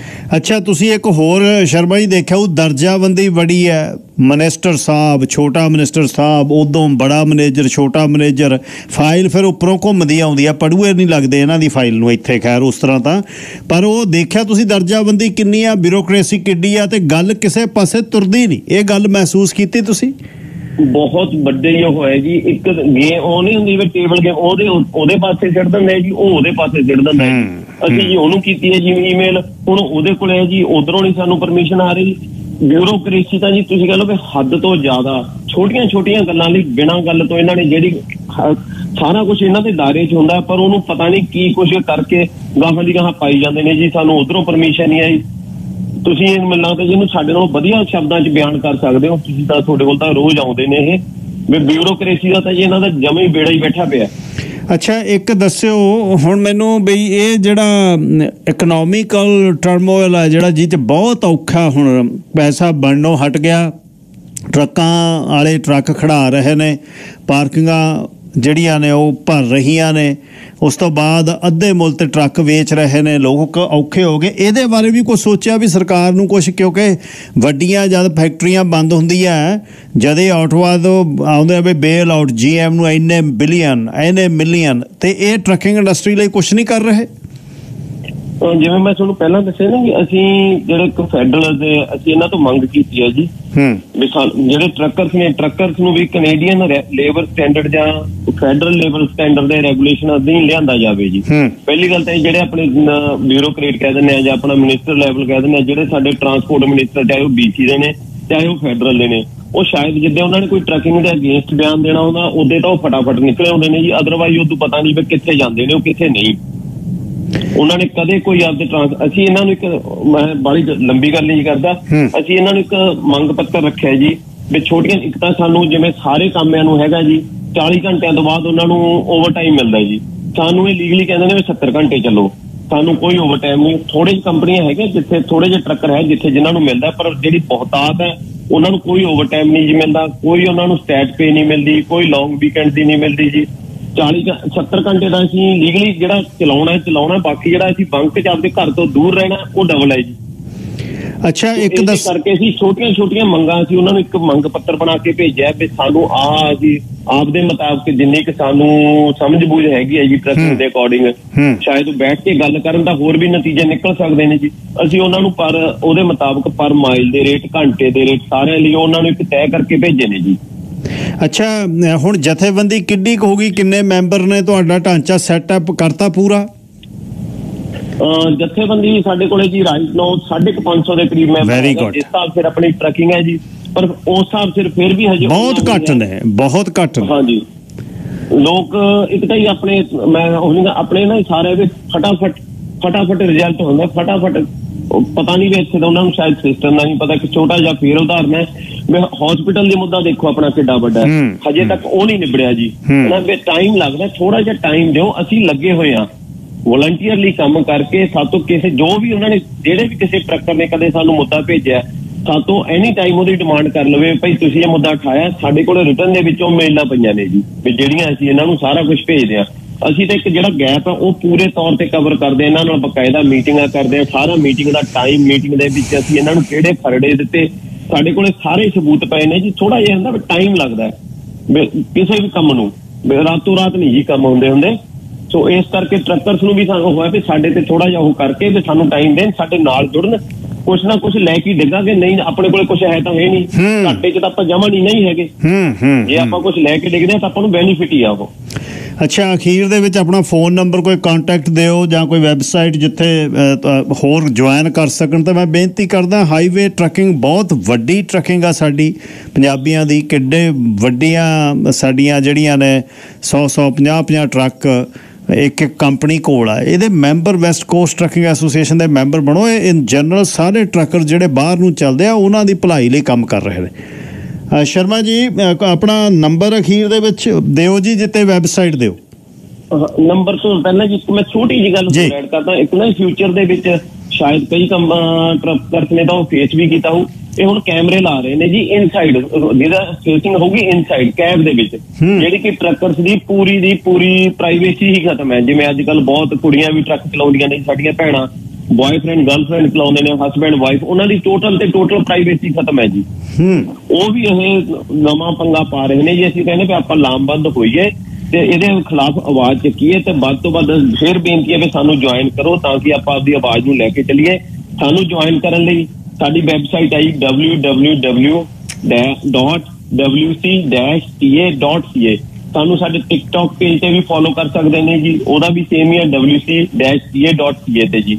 ਜਾਂ ਮੈਨੂੰ ਕਾਲ ਕਰ ਸਕਦੇ ਨੇ 604 832 2223 ਤੇ ਜੀ 604 832 2223 ਹਾਂਜੀ ਬਾਕੀ ਸਾਰੇ ਸਾਡੇ ਮੈਂਬਰਸ ਦੀ ਡਿਟੇਲ ਉਹਨਾਂ ਦੇ ਫੋਨ ਨੰਬਰ ਸਾਡੀਆਂ ਈਮੇਲ ਸਾਰਾ ਕੁਝ ਸਾਡੀ ਵੈਬਸਾਈਟ ਤੇ ਪਿਆ ਜੀ। ਵੈਬਸਾਈਟ ਤੇ ਵਿਜ਼ਿਟ ਕਰੋ ਸਾਡੇ ਸਾਰੇ ਕੰਮ ਤੇ ਸਾਡੀਆਂ ਭਵਿੱਖ ਦੀਆਂ ਯੋਜਨਾਵਾਂ ਸਾਰਾ ਕੁਝ ਉਹਦੇ ਤੇ ਮਿਲੂਗਾ ਜੀ। ਮਨੋਜ ਸ਼ਰਮਾ ਜੀ ਧੰਨਵਾਦ ਸਮੇਂ ਲਈ। ਛੇਤੀ ਆਪਾਂ ਪੂਰੇ ਸਮੇਂ ਦਾ ਇੱਕ ਅੱਧੇ ਪੌਣੇ ਘੰਟੇ ਦਾ ਇੱਕ ਪ੍ਰੋਗਰਾਮ ਕਰਾਂਗੇ ਤੁਹਾਡੇ ਨਾਲ 10-15 ਦਿਨਾਂ ਚ ਤੁਹਾਨੂੰ ਸਟੂਡੀਓ ਸੱਦਾਂਗੇ ਫਿਰ ਬੈਠ ਕੇ ਗੱਲ ਵਧੀਆ ਹੁੰਦੀ ਹੈ। ਜਰੂਰ ਵੀਰ ਜੀ ਧੰਨਵਾਦ ਤੁਹਾਡਾ ਟਾਈਮ ਦੇਣ ਲਈ ਤੇ ਧੰਨਵਾਦ ਇੱਕ ਵਾਰ ਫਿਰ ਤੁਹਾਡੇ ਸਾਰੇ ਸਰੋਤਿਆਂ ਦਾ ਖਾਸ ਕਰਕੇ ਤੁਹਾਡਾ ਧੰਨਵਾਦ ਬਿਕੋਜ਼ ਤੁਸੀਂ ਸਾ ਟਰੱਕ ਸ਼ੋਅ ਦੇ ਵਿੱਚ ਸਾਡੀ ਸਟੇਜ ਤੇ ਵੀ ਸਾਡੇ ਬੂਥ ਤੇ ਵੀ ਆਏ। ਬਹੁਤ ਬਹੁਤ ਧੰਨਵਾਦ ਤੁਸੀਂ ਆਲਵੇਜ਼ ਸਾਡਾ ਸਾਥ ਦਿੰਦੇ ਹੋ ਜੀ। ਸਾਡੀ ਆਵਾਜ਼ ਨੂੰ ਅੱਗੇ ਤੱਕ ਲੈ ਕੇ ਜਾਂਦੇ ਹੋ। ਧੰਨਵਾਦ ਜੀ। Manoj Sharma ji West cost trucking association ਤੋਂ ਗੱਲਬਾਤ ਕਰ ਰਹੇ ਸੀ। ਬਹੁਤ ਵਧੀਆ ਜਥੇਬੰਦਕ ਹੋਏ ਨੇ। ਇਹ ਮੁੰਡੇ ਤੇ ਇਹਨਾਂ ਨੂੰ ਸਮਾਂ ਲੱਗਣਾ ਹੈ ਤੇ ਹੋ ਜਾਣਾ ਕੰਮ ਨਹੀਂ ਰੁਕਣਾ, ਹੋ ਜਾਣਾ ਕੰਮ। ਅੱਛਾ, ਜਾਂਦੇ ਜਾਂਦੇ ਮੈਂ 5-7 ਮਿੰਟ ਗੱਲਬਾਤ ਇੱਕ ਤਾਂ ਇਹ ਕਰਨੀ ਚਾਹੁੰਦਾ ਜਿਹੜਾ ਸਰਕਾਰੀ ਅੰਕੜਿਆਂ ਦੇ ਵਿੱਚੋਂ 2023 ਦੀ ਜਿਹੜੀ ਇੱਕ ਵਿਜ਼ਿਟ 6 ਦਿਨਾਂ ਦੀ ਟਰੂਡੋ ਦੀ, ਉਹਦੇ ਅੰਦਰ ਜਹਾਜ਼ ਦੇ ਖਾਣੇ ਦਾ ਖਰਚਾ ਜਿਹੜਾ ਟੋਟਲ ਖਰਚਾ ਹੋਇਆ 2 ਮਿਲੀਅਨ ਡਾਲਰ 20 ਲੱਖ। ਜਿਹ ਚ ਜਹਾਜ਼ ਦਾ ਤੇਲ, ਪਾਣੀ, ਜਹਾਜ਼ ਦਾ ਖਰਚਾ ਆਰਸੀਐਮਪੀ ਦੀ ਸਿਕਿਉਰਿਟੀ ਤੇ ਇਹਨਾਂ ਦਾ ਖਾਣੇ ਦਾ ਬਿੱਲ, ਬੜਾ ਮੁੰਡਾ ਨਾਲ ਸੀ ਟਰੂਡੋ ਉਹਨਾਂ ਦਾ। ਤੇ ਇਸ ਨੂੰ ਇਸ ਇਸ ਤਰ੍ਹਾਂ ਲਿਓ, ਕੋਈ ਵੀ ਹੈੱਡ ਆਫ ਸਟੇਟ ਨਾ ਕਹਾਂ ਸੌਰੀ ਹੈੱਡ ਆਫ ਸਟੇਟ ਤਾਂ ਰਾਣੀ ਹੈ, ਰਾਜਾ ਹੈ। ਤੇ ਪ੍ਰਾਈਮ ਮਿਨਿਸਟਰ ਸਾਡਾ ਜਾਊ, ਜਹਾਜ਼ ਇਸ ਤਰ੍ਹਾਂ ਹੀ ਸਾਲਮ ਜਾਣਾ ਹੁਣ ਵੀ ਲੋਕਲ ਵੀ ਟਰੂਡੋ ਜਾਂ ਟਰੈਵਲ ਕਰਦੇ ਨੇ, ਉਹ ਆਪਣੇ ਜਹਾਜ਼ 'ਚ ਟਰੈਵਲ ਕਰਦੇ। ਤੇ ਅੰਦਰ ਖਾਣਾ ਜਿਹੜਾ ਹੈ, ਦੋ ਲੱਖ ਤੇਈ ਹਜ਼ਾਰ ਦਾ ਤੁਸੀਂ ਖਬਰਾਂ ਸੁਣੇ ਲਈਆਂ। ਜਿਹਦੇ ਵਿੱਚ ਟੋਟਲ 37 ਤੋਂ 72 ਜਣੇ ਅੱਗੇ ਪਿੱਛੇ ਆਉਂਦੇ ਰਹੇ ਜਹਾਜ਼ ਦੇ ਵਿੱਚ ਪਰ ਕੱਲਾ ਟੂਡੋ ਉਹਨਾਂ ਦਾ 85000 ਦਾ ਖਰਚੇ ਦਾ ਖਾਣੇ ਦਾ ਖਰਚਾ ਹੈ 6 ਦਿਨਾਂ ਦਾ। ਕੈਨੇਡੀਅਨ ਟੈਕਸਪੇਅਰ ਫੈਡਰੇਸ਼ਨ ਦੇ ਫੈਡਰਲ ਡਾਇਰੈਕਟਰ ਫ੍ਰੈਂਕੋ ਟੈਰਾਜ਼ੀਨੋ ਅੱਗੇ ਵੀ ਆਉਂਦੇ ਰਹਿੰਦੇ ਆਪਣੇ ਪ੍ਰੋਗਰਾਮ 'ਚ। ਉਹ ਕਹਿੰਦਾ ਪਹਿਲਾਂ ਮੈਰੀ ਸੈਮਨ ਗਵਰਨਰ ਜਨਰਲ ਗਈ ਸੀ 2022 ਦੇ ਟ੍ਰਿਪ ਤੇ ਦਵਾ- ਦਵਾਈ ਉਹਦੇ 29 ਗੈਸਟ ਸੀ ਤੇ ਜਹਾਜ਼ ਦਾ 1 ਲੱਖ ਡਾਲਰ ਕੇਟਰਿੰਗ ਬਿੱਲ ਸੀ। ਤੇ ਕਹਿੰਦੇ ਇਹਨਾਂ ਨੇ ਤਾਂ ਚੱਕ ਤਾਂ ਕੰਮ, ਇਹ ਤਾਂ ਡਬਲ ਹੋ ਗਿਆ। ਤੇ ਇਹਦੇ ਵਿੱਚ ਜਿਹੜਾ ਖਾਣ ਪੀਣ ਲਈ ਖਾਸ ਜਿਹੜੀਆਂ ਉਹਨਾਂ ਦੀਆਂ ਚੀਜ਼ਾਂ ਨੇ ਬੀਫ ਬ੍ਰਿਸਕਟ ਹੈ, ਬੀਫ ਦਾ ਉਹ ਹਿੱਸਾ, ਮੂਰਲੀਆਂ ਲੱਤਾਂ ਤੋਂ ਜਾਨਵਰ ਤੋਂ ਜਾਂ ਲੋਲ ਜਿਹੜੀ ਜਿੱਥੇ ਲਮਕਦੀ ਆ, ਉਦੋਂ ਥੱਲੜਾ ਏਰੀਆ, ਉਹਨੂੰ ਵੀ ਬ੍ਰਿਸਕ ਉਹਨੂੰ ਬ੍ਰਿਸਕਟ ਕਹਿੰਦੇ ਨੇ। ਸ਼ੈਂਕਸ ਲੈਂਬ ਇੱਕ ਮਤਲਬ ਭੇਡੂ ਦਾ ਪੱਟ ਹੀ ਹੈ ਤੇ ਬੇਕਡ ਚੀਜ਼ ਕੇਕ ਕੇਕ ਆ ਪਿਸਟਾਚੀਓ ਬ੍ਰਿਟਲ ਆ। ਸੋ ਇਹ ਇਹ ਚੀਜ਼ਾਂ ਤੇ ਖਾਸ ਪਾਣੀ ਆ ਫਲੋ ਪਾਣੀ ਆ, ਜਿਹੜਾ ਸਦਾ ਪਾਣੀ ਪੀਂਦੇ ਨੇ ਆਪਣੇ ਪ੍ਰਧਾਨ ਮੰਤਰੀ ਸਾਹਿਬ। ਉਹ ਚਸ਼ਮਿਆਂ ਦਾ ਪਾਣੀ ਆ ਅਲਕਲਾਈਨ ਕੀਤਾ ਹੋਇਆ। ਮਹਿੰਗਾ ਪਾਣੀ ਆ, ਉਹ ਕਹਿੰਦੇ ਉਹਨਾਂ ਦੀ ਗਰੋਸਰੀ ਦੇ ਵਿੱਚ ਵੀ ਇਹੀ ਪਾਣੀ ਪੀਂਦੇ ਨੇ ਉਹ। ਦੂਜੇ ਬੰਨੇ 20 ਲੱਖ ਬੰਦਾ ਵਿਜ਼ਿਟ ਕਰਦਾ ਹੈ ਹਰ ਮਹੀਨੇ ਫੂਡ ਬੈਂਕ ਬਾਕੀ ਤੁਹਾਡੀ ਮਰਜ਼ੀ ਹੈ, ਤੁਸੀਂ ਇਸ ਨੂੰ ਕਿਵੇਂ ਲੈਣਾ ਅਪ ਟੂ ਯੂ ਤੇ ਮੈਂ ਇਹਨੂੰ ਫੇਰ ਕਰ ਦਵਾਂ, ਬਈ ਜਹਾਜ਼ ਦੇ ਵਿੱਚ ਕੋਈ ਪ੍ਰਾਈਮ ਮਿਨਿਸਟਰ ਹੋਵੇ, ਉਹਨੇ ਚੜ੍ਹਨਾ ਹੀ ਚੜ੍ਹਨਾ ਹੈ। ਜਹਾਜ਼ ਦੇ ਖਰਚੇ ਨੂੰ ਨਹੀਂ ਤੁਸੀਂ ਰੋਕ ਸਕਦੇ, ਉਹਨੇ ਹੁਣ ਆਮ ਜਹਾਜ਼ ਤਾਂ ਜਾਣਾ ਨਹੀਂ। ਹਾਂ, ਅੰਦਰ ਵਾਲਾ ਖਾਣਾ ਜੇ ਕੋਈ ਸੱਭਿਆਕ ਹੋਵੇ, ਜਿਹੜਾ ਹਰ ਰੋਜ਼ ਨਾਰਮਲ ਖਾਣਾ ਖਾਂਦਾ ਹੈ ਉਹ ਕੁਛ ਇਹਦੇ ਚੋਂ ਲੱਖ ਡਾਲਰ ਬਚ ਸਕਦਾ ਸੀ, ਸਵਾ ਲੱਖ ਬਚ ਸਕਦਾ ਸੀ 85000 6 ਦਿਨਾਂ ਦਾ ਟਰੂਡੋ ਆਉਣਾ ਦਾ ਖਰਚਾ ਤੇ ਉਹ ਉਹ ਵੀ ਅਮੀਰ ਨੇ, ਉਹ ਘਰ 'ਚ ਵੀ ਇਸ ਤਰ੍ਹਾਂ ਹੀ ਖਾਂਦੇ ਨੇ, ਇਸ ਤਰ੍ਹਾਂ ਨਹੀਂ ਗੱਲ ਹੈ, ਆਮ ਮੱਧ ਵਰਗੀ ਦਾ ਪਰਿਵਾਰ ਹੈ ਨਹੀਂ ਟਰੂਡੋ ਫੈਮਿਲੀ, ਅਮੀਰ ਫੈਮਿਲੀ ਹੈ। ਦੂਜੀ ਗੱਲ ਜਿਹੜੀ ਨਾ, ਮੈਨੂੰ ਨਿੱਜੀ ਤੌਰ ਤੇ ਬੌਦਰ ਕਰਦੀ ਹੈ, ਉਹ ਇਹ ਹੈ ਐਫਬੀਆਈ ਨੇ ਨਿਖਲ ਗੁਪਤਾ ਦਿਖਾਤਾ, ਬਾਹਾਂ ਬੰਨੀਆਂ ਹੋਈਆਂ ਚੈੱਕ ਰਿਪਬਲਿਕ ਤੋਂ। ਜੈਟ 'ਚ ਚੜਦਾ ਠੀਕ ਹੈ? ਕਦੇ ਐਫਬੀਆਈ ਦਿਖਾਉਂਦੀ ਤਾਂ ਹੈ ਨਹੀਂ ਇਸ ਤਰ੍ਹਾਂ, ਪਰ ਉਹਨਾਂ ਨੇ ਦਿਖਾਇਆ ਵੀ ਆ ਲਈ ਜਾਂਦੇ ਹਾਂ ਅਸੀਂ। ਉਹ ਤਾਂ ਗੱਲ ਚੱਲ ਪਈ, ਦੂਜੇ ਬੰਨੇ ਨੈਸ਼ਨਲ ਸਿਕਿਉਰਿਟੀ ਐਡਵਾਈਜ਼ਰ ਜਿਹੜਾ ਐਨਐਸਏ ਜੈਕ ਸੁਲੇਵਾਨ ਉਹ ਭਾਰਤ ਦੇ ਨੈਸ਼ਨਲ ਸਿਕਿਉਰਿਟੀ ਦੇ ਐਡਵਾਈਜ਼ਰ ਅਜੀਤ ਡਵਾਲ ਨੂੰ ਮਿਲ ਰਿਹਾ। ਨੈਂਸੀ ਪਲੋਸੀ ਉੱਥੇ ਤੁਰੀ ਫਿਰਦੀ ਹੈ। 7-8 ਬੰਦੇ ਸੇਮ ਡੇ ਤੇ ਉੱਥੇ ਦਿੱਲੀ ਤੁਰੇ ਫਿਰਦੇ। ਹੋ ਕੀ ਰਿਹਾ ਹੈ? ਸਮਝ ਨਹੀਂ ਲੱਗਦੀ। ਉਸ ਦਿਨ ਮੈਂ ਡਾਕਟਰ ਚੀਮੇ ਨੂੰ ਵੀ ਕਿਹਾ ਸੀ ਵੀ ਕੀ ਇਹ ਸਿੱਖਾਂ ਕਰਕੇ ਬਾਹ ਮਰੋੜ ਰਿਹਾ ਅਮਰੀਕਾ ਕਹਿੰਦਾ ਬਿਲਕੁਲ ਨਹੀਂ ਮਰੋੜ ਰਿਹਾ ਹੈ। ਇਹ ਤਾਂ ਜਦੋਂ ਬਲੌਕ ਛੱਡ ਕੇ ਹੁਣ ਬ੍ਰਿਕਸ ਦੇ ਵਿੱਚ ਤੁਰਿਆ ਫਿਰਦਾ ਤਾਂ ਉਹਨੂੰ ਦੱਸ ਰਹੇ ਨੇ ਵੀ ਸਾਡੀ ਆਖ ਹੈ। ਇਹ ਚੀਜ਼ ਹਾਈ ਲੈਵਲ ਦੀਆਂ ਮੀਟਿੰਗਸ ਹੋ ਰਹੀਆਂ ਨੇ। ਅਸੀਂ ਦਲਾਈ ਲਾਮੇ ਨੂੰ ਮਿਲਣਾ ਜੀ, ਅਸੀਂ ਆਹ ਮਿਲਣਾ ਜੀ। ਜਿਵੇਂ ਇੱਥੇ ਚਾਈਨੀਜ਼ ਬਿਲੀਨਰ ਦੀ ਧੀ ਇੱਥੇ ਫੜ ਲਈ ਵਾਵੇ ਦੀ। ਉਹ ਮਾਈਕਲ ਹੋਣੀ ਦੇ- ਚੀਨ ਚ ਘੁੰਮਦੇ ਫਿਰਦੇ ਸੀ। ਚੀਨ ਨੂੰ ਪਤਾ ਸੀ ਦੂਜੇ ਦਿਨ ਉਹਨਾਂ ਨੇ ਦੋ ਮਾਈਕਲ ਫੜ ਲਏ। ਕਿਤੇ ਇਸ ਤਰ੍ਹਾਂ ਨਾ ਹੋਵੇ, ਕਿਤੇ ਵੀ ਭਾਰਤ ਵਾਲੇ ਵੀ ਇੱਕ ਦੋ ਬੰਦੇ ਫੜੀ ਬੈਠੇ ਹੋਣ। ਦੱਸਦਾ ਹੋਵੇ ਅੰਦਰ ਬਿਠਾ ਕੇ ਡਵਾਲ, ਉਹਨਾਂ ਨੇ ਵੀ ਅਸੀਂ ਵੀ ਫੜੇ ਹੋਣੇ ਤੁਹਾਡੇ। ਦੂਜੀ ਗੱਲ ਮੈਂ ਇਸ ਗੱਲ ਦਾ ਦਾਦ ਇਸ ਦੀ ਦਿੰਦਾ ਜ਼ਰੂਰਤ ਦੀ ਗੱਲ ਹੈ ਕਿ ਪ੍ਰਧਾਨ ਮੰਤਰੀ ਨੇ ਸਤੰਬਰ ਦੇ ਵਿੱਚ ਜਦ ਸੈਸ਼ਨ ਖੁੱਲਿਆ ਗਰਮੀ ਤੋਂ ਬਾਅਦ, ਤੇ ਪਹਿਲੇ ਦਿਨ ਹੀ ਜਦ ਵਿਰੋਧੀ ਧਿਰ ਪੂਰਾ ਤਿਆਰ ਸੀ ਕਰਕੇ 2 ਮਹੀਨੇ 2.5 ਮਹੀਨੇ ਕੋਸਟ ਟੂ ਕੋਸਟ ਤੁਰ ਕੇ ਲੱਭੀ ਬੈਠੇ ਸੀ ਕਿਹੜੇ ਕਿਹੜੇ ਵਿਸ਼ਿਆਂ ਤੇ ਸਰਕਾਰ ਘੇਰਨੀ ਉਹਨੇ ਉੱਠਦੀ ਸਾਰ ਕਹਦਾ, ਕਹਿੰਦਾ ਸਾਡੇ ਕੋਲ ਕ੍ਰੈਡੀਬਲ ਐਲੀਗੇਸ਼ਨ ਆ, ਮੇਰੀ ਸਿਕਿਉਰਿਟੀ ਦਾ, ਕਿ ਭਾਈ ਹਰਦੀਪ ਸਿੰਘ ਨਿੱਜਰ ਦੇ ਕਤਲ ਦੇ ਵਿੱਚ ਭਾਰਤ ਸਰਕਾਰ ਦੇ ਉਹਦੇ ਏਜੰਟ ਜ਼ਿੰਮੇਵਾਰ ਨੇ। G7 ਦੇ ਵਿੱਚ ਭਾਰਤ ਸਰਕਾਰ ਦਾ ਹੈੱਡ ਜਾਂ ਨਾਲ ਕਿ G7 ਦਾ ਮੈਂਬਰ ਨਹੀਂ ਉਹ ਆਇਆ ਤੇ ਸਾਡਾ ਪ੍ਰਧਾਨ ਮੰਤਰੀ ਉਹਨਾਂ ਨਾਲ ਹੱਥ ਮਿਲਾ ਕੇ ਮੀਟਿੰਗਾਂ ਕਰ ਰਿਹਾ। ਹੈ ਤੇ ਉਹ ਇੱਥੇ ਲੋਕਲੀ ਅਸੀਂ ਕਹਿ ਰਹੇ ਹਾਂ ਮੋਦੀ ਇਜ਼ ਕਿਲਰ ਜੇ ਤੁਸੀਂ ਹਾਊਸ ਆਫ ਕਾਮਨਸ ਚ ਕਹਿੰਦੇ ਹੋ ਵੀ ਭਾਰਤ ਨੇ ਕੀਤਾ, ਭਾਰਤ ਦੀ ਸਰਕਾਰ ਦਾ ਮੁਖੀ ਕੌਣ ਹੈ? ਮੋਦੀ। ਫਿਰ ਮੋਦੀ ਨਾਲ ਦੋਨੇ ਮੋਦੀ ਦੇ ਹੱਥ ਘੁੱਟ ਕੇ ਫੋਟੋ ਕਾਹਦੇ ਲਈ ਖਿਚਾ ਰਹੇ ਹੋ ਤੁਸੀਂ ਕਹੋ ਵੀ ਨਾ, ਮੇਰੇ ਤੇਰੇ ਨਾਲ ਆ ਇਸ਼ੂ ਆ, ਮੇਰਾ ਤੂੰ ਕੈਨੇਡੀਅਨ ਬੰਦਾ ਮਾਰਿਆ ਤੇ ਪਹਿਲਾਂ ਉਹਨੂੰ ਰਿਜ਼ੋਲਵ ਕਰਾਂਗੇ then we will have a meeting ਇਹ ਚੀਜ਼ਾਂ ਨੇ, ਇਹ ਇਹ ਜਿਹੜੀ ਵਰਲਡ ਪੋਲਿਟਿਕਸ ਨਾਲ ਜੀਓਪੋਲਿਟਿਕਸ ਹੈ, ਬਹੁਤ ਕੁਝ ਕਰ ਰਹੀ ਹੈ, ਇਹਦੇ ਨਿਗਾਹ ਰੱਖਣ ਦੀ ਲੋੜ ਹੈ। ਪੁਤਨ ਦੀ ਨਾਰਥ ਕੋਰੀਆ ਦੀ ਫੇਰੀ ਤੇ ਟ੍ਰੀਟੀ ਤੇ ਸਾਈਨ ਹੋਣਾ ਵੀ ਇੱਕ ਦੇਸ਼ ਤੇ ਹਮਲਾ, ਦੂਜੇ ਦੇਸ਼ ਤੇ ਹਮਲਾ, ਕਿਤੇ ਹਾਈਪਰਸੋਨਿਕ ਮਿਜ਼ਾਈਲਾਂ ਚੀਨ ਬਈ ਰੂਸ ਕਹਿੰਦਾ ਮੈਂ ਨਹੀਂ ਚਲਾਉਣੀਆਂ। ਨਾਰਥ ਕੋਰੀਆ ਤੇ ਕਿਸੇ ਦਾ ਹੈ ਹੀ ਨਹੀਂ, ਕਿਸੇ ਦੇ ਕੰਟਰੋਲ 'ਚ ਨਹੀਂ ਵੀ ਉਹਨੇ ਚਲਾਤੀ, ਮੈਂ ਕੀ ਕਰਾਂ? ਸੇਮ ਟੋਕਨ ਤੇ ਯੂਕਰੇਨ ਦੇ ਵਿੱਚ ਨਾਰਥ ਅਮਰੀਕਾ ਟ੍ਰੀਟੀ ਦੀ ਨੈਟੋ ਦਾ ਸਾਰਾ ਕੁਝ ਚੱਲ ਰਿਹਾ, ਪਰ ਜੇ ਨੈਟੋ ਵਾਲਿਆਂ ਨੂੰ ਕਹੋਗੇ ਅਸੀਂ ਥੋੜਾ ਚਲਾ ਰਹੇ ਹਾਂ। ਯੂਕਰੇਨ ਵਾਲੇ ਚਲਾ ਰਹੇ ਨੇ। ਇਸ ਤਰ੍ਹਾਂ ਹੀ ਭੋਲੂ ਕਾਕੇ ਤੋਂ ਕਿਤੇ ਬਟਨ ਦਬਾ ਦਿੱਤਾ, ਮਿਜ਼ਾਈਲਾਂ ਦੇ ਕੇ ਆਉਣ ਵਾਲੇ ਸਮੇਂ 'ਚ। ਜਾਊ ਕਿੱਧਰ ਨੂੰ ਗੱਲ? ਜਦੇ ਵੀਅਤਨਾਮ ਉਤਰ ਗਿਆ ਜਾ ਕੇ ਪੁੱਤਨ ਇਹ ਧਰੁਵੀਕਰਨ ਹੋ ਰਿਹਾ ਹੈ ਦੁਨੀਆ ਦਾ। ਘੱਟ ਗਿਣਤੀਆਂ ਘਾਰ ਗਈਆਂ ਹੁੰਦੀਆਂ ਨੇ। ਹਾਥੀ ਤੁਰਦੇ ਵੀ ਲਤੜ ਦਿੰਦੇ ਨੇ, ਹਾਥੀ ਹੱਸਦੇ ਖੇਡਦੇ ਪਲਸੇਟੇ ਮਾਰਦੇ ਵੀ ਲਤੜ ਦਿੰਦੇ ਨੇ। ਸੋ ਸਾਨੂੰ ਬਹੁਤ ਸਿਆਣੇ ਹੋ ਕੇ ਕਿਹੜੀ ਗੱਲ ਕਰਨੀ ਆ, ਕਿਹੜੀ ਨਹੀਂ ਕਰਨੀ, ਕਿੱਥੇ ਲਲਕਰੇ ਮਾਰਨੇ ਨੇ, ਕਿੱਥੇ ਨਹੀਂ, ਇਸ ਚੀਜ਼ ਦਾ ਖਿਆਲ ਰੱਖਣ ਦੀ ਲੋੜ ਹੈ। ਤੁਸੀਂ ਇਸ ਨੂੰ ਸਮਝੋ ਹੁਣ ਤੁਸੀਂ। ਨਿਖਲ ਗੁਪਤਾ ਜਹਾਜ਼ 'ਚ ਇੱਧਰ ਨੂੰ ਚੜਿਆ ਵੱਡੀ ਟੀਮ ਅਮਰੀਕਾ ਦੀ ਦਿੱਲੀ ਬੈਠੀ ਆ। ਪ੍ਰਧਾਨ ਮੰਤਰੀ ਟਰੂਡੋ ਕਹਿ ਰਿਹਾ, ਭਾਰਤ ਸਰਕਾਰ ਨੇ ਕੰਮ ਕੀਤਾ, ਉਹਦੇ ਹੈੱਡ ਆਫ ਸਟੇਟ ਨੂੰ, ਉਹ ਪ੍ਰਾਈਮ ਮਿਨਿਸਟਰ ਨੂੰ। ਉਹ ਮਿਲ ਰਿਹਾ G7 'ਚ। ਇਨਵਾਈਟੀ ਨਹੀਂ G7 ਦਾ ਮੈਂਬਰ ਨਹੀਂ, ਕੀ ਟਰੂਡੋ ਨੇ ਰੌਲਾ ਪਾਇਆ G7 ਦੇ ਮੈਂਬਰ ਨੂੰ ਵੀ? ਇਹਨੂੰ ਕਿਉਂ ਤੁਸੀਂ ਸੱਦ ਰਹੇ ਹੋ ਬਈ? ਇਹ ਤਾਂ ਮੈਂਬਰ ਨਹੀਂ ਹੈ ਉੱਥੇ।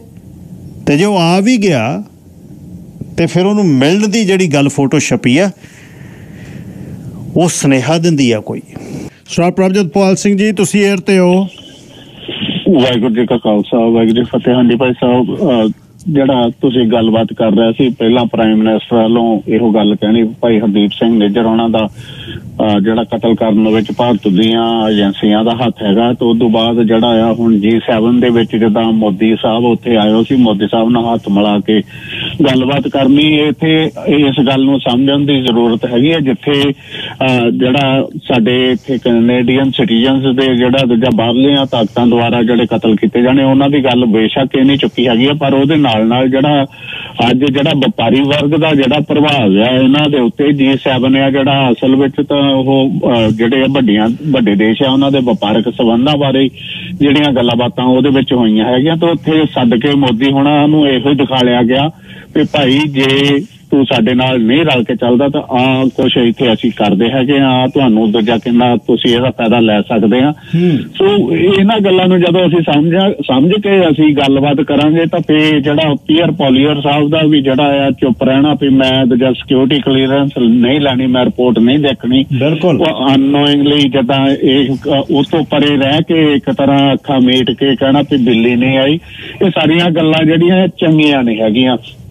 ਉਹਦੇ ਨਾਲ ਨਾਲ ਜੋ ਹਾਲਾਤ ਬਣ ਰਹੇ ਆ, ਜਿੱਦਾਂ ਰਸ਼ੀਆ ਦਾ ਹੋ ਗਿਆ ਜਾਂ ਇਧਰ ਇਜ਼ਰਾਈਲ ਦਾ ਹੋ ਗਿਆ, ਇਹ ਸਾਰਾ ਜਿਸ ਪਾਸੇ ਨੂੰ ਇਹ ਗੱਲ ਚੱਲ ਰਹੀ ਆ, ਉਹਦੇ ਵਿੱਚ ਸਾਨੂੰ ਬੇਸ਼ੱਕ ਸਾਡੇ ਇਦਾਂ ਲੱਗਦਾ ਵੀ ਸਿੱਖਾਂ ਦੇ ਖਿਲਾਫ ਜਿਹੜਾ ਆ, ਦੁਨੀਆ ਦੇ ਵਿੱਚ ਕੋਈ ਗੱਲਬਾਤ ਬਹੁਤ ਤੇਜ਼ੀ ਨਾਲ ਵੱਧ ਰਹੀ ਆ। ਸਿੱਖਾਂ ਦੀ ਬਾਹ ਫੜਨ ਵਾਲਾ ਕੋਈ ਨਹੀਂ।